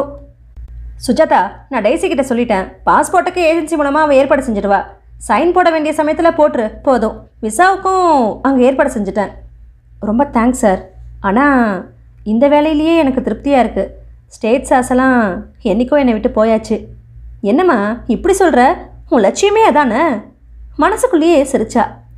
ஆமாம் ஒரு காலத்தில் அப்படி லட்சியத்தோடு தான் இருந்தேன். இப்போ அதுக்குள்ளே எவ்வளவோ நடந்துருச்சே. நான் உண்மையாகவே அமெரிக்கா போனால் கூட யார் நம்புவாங்க? நீங்கள் என்னை கைவிட்டுட்டா போலவும் நான் எங்கேயோ கண்காணாத இடத்துக்கு ஓடி போன போலவும் தானே என் தலை உருளும். இன்னும் சில பேர் நான் தற்கொலை பண்ணிக்கிட்டு தான் நினச்சாலும் ஆச்சரியம் இல்லை. என்கிட்ட மறைக்காமல் உண்மையை சொல்லு சுஜாதா. அன்னைக்கு ஒரு நாள் மஞ்ச கயிறுன்னு சொல்லி ஏதோ அழுதுட்டு இருந்தியே. உனக்கு கல்யாணம் பண்ணிக்கிறதே பெட்டர்னு தோணியிருக்கு இல்லையா? இல்லை சார் நிச்சயமாக இல்லை சார் அப்படின்னு அவசர அவசரமாக சொன்னான் பின்னையே ஃபாரின் போகிற சான்ஸை மறுக்கிற? அவள் கண்களில் தார தாரையாக நீர் பெருகுச்சு. ஏ சுஜாதா என்ன இது? உன்னை ரொம்ப தைரியசாலியான பொண்ணுன்னு நினச்சிட்டு இருந்தேன். இவ்வளோதானா அப்படின்னு பரிவோட அவளோட தலையை வருடினார். சார் என் குடும்பத்திலேயே என்னை தப்பாக நினைக்க ஆரம்பிச்சிட்டாங்க. என் அண்ணியை பற்றி ஏற்கனவே உங்களுக்கு தெரியும். அவள் என்னை தரக்குறவாக பேசினான் அந்த வேதனையில் பேருக்கு ஒரு மஞ்சக்கயிறு கிடைச்சா போதும்னு சொன்னேன். ஆனால் அதெல்லாம் நடக்கிற காரியம் இல்லை. என்னோட கண்டிஷன் அஞ்சு வருஷங்க நீ கல்யாணம் செஞ்சுக்க கூடாதுன்னு. சொன்னதும் உன்னை பாதிச்சிருக்கு. ஆமே கரெக்ட் அப்படியும் சொல்கிறதுக்கு இல்லை. ஏன் தயங்குற? உண்மையே அதான். மூணு வருஷம் குறைச்சேன். நான் எதிர்பார்த்தது நடக்க மூணு வருஷமாவது இல்லை அஞ்சு வருஷமாவது ஆகும்னு நினச்சேன். ஆனால் காட் கிரேஸில் சீக்கிரமே சால்வ் ஆயிடுச்சு. நீ இப்போவே கல்யாணம் பண்ணிக்கலாம். என் அண்ணி கல்யாணமே நடக்காதுன்னு அடிக்கடி சபிக்கிறாப்புல பேசுவா. என் கழுத்தில் தாலி ஏறி இதோ பாரு எனக்கும் கல்யாணம் ஆயிடுச்சுன்னு அவள் எதிரில் நிற்கணும்னு ஒரு வெறி வளர்ந்துருக்கு. அவ்வளோதான். வெறிக்கு முன்னால் லட்சியம் பறந்துருச்சு. ம்? சாரி சார் என்னை நீங்கள் தப்பாக நினச்சிட்டீங்க. இல்லைம்மா என் மேலேயும் சில தப்புகள் இருக்குது வெறும் மஞ்சக்கயிறு கட்டினதோட வாழ்க்கை முடியறதில்ல. ஆரம்பமே அப்புறம்தான். உலகத்தில் மற்ற பெண்களுக்கு தான் சார் தாலி முகவரை. எனக்கு மட்டும் முடிவுரையாக தான் இருக்க முடியும். உனக்கு சம்மதமானா என் குடும்பத்தில் ஒருத்தியாக உன்னை சேர்த்துக்கிறேன். நீ உன் அண்ணி முன்னால் கழுத்தில் தாலியோட நிற்கலாம் ஃபாரினுக்கும் போக முடியும். உன்னை புரிஞ்சுக்கிட்டு உன் விருப்பப்படியே தாலி கட்டுறவன் கிடைக்காமலா போவான் யார் அந்த மாதிரி தியாகம் செய்ய வருவாங்க? ஏமா தியாகம்னு பெரிய வார்த்தைலாம் பேசுகிற உன்னை விடவா சிரமப்பட்டவங்க இருப்பாங்க? பணம் வீசினா கிடைக்காதது எதுவுமே இல்லை. நானே அந்த ஆளை. ஐ மீன் உன் லாங்குவேஜில் அந்த தியாகியை தேடுறேன். இன்னொரு விஷயம் என் குடும்பம்னு ஒன்று இருக்கே தவிர எனக்குன்னு ஆதரவாக யாருமே கிடையாது. நான் யாருக்கும் சொல்லவும் போகிறதில்ல உன்கிட்ட இதை சொல்லாமல் இருந்தால் நல்லா இருக்காது. உன் கழுத்தில் தாலி கட்ட போகிறவன் ஏற்கனவே கல்யாணத்தை கசப்பாக நினைக்கிறவன் பொண்ணுங்களையே வெறுக்கிறவன். அந்த மாதிரி மனுஷன் தான் உன் கண்டிஷனுக்கெலாம் சம்மதிப்பான். சுஜாதாவுக்கு சட்டுன்னு புரிஞ்சுது. இவர் தான் இவ கழுத்தில் தாலி கட்ட போகிறவர் இவளோட நன்றியை அந்த தாலியை ஏற்றுக்கிறது மூலமாக இவ காட்ட போறா. ரெண்டே நாட்களில் அவர் கல்யாண தேதியும் கல்யாணம் நடக்கிற கிராமத்தையும் அவகிட்ட குறிப்பிட்டுட்டாரு. செலவு எதுவும் அவளுக்கு கிடையாது. தான் இடத்துலேருந்து புறப்படும் போது மறுபடியும் அங்கே வரப்போகிறதில்ல அப்படிங்கிற நினைவோட தனக்கு ரொம்பவும் தேவையானதை மட்டும் எடுத்துக்கிட்டு வரணும். கல்யாணம் ஆனதும் அவள் குடும்பத்தை அவள் பார்க்க முடியும். முக்கியமாக அன்னிக்கிட்ட தன் தாலியை காட்ட சந்தர்ப்பம் கொடுக்கப்படும். அதுக்கப்புறம் அமெரிக்கா புறப்பாடு தான். எல்லாத்தையும் எழுதி அவகிட்ட கொடுத்துட்டாரு. அவள் கேட்டது தான் அப்படின்னாலும் சில வார்த்தைகள் சில வரிகள் அவளை பரிகாசம் செய்கிறது போல தோன்றுச்சு. சுஜாதா அவர்கிட்ட மனசை விட்டு பேசியிருக்க கூடாதோ? அப்படின்னும் திணறினா அதே சமயத்தில் விசாலம் சந்தோஷம் தாங்காம திணறினா பூஜாவுக்கு கல்யாணம் நிச்சயமாயிடுச்சு. தேதியும் குறிச்சாச்சு. சத்திரம் மாப்பிள்ளையே பார்த்து கொடுத்துட்டான். பணம் மட்டும் இவங்க கையிலேருந்து போச்சு. ஸ்ரீராம் தங்கச்சி சுஜாதா கிட்ட அவன் மனசு புண்படாத விதத்தில் பக்குவமாக கல்யாண விஷயத்த சொல்லணும் அப்படின்னு விசாலத்துக்கிட்ட தன்னோட எண்ணத்தை தெரிவித்தான் நீங்கள் சும்மா இருங்க. கல்யாணத்துக்கு முதல் நாள் சொன்னால் போதும். பொறாமையிலே வெந்து அவள் வேணும்னே வெளியூருக்கு போனாலும் போவா. ஸ்ரீராமுக்கு மனசு கேட்கல ஆனால் அவளை மீறி அவனால் ஒன்றுமே செய்ய முடியாது. ரெண்டு நாட்கள் போயிருக்கோம். ஸ்ரீராம் லீவில் இருந்தான். அவன் வீட்டு வாசலில் கப்பல் மாதிரி ஒரு பெரிய கார் தெருவை அடைச்சிக்கிட்டு வந்து நின்றுச்சு அதுலேருந்து ரொம்ப உயரமான வாலிபம் ஒருத்தன் விலை உயர்ந்த ட்ரெஸ்ஸை போட்டுக்கிட்டு கண்களில் கருப்பு கண்ணாடியுமா இறங்குனான். ஸ்ரீராம் மரியாதையோட அந்த வாலிபனை வரவேற்றான். கூடத்தில் இருந்த சோஃபாவில் உட்கார வச்சான். ஆஃபீஸ்க்கு புறப்பட்டு இருந்த சுஜாதா அவனை தாண்டி போக தயங்கி அறைக்குள்ளே இருந்தபடியே தலையை நீட்டி எட்டி பார்த்தா. வந்தவனோட பார்வை பூஜாவையும் கடந்து சுஜாதா மேலே விழுந்துச்சு. ஸ்ரீராம் நீங்கள் தானா? ஆமாம் வாசாலி உங்கள் மனைவியா? இவங்க தானா? சிரிப்பு அடக்க முடியாத சுஜாதா அறைக்குள்ளே போயிட்டா. அவன் தமிழ் பேசுகிற விதமே நல்லா இல்லை. உங்களுக்கு யார் வேணும்? எதுக்காக வந்திருக்கீங்க? நான் ஸ்டேட்ஸ்லேருந்து வந்திருக்கேன். எங்களுக்கு ஒரு சவுத் இந்தியன் குக் வேணும். மாதம் இருபதாயிரம் ரூபாய் சம்பளம் தரோம். சாப்பாடு இருக்க இடம் எல்லாமே எங்கே இன்சார்ஜ்? குறிப்பாக இங்கேயே வந்து கேட்குறீங்க இது தங்கம்மா வீடு தானே? சுஜாதா ஹாலுக்கு வந்து நின்னான் ஆமாம் ஆனால் அந்த அம்மா இல்லையே. பின்னையே வரதராஜன் இங்கே அனுப்புனார் என்ன? இது ஒரு விதமான குசும்பு அப்படின்னு ஸ்ரீராம் கோவத்தோட சொன்னான். வாட் வாட் அப்படின்னு வந்தவன் கேட்டான். இது கரெக்ட் அட்ரஸில் நீங்கள் போகலாம் ஸ்ரீராம் அவனை வெளியே அனுப்பிட்டான். அதுக்கப்புறம் சுஜாதா ஆஃபீஸ்க்கு புறப்பட்டா. தெருமுனையில் அவன் காரோட காத்திருந்தான். அது மட்டும் இல்லை ஹலோ சுஜாதா அப்படின்னு ஸ்டைலாக கூப்பிட்டான். உண்மையிலேயே நீங்கள் யார்? பொய் சொல்லி வீட்டுக்குள்ளே வந்து பெரியவங்களை கிண்டல் பண்ணுறீங்க இதான் உங்கள் அமெரிக்கா மரியாதையா? சாரி நான் சொன்னது பொய்ன்னு உங்களுக்கு எப்படி தெரியும்? அந்த வரதராஜனை எனக்கு நல்லாவே தெரியும். சுஜாதா காரில் ஏறுங்க. உங்கள் ஆஃபீஸில் நானே கொண்டு போய் விடுறேன். வேணாம். நான் உங்களை பார்க்கத்தான் போய் சொல்லிட்டு வந்தேன். நீங்கள் எதுக்காக என்ன பார்க்கணும்? காரில் முதல்ல ஏறுங்க. நம்ம பேசிக்கிட்டே போகலாமே நாம் பேசிக்கிட்டே போகிற அளவுக்கு நமக்குள்ளே எதுவுமே இல்லை. பாவம் காரை கண்டாலே உங்களுக்கு அலர்ஜியாக இருக்குன்னு நினைக்கிறேன். காரணம் சக்திவேல் தானே? சுஜாதா அதிர்ச்சியோடு அவனை பார்த்தா. அவன் புன்னகையோடு அவளுக்காக காரோட முன்பக்க கதவை திறந்து வச்சு காத்திருந்தான். அவள் காரில் உட்கார்ந்ததும் சுற்றி வந்து டிரைவிங் சீட்டில் உட்காந்தான் காரை ஸ்டார்ட் பண்ணான். மிஸ்டர் இப்போ சொல்லுங்கள் நீங்கள் யார்? நான் யாருன்னு சொன்னால் கூட உங்களுக்கு புரியாது. எப்போவோ நடந்த விஷயம் உங்களுக்கு தெரிஞ்சிருக்கு. அது எப்படி? ராகேஷ் குரூப்பில் உங்களுக்கு வேலை. அதுவும் எனக்கு தெரியும். என் வேலையை பற்றி எல்லாருக்குமே தெரியும். இது ஒன்றும் ஆச்சரியம் இல்லை. ஆனால் யாருக்கும் தெரியாத உங்களுக்கு கூட தெரியாத ஒரு ரகசியம் என்கிட்ட ஒன்று இருக்குது என்ன ரகசியம்? I love you stop it அப்படின்னு கத்துனான். உங்கள் ஆஃபீஸ் வந்துருச்சா? அப்படின்னு சாலையோட ரெண்டு பக்கங்களையும் பார்த்தான். இல்லை உங்கள் உளறலை தாங்க முடியாமல் கத்திட்டேன். என்ன உளர்ன புரிஞ்சுக்கிட்டு மௌனம் சாதித்தான் அவன் தந்திரத்தை. சுஜாதா வீடியோ கேசட்டில் உன்னை பார்த்ததுலேருந்தே நான் பைத்தியமாக மாறி போயிட்டேன். அவன் குரலில் இப்போ விளையாட்டு மறைஞ்சிடுச்சு இன்னும் நானே அந்த கேசட்டை பார்க்கல. அமெரிக்காவில் இருந்த நீங்கள் எப்படி அந்த கேசட்டை பார்த்தீங்க? என் ஃப்ரெண்டு ஃப்ளாட்டில் நான் பார்த்துருக்க கூடாதா? உடனே இந்தியாவுக்கு ஓடி வந்துட்டேன். வேஸ்ட் ஓடி வந்தும் பிரயோஜனம் இல்லை. ஏன் அப்படி சொல்கிற மிஸ்டர் எனக்கு கல்யாணம் நிச்சயமாயிடுச்சு. இனிமேல் இப்படி நீங்கள் பேசுகிறது கூட தப்பு. பாவம் நீ. சினிமா பார்க்குறதுல நினைக்கிறேன். நிச்சயத்தமிழ் ஆனதுக்கப்புறம் கூட ஹால் மாதிரி கல்யாணம் முடிஞ்சிருக்கு. இப்படி ஒரு தமிழ் படம் வந்திருக்கு. நான் கூட தமிழ் சினிமா பார்க்குறதில்ல. அங்கே ஏது சான்ஸு ஆனால் தமிழ் பத்திரிகைகளை ரெகுலராக படிப்பேன். சினிமா வேறாலும் தெரியும். மிஸ்டர் அந்த சினிமாவில் நடக்கலாம். வாழ்க்கையில் நடக்காது. தாலி கட்ட போகிறவன் யார்? அவன் பேர் என்ன? முகம் எப்படி இருக்கும்? கருப்பா சிவப்பான்னு கூட தெரியாமல் இருக்கிற கல்யாண பெண்ணோட கதை சினிமாவில் கூட வர முடியாது. உங்களுக்கு ராஜசேகர் தெரியுமா? அவரா? ராகேஷ் குரூப்போட உரிமையாளர். அவர் தான் உனக்கு கார்டியனா யார் சொன்னாங்க? நீங்கள் தான் கொஞ்சம் நேரத்துக்கு முன்னாலே என் அண்ணனை பார்த்தீங்களே. அவரை நான் எங்கே பார்த்தேன்? உன்னை பார்க்க தானே வந்தேன்? அந்த ராஜசேகர் தான் எனக்கு தெய்வத்துக்கும் மேலே.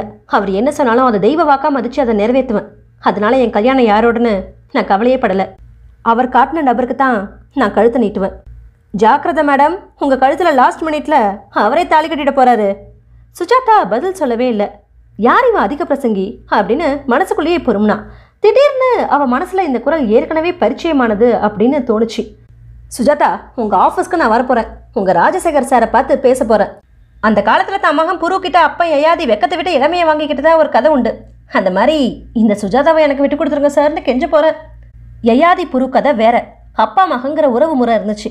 நீங்கள் அவருக்கு முன்ன பின்ன தெரியாதவர். உங்களுக்கு அவர் ஏன் சுஜாதாவை விட்டு கொடுக்கணும்? இதை அவர் கேட்கலாம் இல்லையா? நீயே அவருக்கு சொல்லிக் கொடுப்ப போல இருக்கே. எனக்கு இன்னொரு சந்தேகம் வந்திருக்கு. உங்களுக்கு தோன்ற திடீர் சந்தேகங்களுக்கும் எனக்கும் எந்த சம்மந்தமும் கிடையாது. எங்கள் ஆஃபீஸை நெருங்கி வந்துட்டோம். நிறுத்துங்க. இருமா தான் பிள்ளைக்கு அவர் உன்னை ப்ரிசர்வ் செஞ்சிருப்பாரா? நிச்சயமாக அது இல்லை. இன்னும் ரெண்டே நாளில் கல்யாணம் நடக்க போகுது. ராகேஷ் எங்கேயோ ஸ்டேட்ஸில் இருக்காரு. அவருக்கு சின்ன வயசுலேருந்து அம்மா மேலே வெறுப்பு. தாயை பிடிக்காதவருக்கு தாய் நாட்டை எப்படி பிடிக்கும்? தன்னோட அப்பாவும் தன் அம்மாவால் ரொம்ப துன்பப்பட்டவர்னு ஞாபகம் இருந்தா அப்பா கிட்ட அதிகமாக அன்பு பாசமும் ஏற்படும். பாவம் இவர் தனியாக அவதிப்படுறாரு. புள்ள அப்பாவை பற்றி நினைக்காம வெளிநாட்டிலே இருக்காரு. சரி உங்கள் பாஸ் எப்படி? ரொம்ப ஏழையா? ஏன் கேட்குறீங்க இல்லை பணக்காரங்க எல்லாரும் டெலிஃபோன் வச்சுக்கிட்டு வெளிநாட்டு கூட ஃபோன் பண்ணி பேசிக்கிறாங்க. இமெயில் வசதி வேறு ஏற்பட்டிருக்கு. மிஸ்டர் ராஜசேகருக்கு அந்த வசதி இல்லையான்னு கேட்டேன். ஒரு நிமிஷம் திகைப்போட அவனை பார்த்தவ அடுத்த நிமிஷம் சீட்லேருந்து சாஞ்சுக்கிட்டு உரத்த குரலில் தொடர்ந்து சிரிச்சா.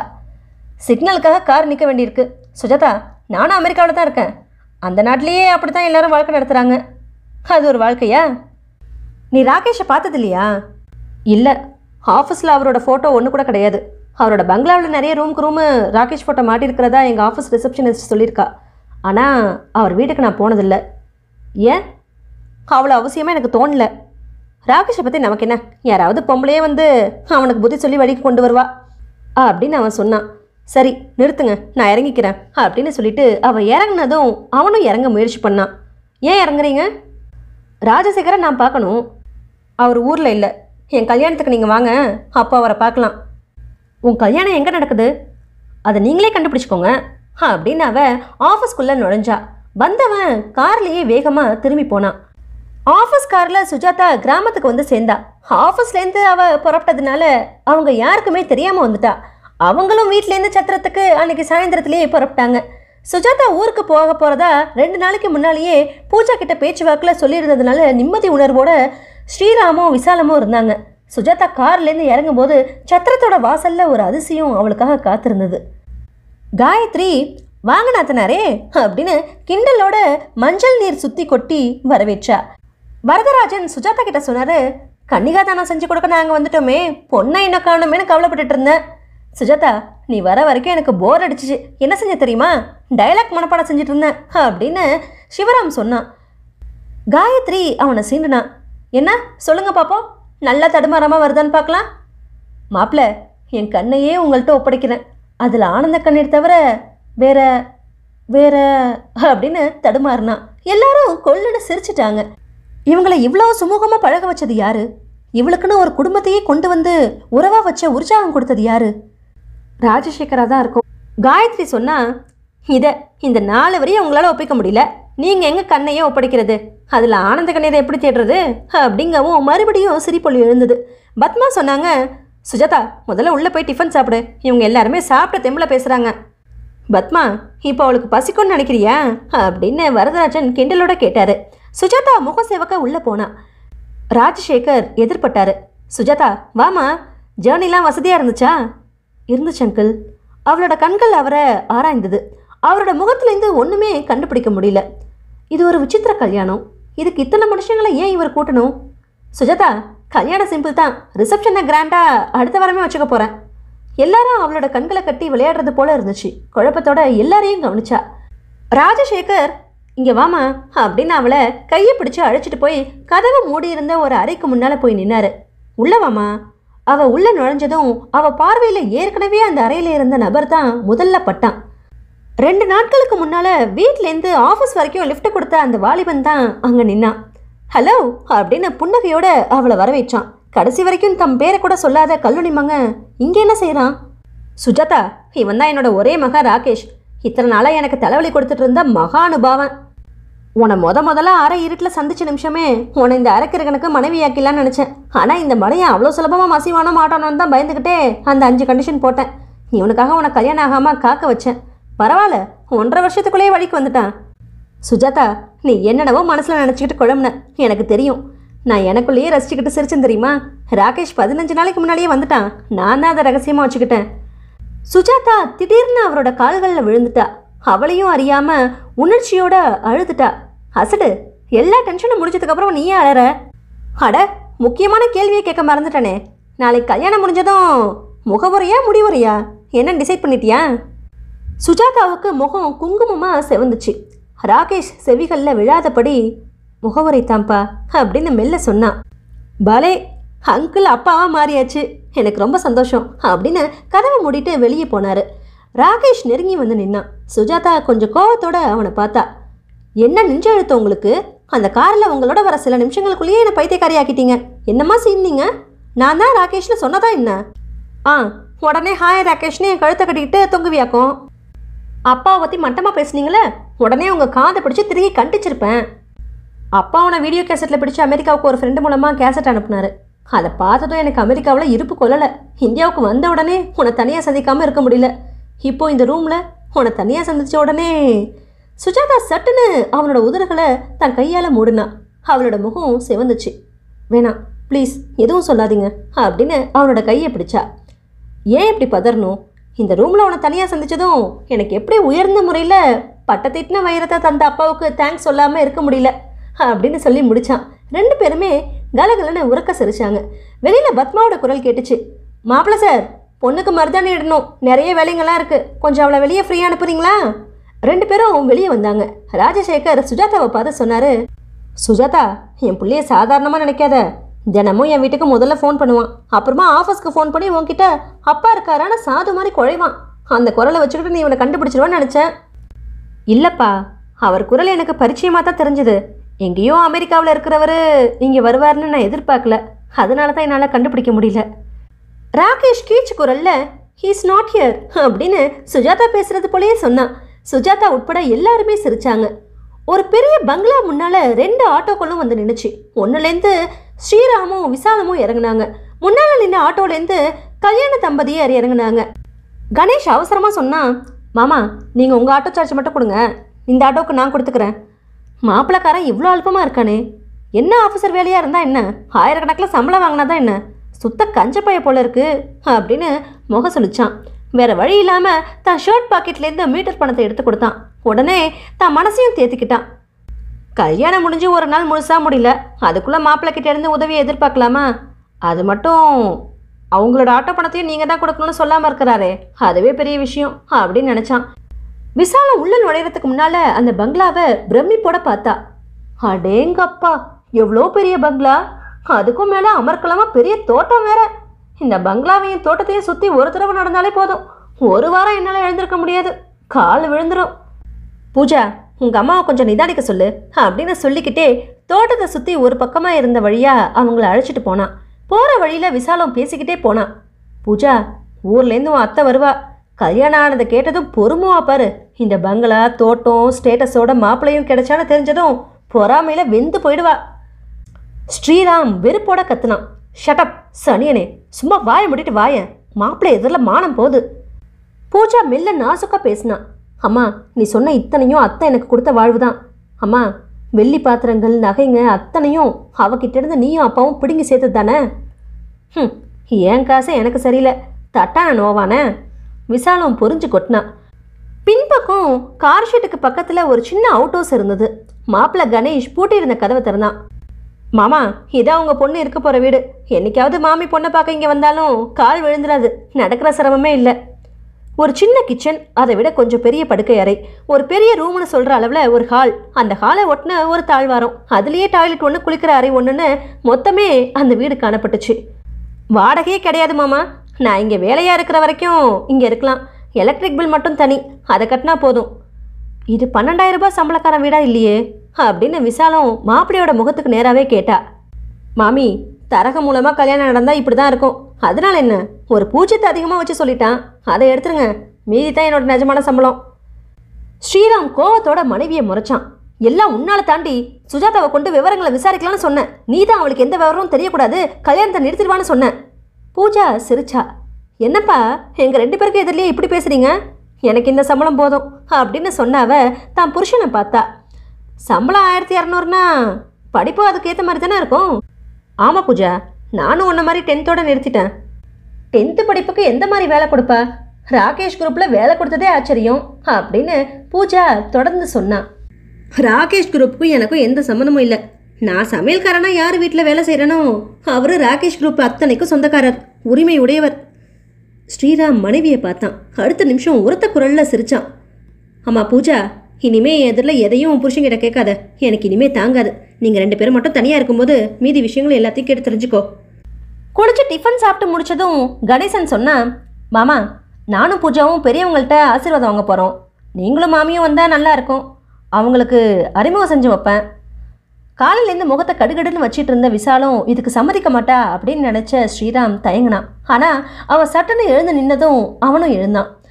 நாலு பேரும் தோட்டத்தை சுற்றிக்கிட்டு பங்களாவோட முன்பக்கமாக போனாங்க. வாசலில் பெரிய கோலம் போடப்பட்டிருந்துச்சு. மாவில தோரணம் வாழை மரம்னு அமர்க்கலமாக இருந்தது.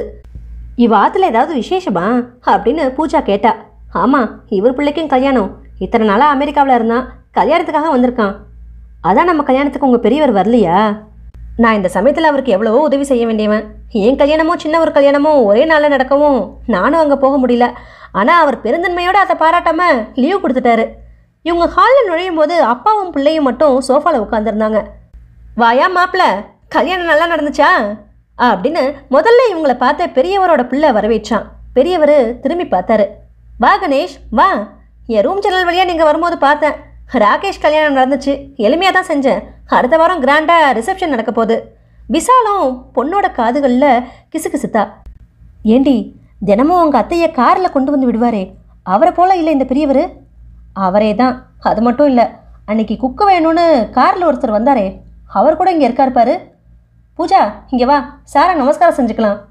பூஜாவும் அவனுமா அவர் காலில் விழுந்தாங்க. டீபாய் பக்கத்தில் ஏற்கனவே எடுத்து வைக்கப்பட்டிருந்த வெத்தலை பாக்கு தேங்காய் விலை விழுந்த பட்டுப்படவை வேஷ்டி ஷர்ட் பீஸு எல்லாமே இருந்துச்சு. கணேசா உன் கல்யாணத்துக்கு நான் வந்து கலந்துக்கணும் தான் நினச்சிட்டு இருந்தேன். சரி உன் மாமனார் நின்றுட்டே இருக்காரு. உட்காருங்க சார். இவர் மாமனார் இவங்க மாமியார் பூஜா ஒரே பொண்ணு அப்படின்னு கணேஷ் சொன்னான். உன் பேர் பூஜாவா? எங்கள் கணேஷ் ரொம்ப நல்லவன். நீ அவனோட ரொம்ப ஒத்துமையாக இருக்கணும். அதே சமயத்தில் மாடி அறையிலேருந்து வெளிவந்த சுஜாதா பாதி படிக்கட்டுகளில் இறங்கி வந்ததும் மாமனார் யாருக்கோ புத்தி சொல்கிற குரலை கேட்டதும் தற்செயலாக ஆளை பார்த்தா.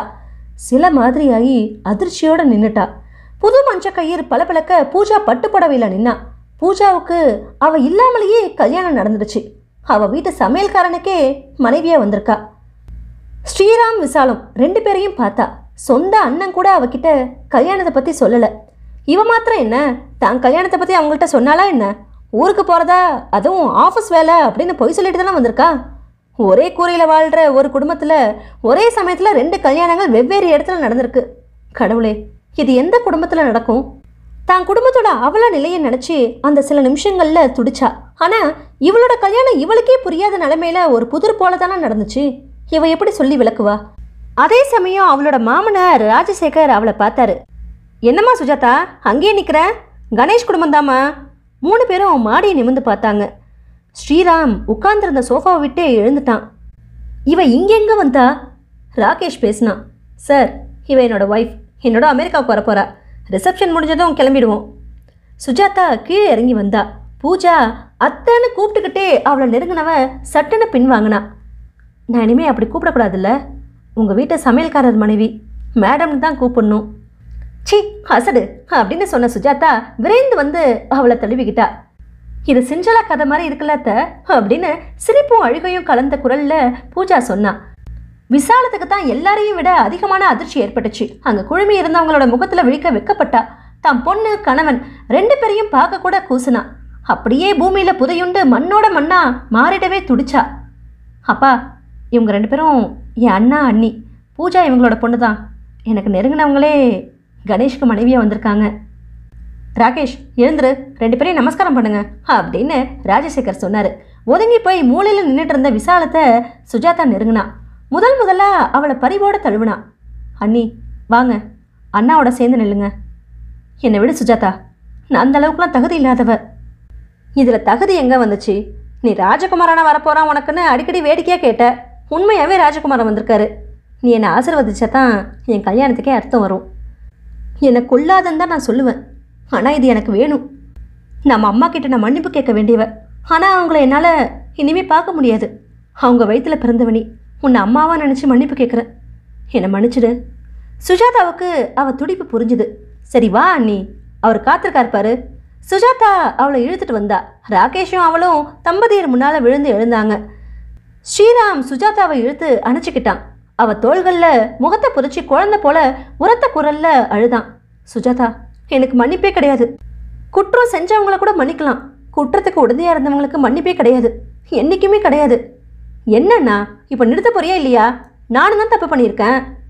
ஏ சுஜாதா நீ என்ன சொல்கிற என்னை கல்யாணம் பண்ணிக்கிட்டது தப்புன்னு சொல்கிறியா சுஜாதா கண்களில் பெருகுனா நீரை தொடச்சிக்கிட்டு புன்னகிச்சா. அது தப்பு இல்லை. ஆனால் அண்ணா அன்னிக்கிட்ட சொல்லாமல் பண்ணிக்கிட்டது தப்பு தானே நீ என்னவா புரியாமல் பேசுகிற உன் கல்யாண விவரம் உனக்கே தெரியாது.